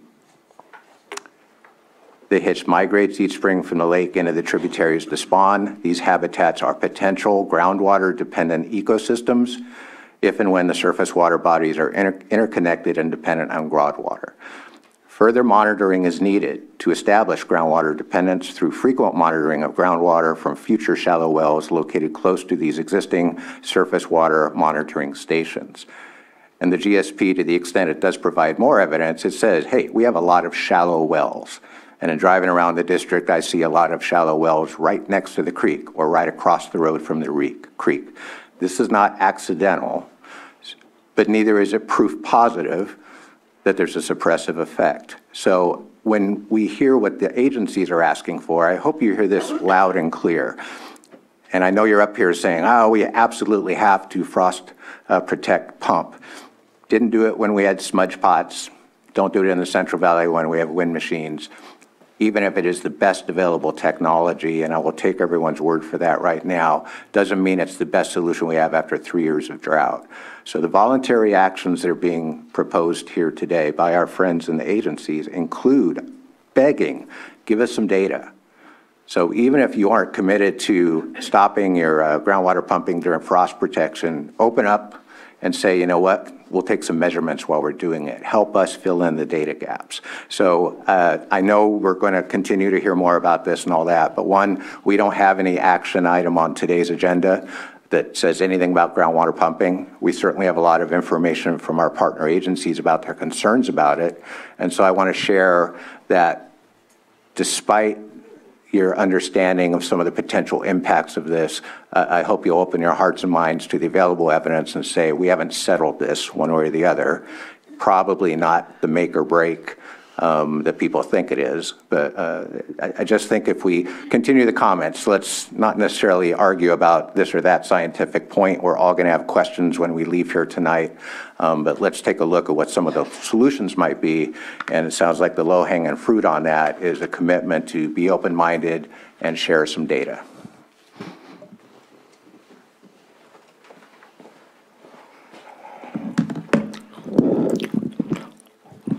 Hekethema wihin sahab. Alkoibuk. Hello, how are you, my friends? My name is Red Pine. I'm from the village of Koi. The village of Koi and its lands owned me. So I'm here with no da- data. Thank you, sir. Um, I'm here to tell you some stories that really make a difference culturally. So the Koi Nation did a, um, a Native American Graves Protection uh, Act. So, so we had to do some studies to find our, our um, cultural items. One of the places we went was to Milwaukee Public Museum. The gentleman who was the first curator for, for that particular museum was a guy by the name of Samuel Barrett. He lived in Calpella. He was the first anthropological student to graduate from UC Berkeley. And before he went to school every fall, he took a long walk and he meandered through these areas from Calpella, Calpella, and so forth. And he made a lot of friends, collected a lot of things. I went there expecting to find arrowheads and baskets, which were there. The unusual thing, which I did not expect, was a large bag of hitch fish. I went, what the heck? This guy studied every aspect of what we did. So, fast forward shortly thereafter that, and his consultants went from several hundred in the Pomo community to about 98 when he was done with his studies in the area. And the majority of that was in the southeastern portion of the lake. And he studied that particular portion because of its resources the hitchfish, the magnesite, the ability to use tule for many other objects, mats, homes, the whole thing. So our family moved away because we were chased away from the area by pioneers at that time. We moved to Sonoma County. Still coming back up here in May for the hitch run, still coming back up here for roundhouse ceremonies. And my mom used to tell me when, in 1950, when she was a little girl, they'd go walk in the creek. Walk in the creek. Reach down, you can feel them around your legs and throw them out. That's how they ate. It was a chew substance. Fast forward to when I'm uh, about seven years old, five and seven years old, we still came up to visit relatives up at Elem. My dad liked to go fishing. We'd borrow our relative John Kelsey's rowboat. We'd go out there, and he laughed at us. He was sitting on the shore watching us pull away, chuckling with our fishing poles. My little fishing pole did not have Mickey Mouse at the time. I can tell you that. But anyway, so we came back with no fish, and he laughed even harder because all we had to do was go to the creek. Fast forward another 20 years, as a young man, I'm working clearing some logging down in Sonoma County, worked with Native Americans there, and they're telling me how hard it was to get hitch, a substance of our people. So my great grandparents, my great great grandparents are from uh, and from Koi, and my mom's dad was from Big Valley. So I've got a lot of relatives, and I heard a lot of stories over the years. So fast forward to this time when I'm 27, and nobody's eating fish. So the promise of, of this fish coming back for a Native American substance is looking highly unlikely without us doing something. And um, so right now, I, w- I would encourage you to be open to everything. The Koi Nation is willing to help whatever, whichever way we can. We have a lot of connections within the Department of Interior, with the state. We'd be willing to go ahead and make some connections if we needed to help you do what you need to do. But there is no fish, fish. Native Americans are not eating hitch fish because there are none. So I just want to let you know that. Thank you. Thank you.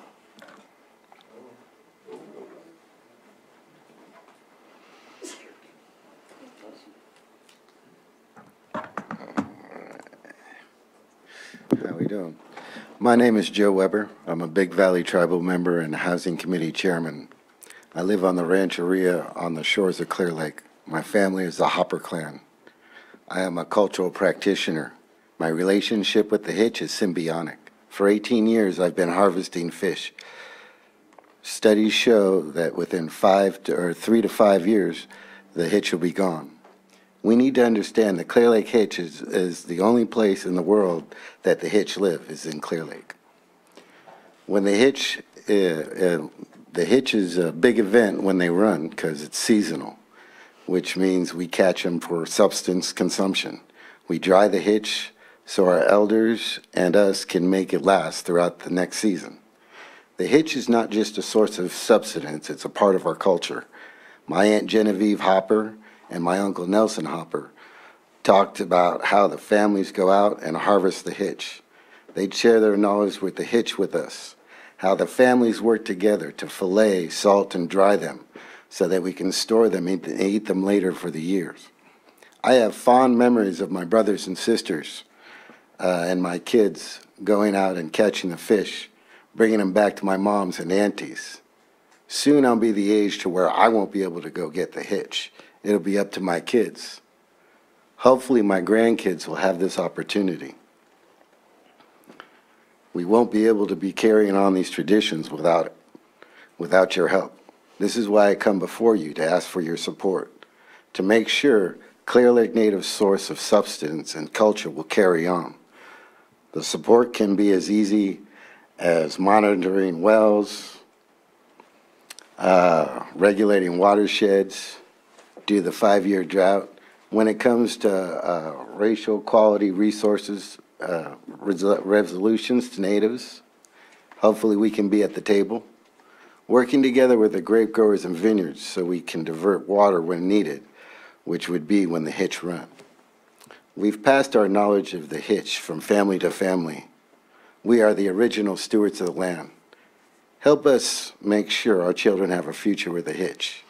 It's not just a fish you'll be saving. It's a tradition, a healthy way of life for the Clear Lake natives. Don't let the hitch go extinct on your watch. Thank you for your time. Thank you.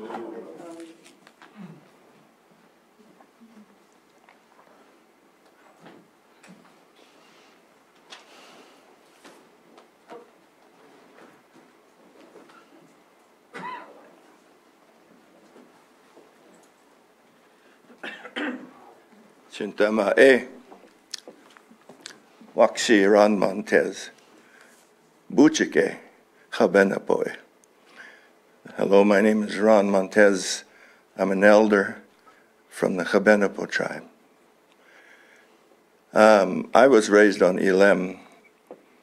I was born in 1949 in Colusa and moved to Lake County with my mom, who was a single mom. She raised me.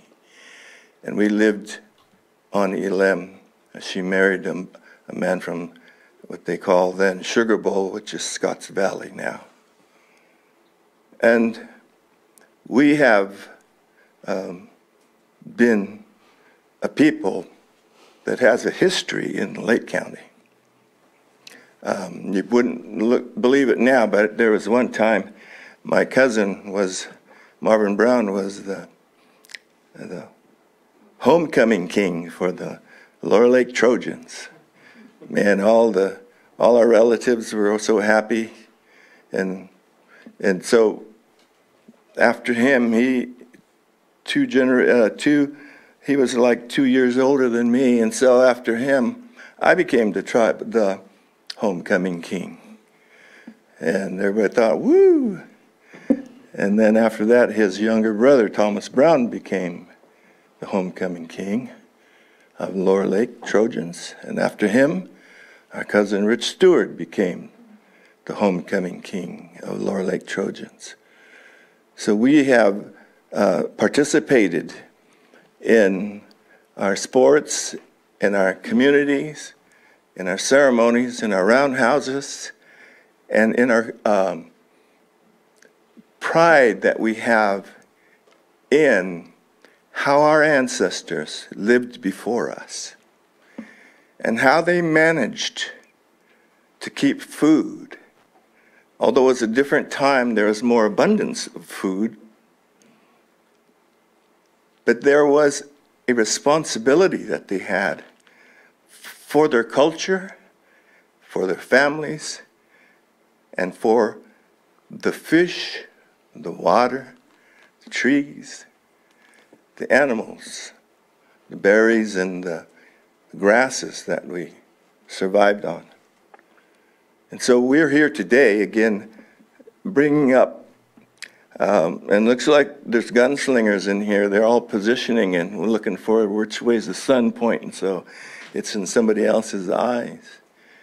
But I want you to remember the Native American people in the United States of America has always been, and still is, thought of as a savage, that we don't have what it takes to become civilized. And it's proven because they took away everything that we had. And it was open season on Native American people in the United States and in this state of California that for our heads, for our beheading, and even for the scalp that was taken, they paid $5 when a day's wages was a quarter. And then they paid $100 for each head that was brought in. Our government sponsored that and paid. And so that is part of our history, which is not taught or preached in our school systems.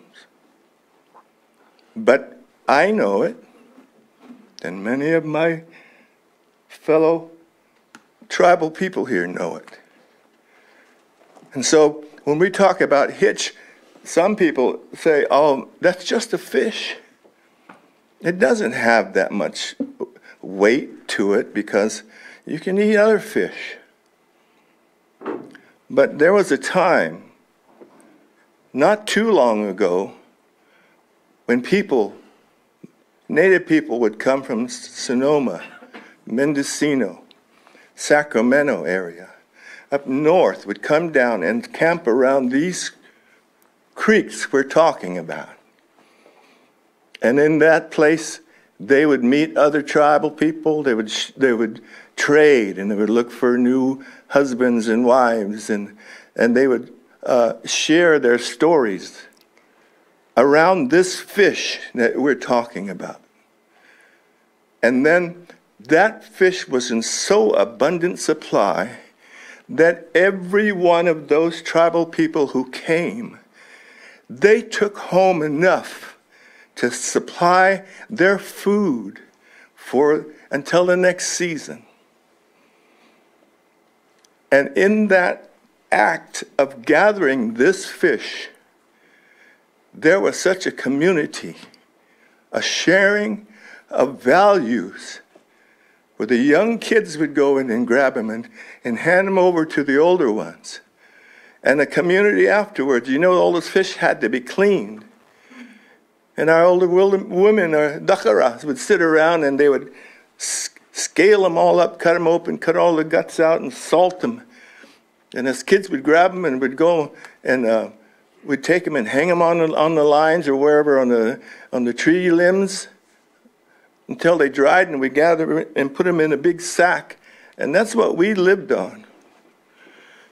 There was a long time here in Lake County where Indians could not get a job. We had to go out and do some of the worst jobs around. William Benson, who was a tremendous uh, man, that a pomo man that made baskets, had to sell them just to make a living. We had to travel from here to other counties for work because they won't hire us here. And so we had to make do with what we had. And that fish, our Chi, our sha in our language, that sustained us. And it was not the best smelling fish around, but it was a jerky, it was a food source that I still crave today because I have that in my DNA. I have witnessed that. I'll shut down here in just a minute. And I want you to know that today, I would encourage every one of the groups in here lay down your arms. Get back to what's real here. We're talking about people. We're talking about a culture. We're talking about my ancestors who lived here thousands of years before there was the United States, before there was the California, before there was the Lake County, and before there were any crops out here on these hills. Those are the weightier matters, matters that we need to keep our focus and attention on because those are the things that will help us learn and work together, solve difficult problems, and show show these other counties that we can do it here in Lake County. We can. So lay down your arms. Let's do this thing. Let's support one another. Everyone commit to do what you can to help. And I, I, I commit to do that too. So, if my three mon- minutes is up, thank you. Thank you.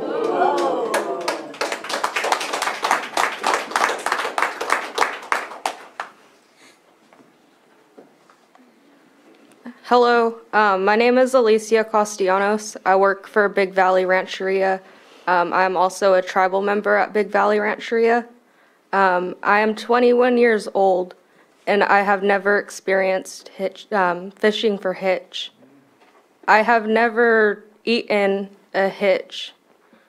Um, it's not because I don't want to, it's because there's not enough. I hope that changes can be made for future generations so they won't have to miss out like I did. Thank you guys for having this open discussion for us. Thank you.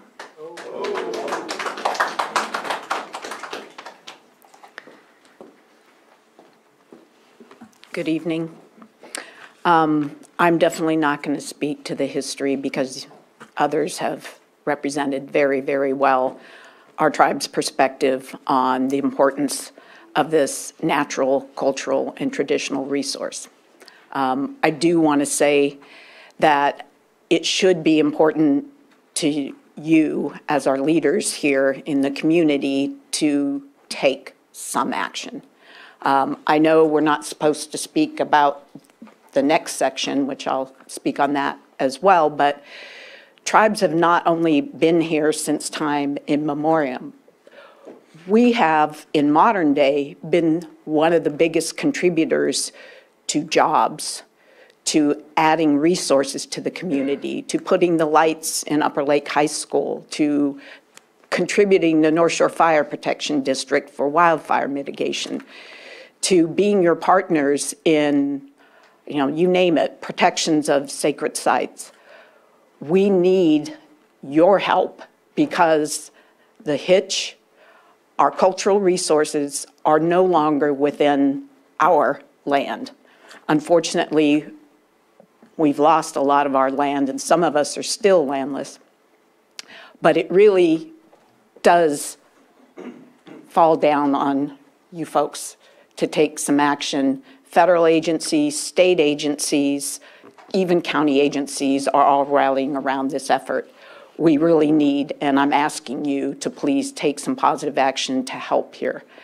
Um, it sounds like the state is already going to be looking into regulating, so, you know, I, I'm, I am as sensitive to the next you know, business owner. We understand that people need to make a livelihood, and in fact, you know, if it's food, we all rely upon that. So we have got to collaborate and find some solutions. Um, this looks like a solution, and it's only asking for the county to call on others to do work. So I'll save the rest of my comments, but it, the county's responsibility in, in this is very minimal. So, thank you. Thank you.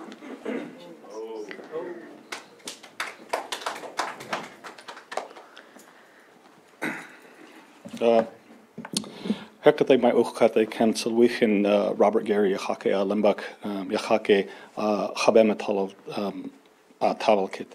How are you today? My name is Robert Gary. Um, I'm from Elem. I work for Habematolel.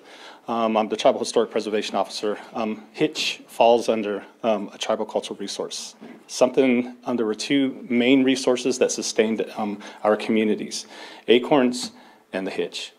And so these are two um, really important um, parts of our life, important, important parts in created events, ceremonies surrounding these things. So just wanted to and from in, like we're talking about the proclamation, um, understanding and taking a look at that, um, you know, it's important because it looks like it is, you know, from uh, Chairwoman Treppa, um, this is a solution. This is um, something that can can start to be done with it. Um, and I'm not sure as far as for you know the ag community, but you know when we're talking about the issue issue with um, you know the frost spraying and, and, those kind of things, I mean the proclamation it doesn't address any of that. Um, it's just basically taking action to be able to, to, to um, protect um, this resource. And so, you know, I want that to be known and, and understand that, you know, um, according to, you know, what's there, it's a plan. Um, and then I, I haven't heard anyone sit here and say what a specific reason why the hitch is in the situation it is. I think there's um, a lot of components of what we're trying to say or that we're trying to find out what it is. And that's why all of us, tribal communities, the public, um, state and federal um, agencies, um, it's important to make sure that we find all of the data, work together to be able to do um, what we need to do for the survival of this, of this resource. It's something that is indicative um, and that is only known to here, Lake County, to Clear Lake. And so it's something that we have to do together to make sure that we have that ability for, just like this little girl, um, young girl, sorry about that, um, to be able to do something that her ancestors have done that she's never had that ability to do. I've watched that, that, that trend um, change in my lifetime. As a boy, I used to fish for these fish in Schindler Creek and in Siegler Creek down at the south part of the lake. My older children, I taught them, we've actually went out and fished for these fish. My younger children have never gotten the opportunity, just like her, because of the numbers that they're in. So there has to be a plan. The proclamation is there, and it creates us to have a plan, to be able to help us sustain this resource, this tribal resource, this cultural resource. So I'm asking, you know, to make sure that we take that into consideration when it is brought up at our next, um, you know, next phase, I guess, of this meeting.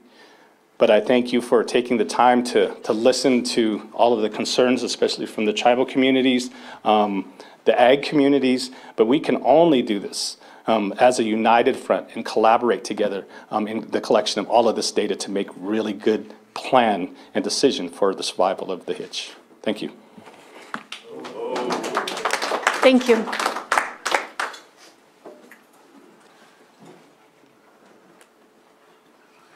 No, okay. Anyone else in the chambers?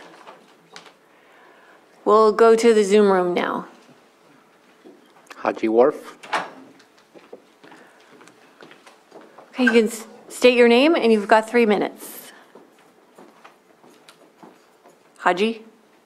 Hold on. Okay. I'm muting myself, hold on. Okay, great. We can hear you. Good afternoon. Oh, that was my original word, afternoon, but good evening, board members. My name is Haji Wharf from Upper Lake. I want to express my full support for the emergency proclamation. I consider myself a stakeholder as my husband and I have 20 acres of ag zone land in Upper Lake near the confluence of Alley and Clover Creek, tributaries of Middle Creek. 10 of our acres are currently under production of hay and grain in previous years, grown without supplemental irrigation as we only have a domestic well. As a property owner, I feel until we monitor wells, including mine, and groundwater usage, we are poking around in the dark. Wells are straws that draw down aquifers and surface water flows. Wells are the silent desiccators.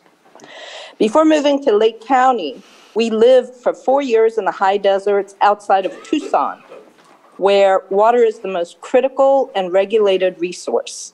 Subsidence from overpumping of groundwater was the biggest issue. So that's where we're headed. If we don't get a handle on this, not only will we not have surface water, sufficient surface water for all interests, but the land's going to sink. Okay? So to have the usual suspects of the anti-proclamation ag interests imply their water use doesn't affect stream flows is preposterous and magical thinking. And do not pass the stinky lake smell test. Their perspective does not match up with my experience. The hitch have been endemic to Lake County before the presence of man.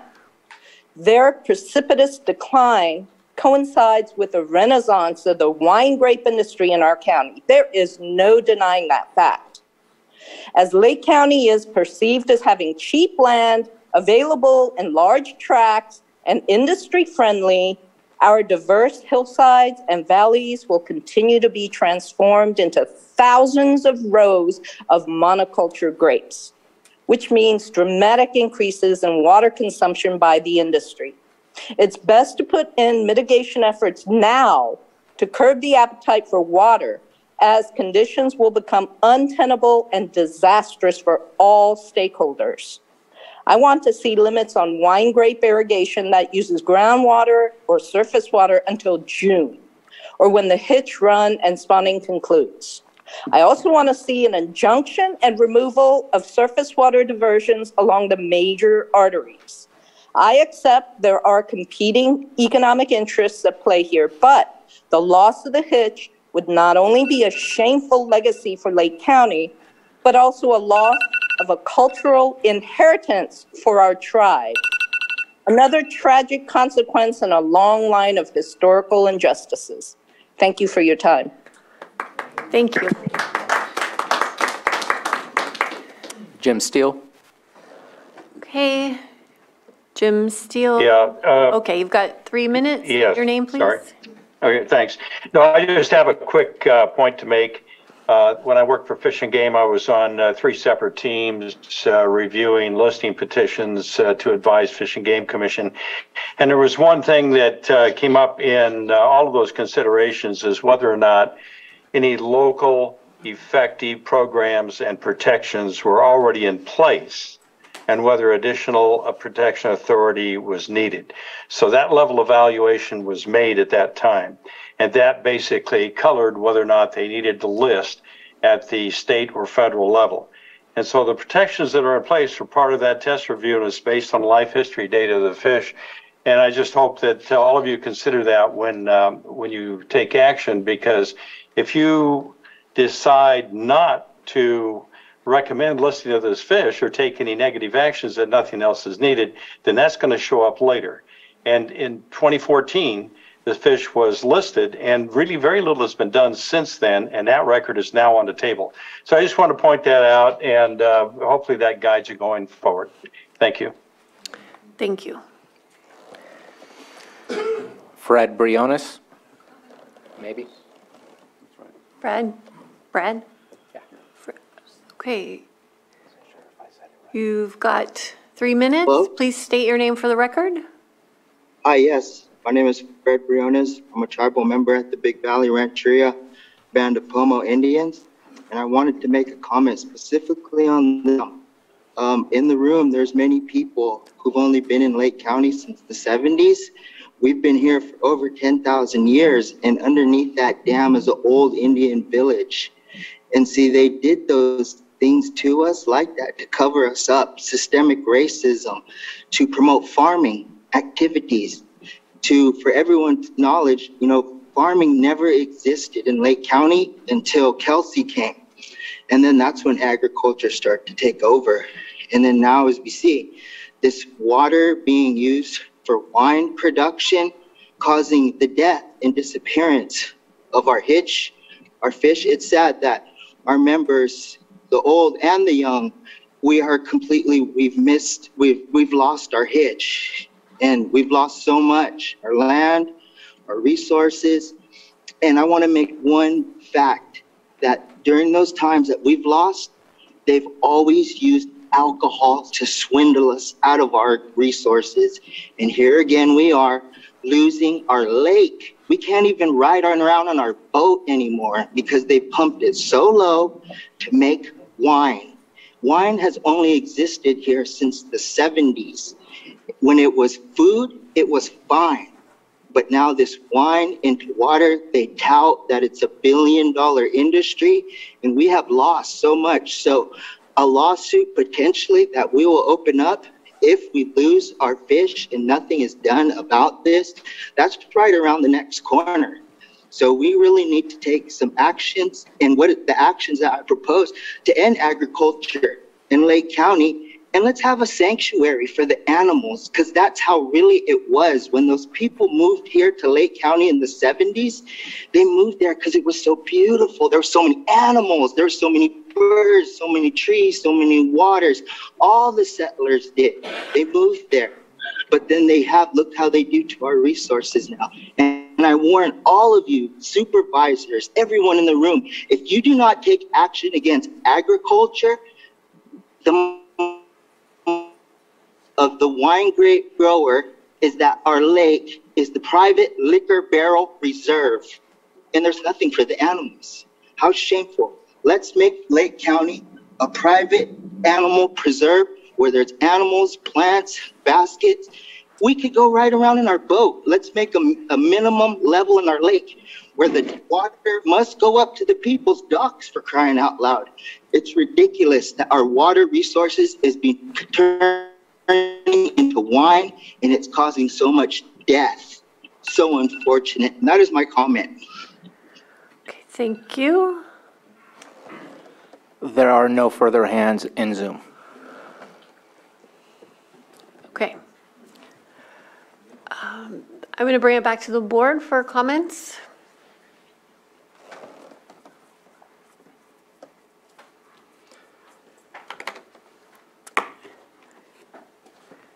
Supervisor Sabatier?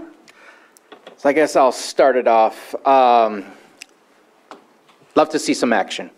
Um, I, I don't think, um, I, I, I- I hope that we can bring the entire room together. Um, My opinion, there's been, I, I, I've seen this fight happen between uh, different groups, and I think we all have the same issue, and that's the issue of what the climate is doing to us. Uh, Farmers are enduring this issue, uh, our lake is enduring this issue, and our nature is enduring this issue.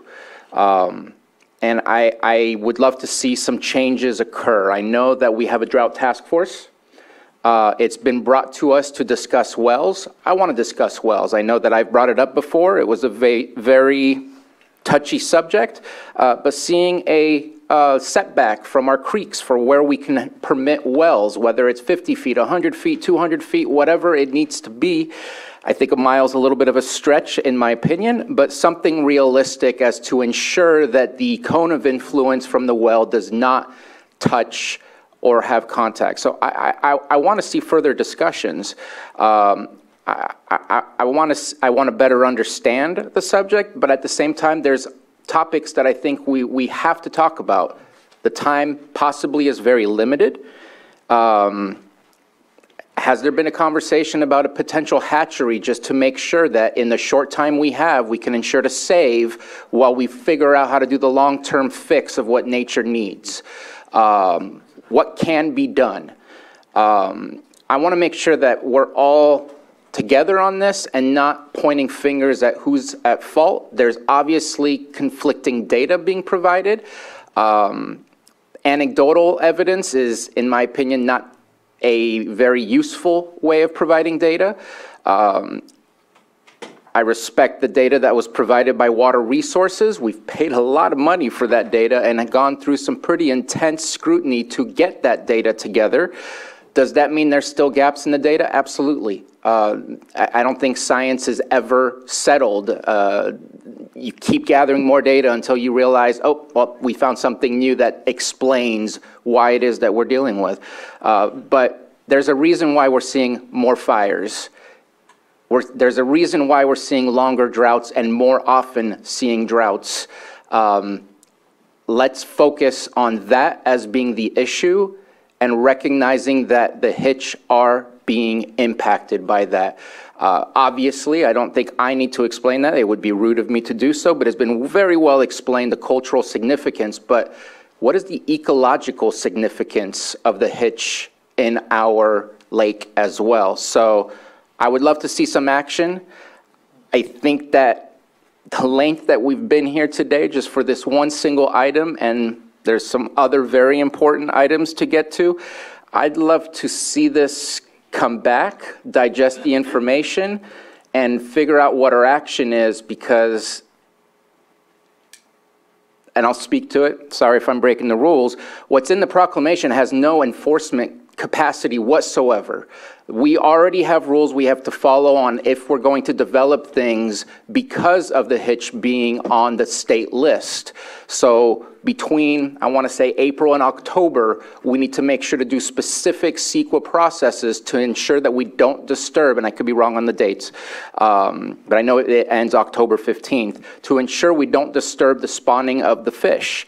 Um, if the other part of it is to prohibit taking and taking is not occurring, then I want to make sure we are taking action locally and not waiting for the state to either take over or the federal to take over, which again will take years before anything can occur. Um, I'll stop at that. Uh, there, there, there's, there's other little issues um, throughout the whole thing, um, but I'll stop at that. Supervisor Green? Just point of order, are we discussing the discussion item just finished, or are we diving right into the proclamation discussion? Because we, we can do it either way, but I thought we were still in comment uh, for the, uh, uh, the dis- Uh, the discussion-only item. That's what we were. He did break the rules. Well, a couple people did it, so I, I just, uh, for the sanity of everyone involved, uh, I- there's a lot to unpack just from today.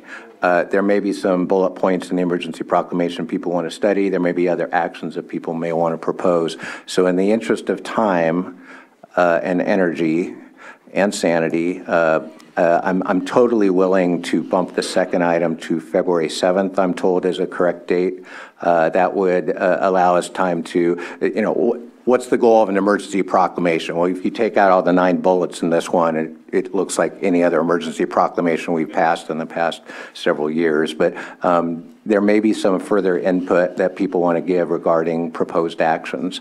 So uh, if we are bringing up the proclamation item, it would be uh, with the consent of, uh, uh, you know, with the consensus of my fellow board members, would be to postpone this to February 7th, allow people to digest a lot of what's um, uh, occurred here today. A- And I think honestly, that would be hugely useful. When I went to the summit, when I went to the summit,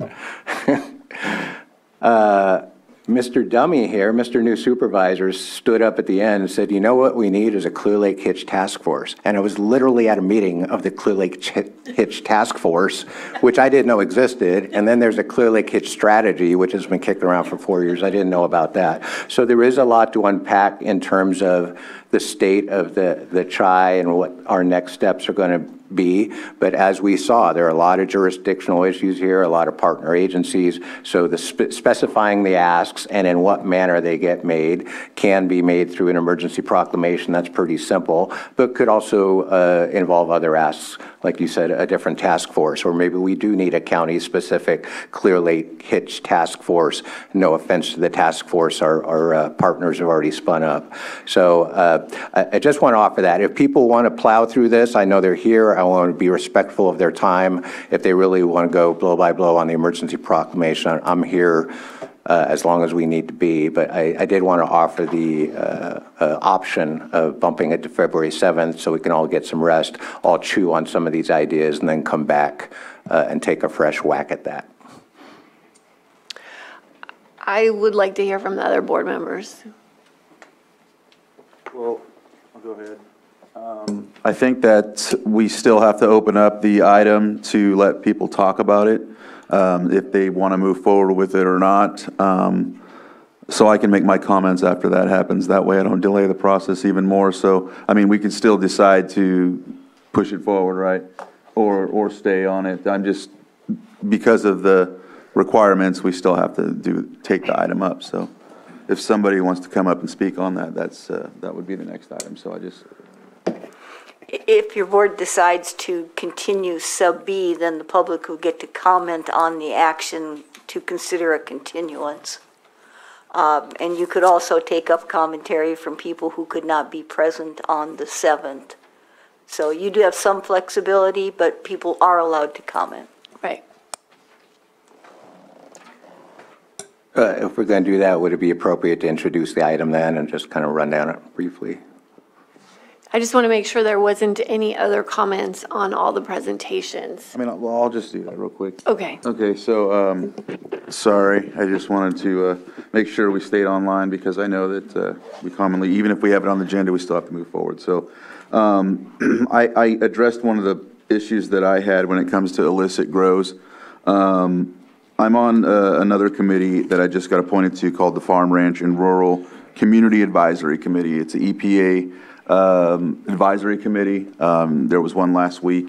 And I met with Martha Guzman, uh, the EPA Region 9 Administrator, and told her all about the situation that we're talking about right now, along with others that I won't get into. But the biggest thing I told her, along with the state representatives that are online and whatnot, um, and I won't go into depth of their, of their names and whatnot, but I told, I, I keep touting out and telling them, look, I understand we have, we have these issues we have to deal with, but for me, there's, to me, it's a three-prong also approach with the, the Middle Creek restoration, because it provides a habitat, um, helping us expedite that, because it's been 30 years, helping us expedite uh, the tributaries, because there's so much vegetation, especially in my district, uh, in the area, um, and prescribed burning or anything of that nature, but some of these permits that we are stuck with at times to, you know, to uh, preserve the hitch are kind of hindering the hitch as well.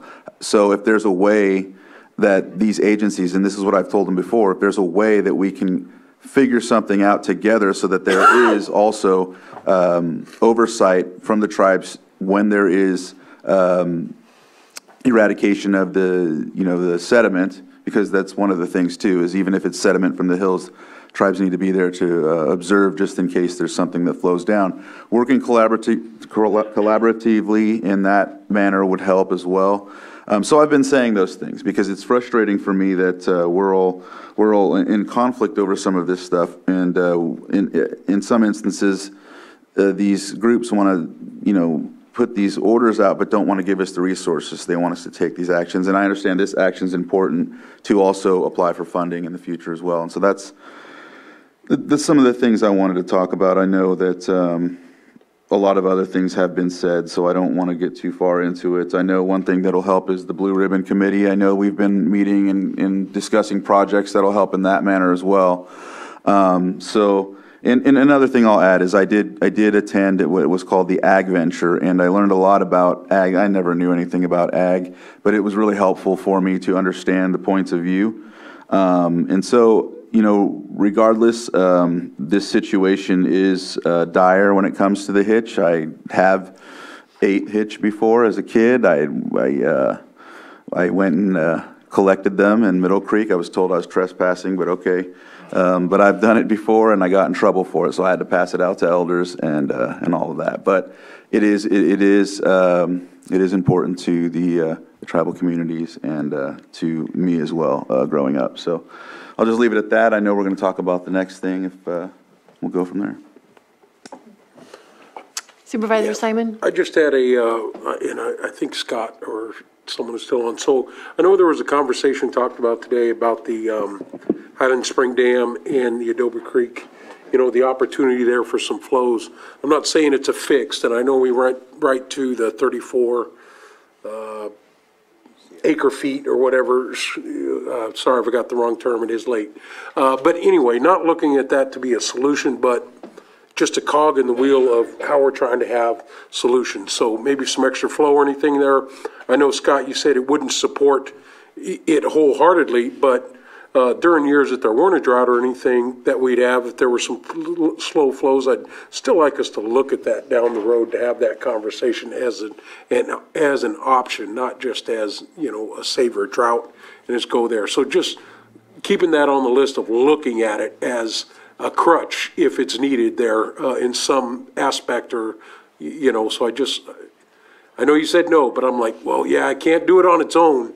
But if it's just a supplement of something, uh, you know, uh, I'd really like us to, to look at that and see if that would be an option, at least to continue that conversation. And Supervisor Simon, uh, I, I was stating some facts. Um, The system was never designed for that, but that does not preclude um, trying it. Uh, I don't think uh, anyone in my department is uh, opposed to trying, myself included. Uh, And certainly, this would be the year that um, we would be able to do that. I, I'm hoping we get a few more storms and, and, uh, uh, you know, the, the, the, the um, Highland Springs and Adobe Creek fill up full to their entirety, and, and uh, this would certainly be the year to do it. But uh, no, there isn't anything that's off the table. Uh, I, I just, it's, um, my, my point was the system was never designed for that, and, and it would drain that system very, very quickly uh, if that was something we were trying to rely on. But we can certainly give it a try and, and see what impact it would have. Yeah, and I think just as a tool, you know, uh, we're looking to build long-term sustainability, having those options. Obviously, going through some of the recommendations here and, and and some of the folks of, you know, prioritizing those barriers that we've heard multiple times today in each presentation. How do we get those barriers out of the way and really focus on those? And that's not going to just come from the county here, obviously. We're going to need that support. Uh, Fish and Game, Fish and Wildlife, you know, all these other organizations. And just to continue on, I know we may be hearing a little bit or moving this on potentially, but I think the one thing that I just look at our recent history here, we have the tree mortality. We did the proclamation because we want to bring that focus to it. What was disappointing to hear is that we, over the past few years, have put in, and I can't remember how many years, but $10 million worth of grants. And, um, you know, we weren't successful, whether that's in coordination with tribal nations, other agencies doing the work. I think the proclamation is going to open that up, say, listen, there is an emergency here. I know there's a lot of agencies working on that, um, but I just want to continue the conversations. I myself uh, was lucky as a young man with my Uncle Ed to go actually to Abimato, Upper Lake, the old res over there. We used to go every year when I was a young guy and collect the hitch, and it was just as you said, you almost felt like you could walk across the creek because there were so many hitch in there, you know, as you pull them out. So I was lucky enough to experience what was talked about with Ron, Ron Montez and, and, you know, whether or not we get back there, but the existence of the hitch is, as he said, in our blood, in our people. And I think it's something when we talk about putting Lake County on the map, uh, cultural tourism, the long history here, in combination with the partnerships that we have with our organizations, I think is extremely important and obviously near and dear to my heart. I don't know how we get it, but I clearly understand the ag community. I, I just want to um, say that we went through this a little bit with the cannabis. It's not perfect, uh, but I think we need to look at it from all aspects. And I think if we come together, and I didn't hear anybody from either side saying, don't care about the hitch. This is not something that I heard in this conversation. So from my point of view, I, I know there's, there's equal ground that we can land on here to support both industries, uh, both from the tribal and our community needs, but also from the ag industry, because that's part of what Lake County is too. So, um, I think we can get there. If we're gonna push it off, fine, but eventually action needs to be taken. Thank you for bringing this. I know it's a long day. Uh, we'll call you the rookie. Good job, rookie move. Uh, but we, uh, but this is important. This is hugely important. So understanding that. That's what I have to say right now with those, with the reports that have come out. Oh, sorry. Step back. Okay, who's first? Does he have his pen up? Is your pen up? No? Okay, you're first. I, I just want to offer that if, if it does get moved, if that's the approval of the board, I would offer that we do a special meeting, because this has already lasted uh, quite a long time. Obviously, a lot of people are in tune and are uh, wanting to hear and participate and care about what the consequences and actions will be. Um, And the 7th, I'm seeing list after list of items that are being moved to the 7th from our agenda today. And so I just want to make sure that we have ample time to listen to everybody, to talk it out, and not feel rushed to, to, to get to a, a point where we're making a decision without finishing our conversation. And I think the public deserves to be able to speak freely and what they want us to hear, and we need to have the time to deliberate and, and go over uh, everything. Supervisor Green? I see Susan looking at the calendar going, how many special meetings are we going to do? Uh, I, I, uh, uh, I appreciate the comments. I, my hope was at the end is that the, uh, the proclamation would be uh, routine, if you would. Uh, I think a lot of the uh, comments that are made here tonight have been made. Uh, Clearly, we have concerns um, from multiple stakeholder groups.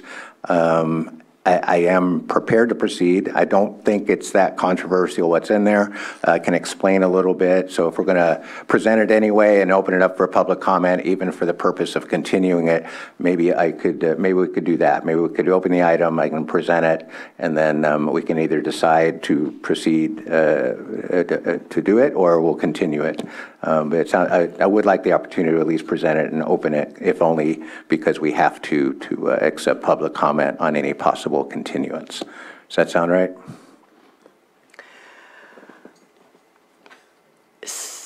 Oh, well, I, I just want to recognize that we're all part of this system and, and we've all come here um, to, to, to, to push this important work forward. And if you want to go ahead and present it, we have to present it anyway. I'm fine with that. Um, We originally had 10 items bu- um, beyond this tonight, and they are rapidly disappearing, uh, but we still have a significant amount of work to do um, beyond this item. I do think that we all need a little bit of a break, though. Um, If we can get back here in 10 minutes and um, stretch our legs and get a snack and uh, come back here, and I'll let you present, and then we'll make a decision beyond that.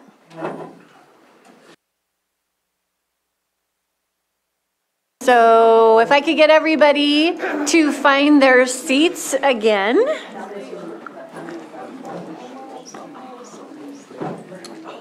We're having another staff change. Okay. Okay, so we have Johanna back.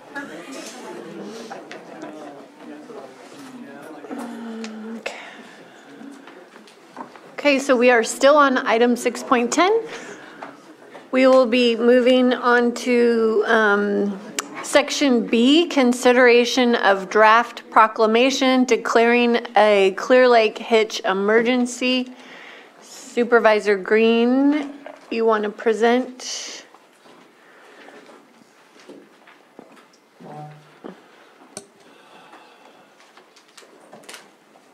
Um, Yeah, I hope everyone has had a chance to review it. Uh, In one sense, it's a pretty routine thing when a county does an emergency proclamation. We did one as recently as uh, Friday at our special meeting for uh, some of the flooding we had from the last atmospheric river event.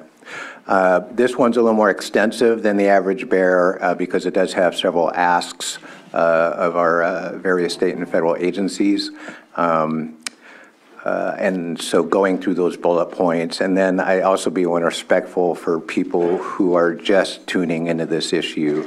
Uh, I don't want them to get hung up necessarily on the, uh, a this bullet point or that bullet point. Uh, In this draft proclamation, I also agree there may be additional input from our partner agencies and some of our colleagues here tonight uh, as far as they might want to see in it. So I I very much appreciate everyone's patience as we got through the first part of this item. Uh, uh, The emergency summit was so foundational to this, and, and this has been our first little uh, approach to emulate that in our own kind of limited government way.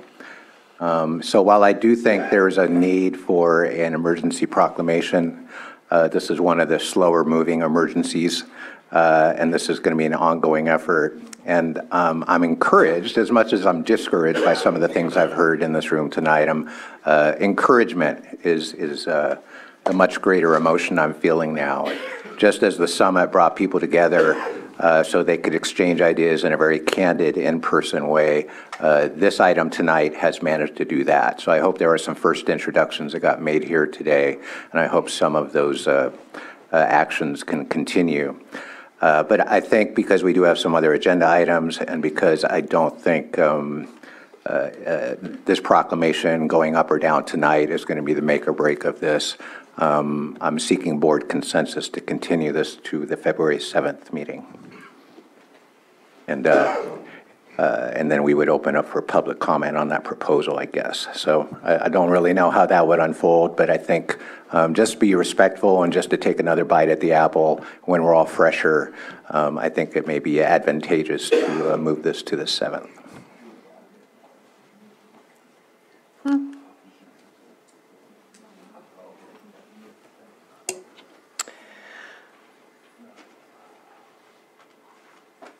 Okay. Other board members, how are you feeling about continuing this to February 7th? I've already mentioned it, so you know where I stand on that. You know, my thoughts on if we're going to move to February 7th, that we look at that agenda that gives it the time that it needs. Um, You know, obviously, I think that's very important, so go ahead, Susan. Yes, um, we can reserve 1:30 on the 7th, and it's a fairly, um, regular meeting. It's, so we should have enough- sufficient time, and we'll keep that in mind. Supervisor Crandell? Yeah, so, I mean, even if, uh, you know, I'm prepared to move forward today, but if we were, it doesn't seem, you need four to one for this to pass. So um, I think, I think I'm on board, because it'd be awkward to, you know, call for the resolution and we get it three-two, or something like that, or vice versa. Um, So um, rather push it forward than to go through that awkward moment, you know, if that makes sense, so. Okay, so we do have consensus to move it, continue it to February 7th. Uh, I'll- I will open it up for public input.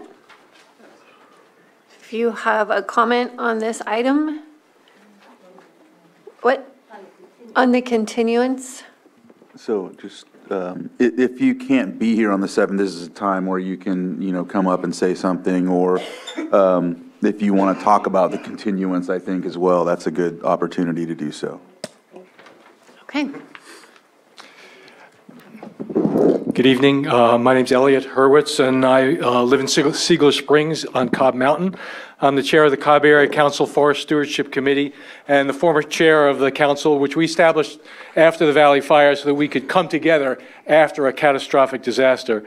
I'm currently on the executive committee of the Sierra Club uh, Lake Group, and for the last year, I've been active in the Blue Ribbon Committee, uh, working especially on restoration of some of the principal creeks, Kelsey, uh, Cole, Alder, um, I'm uh, Executive Director of the Seigler Springs Community Redevelopment Association, where we work to build community solidarity and collaboration in the face of challenges, especially those caused by climate disruptions such as intense wildfire, fire, drought, and chaotic ecosystems, and where we published this uh, comprehensive guide to living with wildfire in Lake County. I'm also a grateful uh, uh, alumni of the alumnus of the Ag Ventures program and a happy member of the uh, California Women for Agriculture, although I'm not uh, speaking in any of those roles this, this evening, only as a member of the community.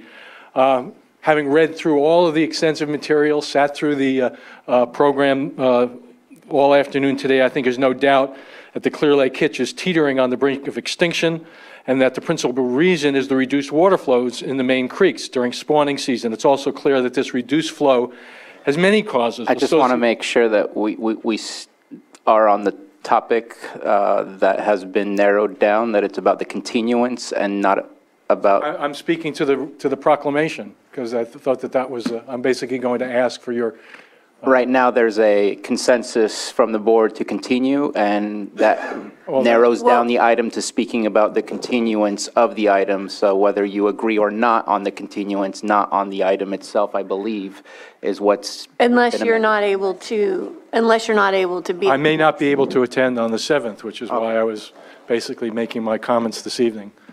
I don't know yet. Please, I apologize for interrupting. My narrative flow there, thanks. Uh, So as I said, I've, having, you know, spent the time preparing, as, ever- as everyone has, going through all the material and, you know, sitting through the extensive presentation tonight, it seems clear that there is, the, uh, the the hitch is in, you know, uh, in, in danger of extinction. And, um, you know, it's clear that, that whatever the cause, that the, the, the issues have to do with the, uh, um, changes that we as human beings have made to this environment over the last 150 years.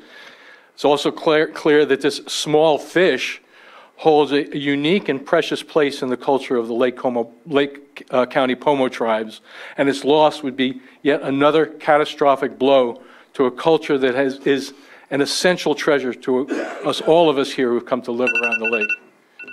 Uh, especially as we struggle to build a more respectful and sustainable relationship with the land that sustain us, sustains us. In all of my work here, I've come to realize that the immense value of the living spirit of connectivity with the land, the air, the waters, the many creatures that our local tribes have kept alive, uh, has, have kept alive against unimaginable odds.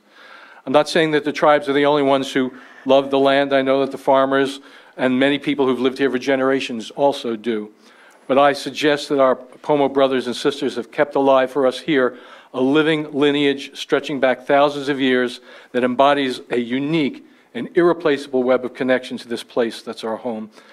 There's no doubt that changing how we manage our relationship with the natural waters. I, Elliot, I gave you a little bit extra time because of the interruption, but can you just finish your thought, please? I had this timed exactly at three minutes. Okay, okay. Proceed. Go ahead, finish. There's no doubt that changing how we manage our relationship with the natural waters in our local ecosystem will be difficult, and that the burden of change will fall unequally if we're not careful. However, just as we are learning to live with wildfire here in Lake County, I believe that we can learn to live intimately with the waters here, especially as their flows become ever more chaotic. And we need to understand how our respect for fire, the waters, the soils, and all the creatures with whom we share this place are essential parts of this web of life we share. I urge you to pass the resolution and then to work intensively with all of us who use our lo local waters to drink, to bathe in, to cook with, to grow food in, and spawn in to make sure that we can survive together. Thank you very much. Thank you. I am so sorry.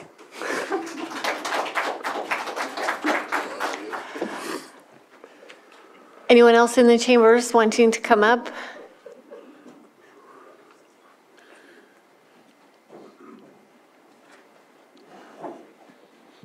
Hello, Dino Beltran, Vice Chairman for the Koi Nation. I won't be able to be here on the 7th.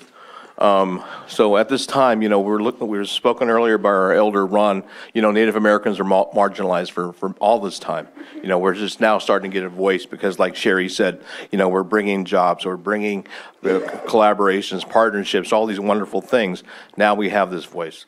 So at this time, um, because of the, the sensitivity to it and, um, and your openness to it, uh, I would appreciate if you would pass that resolution when it comes up on the 7th. Um, I think it, it's it's a good thing. Oh, well, I forgot to mention another thing important. The, the Koi Nation has purchased some property a year and a half ago, 70 acres. The majority of it are grapes.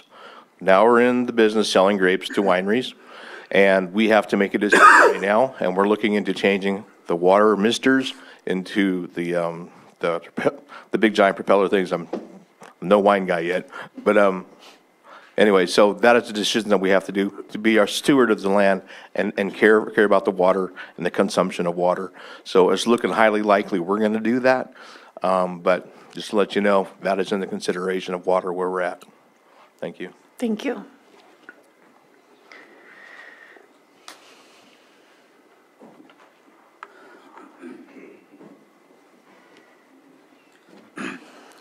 Hello. Uh, my name is Rob Morgan. I'm a tribal member and the executive assistant with the Koi Nation. um, I just wanted to say, you know, I wanted to come up and um, kind of give my, I, I don't know, I, I, should be here on the 7th, but I just, this is a little bit that, that has to do with that and you guys making the decision today. Um, I think that this is a decision that is urgent.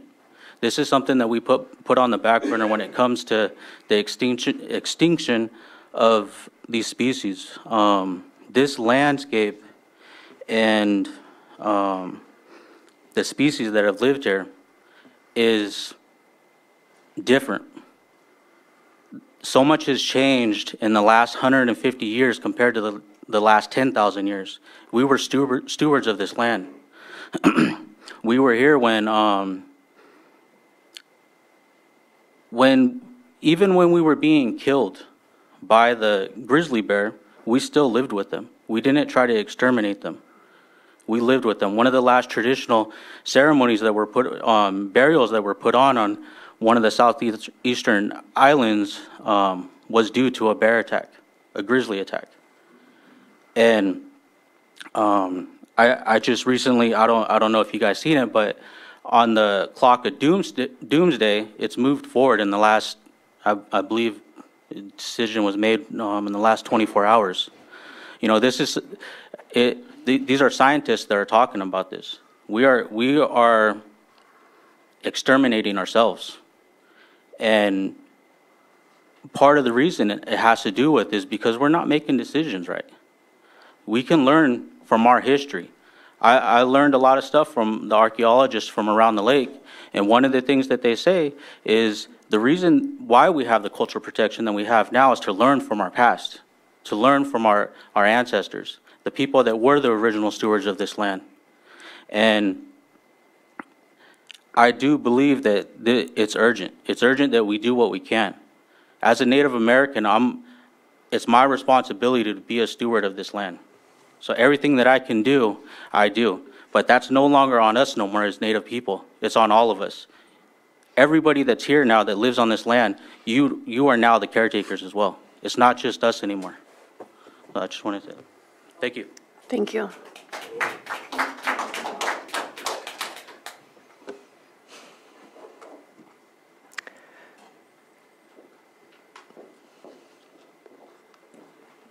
Good evening.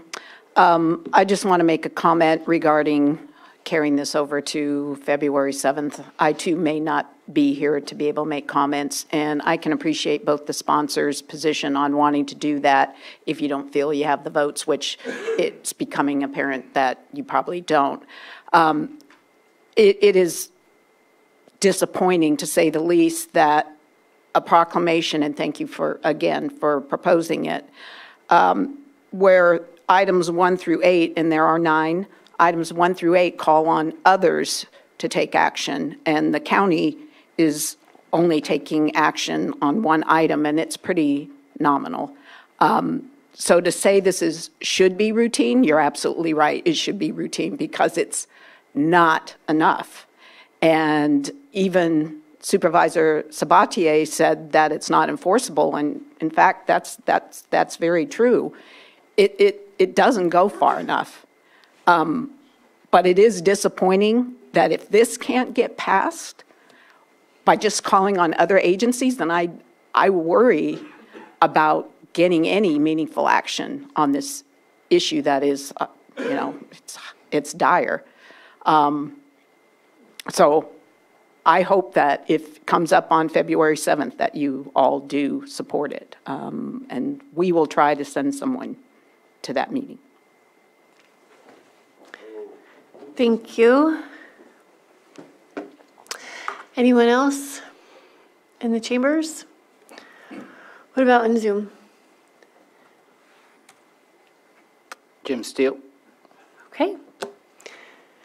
Go ahead, Jim. Yeah, yeah, thank you. Yeah, I just want to point out that um, the the proclamation, of course, obviously needs to be passed, and I agree with Supervisor Green. I thank you for bringing it forward, but you really need to do more than that to show a local record of controls and interest and uh, monitoring. So it, it should go further than just your proclamation, and I hope that you will uh, continue it so that you can hear more data and perhaps uh, some more recommendations of what could follow the proclamation in the future. You don't have to stop with the proclamation, but you can actually review some actions uh, that you can take uh, that will protect the hitch going forward that you haven't taken in the past. You already have a listing on the table of being threatened, so you can act on that basis right now. So uh, just just a thought. Uh, there are some things that came up with the threatened listing. You can bring back and re-review to see if you can take something away from that. So thank you for the comment. Period. Okay. Thank you. Anyone else? Haji Wharf? Haji, go ahead, you have three minutes. Thank you. I don't need three minutes. I just want to say I object to the delay to push it back to February 7th. I don't understand the controversy. Um, I understand you're tired, uh, but I think pushing it back sends the wrong message. I think that shows that you don't have that sense of urgency, and the Hitch don't have the luxury of time. Okay? And I don't know what the holdup is. It's pretty benign. If you can't pass this benign a proclamation, then you might as well just write off the hitch now. Be brave and say, you know what, we care about the wine industry more than we do the hitch. And just be brave enough to admit it. All right? I'm really upset that you're not going to take this up tonight. They need your help. I don't know why you're sitting up there if you're not going to do what the community needs you to do, which is to protect our endemic species. We will be the county with an extinction event of an endemic species first in 50 years. That's not the legacy I want for Lake County, and you shouldn't either. You should feel a sense of urgency in preventing that. And I'm very disappointed you're going to push this off to February 7th. I don't understand it. That's all. Thanks for your time. Thank you. Anybody else? Fred Briones? Uh, yes, hello, hi. I would like to comment and also say that I'm very disappointed that a vote is not being taken up tonight, especially there's two POMO representatives there on that board there. Uh, to protect our hitch, you know, it should be no question about it. But there is, see here, we try to play the song of Kumbaya, but in reality, it's not. It's agriculture. Agriculture has always uh, taken away from tribes. Agriculture is so foreign to Lake County, and now it pins our whole community, our water supply for the animals, for the fish, for the hitch, for all everything against the wine industry. This wine never had this much before in the past. I really wish Beckenstoffer was here in this meeting so he, we could tell him how much death our fish has disappeared because of his vineyard. It was never like that before. So to not take a vote, really, you're just kicking the can further down the road. And, you know, you have to ask, you know, with the history of Lake County and systemic racism, are, are you a, a descendant of Kelsey, Stone, Reeves, Lyons, Davis? They've always done this to us, just kicked it down the can. Forget about the Indians, promote agriculture, my cattle, my wine. How shameful now that our lake now a liquor barrel reserve. That's the fate of it. So shameful that the natural beauty has been sold. But the tribes, no, we will never, ever give in to those types of things. We have always been the stewards to this land. And to not take a vote tonight, it really shows the true leadership there. I'm so sorry to talk to you like that, but you need to be more uh, affirmative and concrete on what you're trying to protect, the natural beauty. Tell those ones who've grown vineyards since only the 70s since they've been here, get the hell out of Lake County. Please, you're killing all the animals. The elders before me used to say all this that the vineyards would do this to the deer, it would do this to the fish, to kill all the, the land. They said it, but no, there was so much money involved gold versus flesh. That's always Lake County's been like that. So please take a vote tonight and show true leadership, strong leadership for the Pomo people who've been here for 10,000 years versus the ones who've only been here since the 70s. Please go to Lake, go get out of Lake County, go to Sonoma, go to Napa. We're here. You're taking all our water to turn it into wine. So shameful. That's my final comment. Okay, thank you. Lori Montserrat? Hi, Lori Montserrat, State of California Environmental Protection Agency.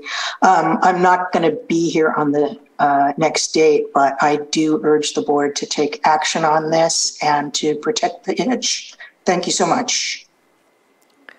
Thank you. And that's it, no more hands on Zoom. Okay. So bring it back to the board. Um, We have consensus to continue? Or you have, oh, you have another comment Supervisor Green? Yeah, I'll I'll totally take a motion to continue, but I, I, I want to be very clear moving forward that respect is a two-way street. Uh, I'm indebted to the First Peoples for bringing the attention to this board of the first fish and the efforts we're going to make to try to save it. Uh, But I'm going to object to characterization of uh, members of our agricultural community as being anything other than stewards of the land. Is there room for improvement in some of their practices? Does the ongoing drought challenge our current understanding of best available technology? Are we talking about all agriculture or just those along some of our stream corridors that most affect the lake? The most important thing that has happened here tonight is to get these people in the same room, just as it was important at the emergency summit to get the agencies together and start communicating about what they're doing and what they're not doing. And here in this realm, leadership requires, at the end of the day, we have to take some votes here. And an emergency proclamation is an unusual creature. It's not a simple majority. If there is a state of emergency, we need at least four supervisors up here to agree to that before we can pass it. Now, I know it's disappointing that we continued this hearing today, two weeks from January 10th, because we weren't ready to rock and roll just yet. I can tell you that the draft emergency proclamation was not born out of thin air.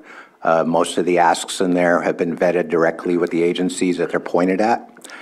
It is also important to know what is not in the emergency proclamation. As you have heard continuously from all the agencies, there's going to be a series of meetings. There's going to be a series of voluntary asks for action. And that the emergency proclamation is not the place to do that. And it is fair to say that it looks outward towards some of these other agencies. And one reason it does that is because they are catching up themselves as far as what their roles and responsibilities are. And because the county is a little bit late in coming to this. Um, But we're here now, and we're committing to taking uh, our own sense of leadership within those things that are in our jurisdiction. Uh, And when we do bring this back on the 7th, we can go down those specific bullet points and those agency asks. One of them was to ask the Blue Ribbon Commission to take a look at prior- prioritizing its projects uh, for those uh, that are most hitch beneficial in the short term.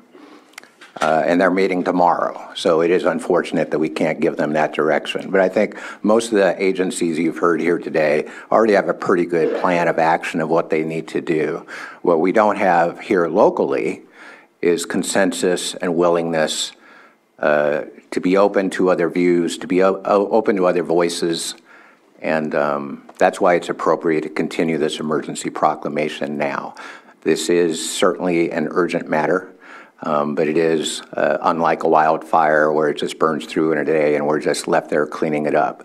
This has been years in the making. It will be years in the solutions. Uh, and the emergency proclamation will be just one little baby step along the way of that. So I do think it's hugely important, and I do appreciate people for commenting and, and demanding action tonight. Um, uh, but I think it is more important that we debate the actual uh, impact of this proclamation when we all are fresh, when some of the voices who couldn't be here tonight may be able to join us, uh, and just take a deep breath and decompress all this. The one thing that is not in the emergency proclamation is any order for anyone to open their hearts and minds uh, to listen to what has been said here tonight. But that's really my request uh, before we get out of here.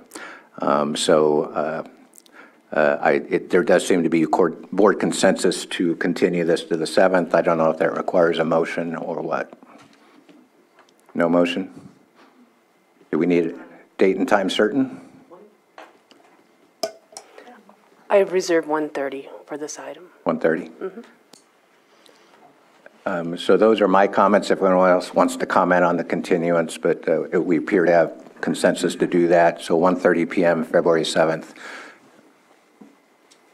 Supervisor Crandell? Yeah, so I, I just, I, I wasn't gonna say anything, but I have to because no matter what, um,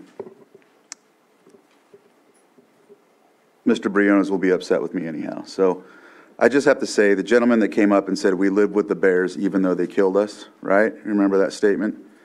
Um, That is how our ancestors were. They took in people as long as they had the same respect for us that we had. It's, it's unrealistic to think that anybody's going to go away or leave or force anybody away. And so I know that as a Native American, as a Pomo, I, I don't think that type of behavior and discussion is conducive. This is the reason why we can never sit in the same room. And so I don't, I don't align with what was said. Um, and I don't know if my fellow, you know, my fellow Native people feel the same way, but for me, I, I think respect goes both ways. And regardless of, you know, profit or whatever happened, you know, things of that nature, it's, if we want to work together and get things to get done together, we can't speak that way. So um, I just have to say that um, I was willing to move forward either way. And so when, you know, it was said that, you know, as a Native American, I'm not willing to, it's just a little disheartening to hear that from, from people. So I just have to say that. Sorry, but that's how I feel. Anybody else? Okay, well, I appreciate all of you coming. Um, This has been a long day, and we've, we've listened, and I think we've learned, and I think that we've done a lot of big work today. We have a lot of big work ahead of us. I'm looking forward to that, and I'm looking forward to seeing you all in a couple of weeks and continuing this. So I'm, I'm sure most of you aren't hanging around for the next eight items that we have. Um, So drive safe on your way home. And um, I just urge you all to think about what's happened today and what, you know, everything that's, we've talked about and discussed. And we'll see you, so we'll see you soon.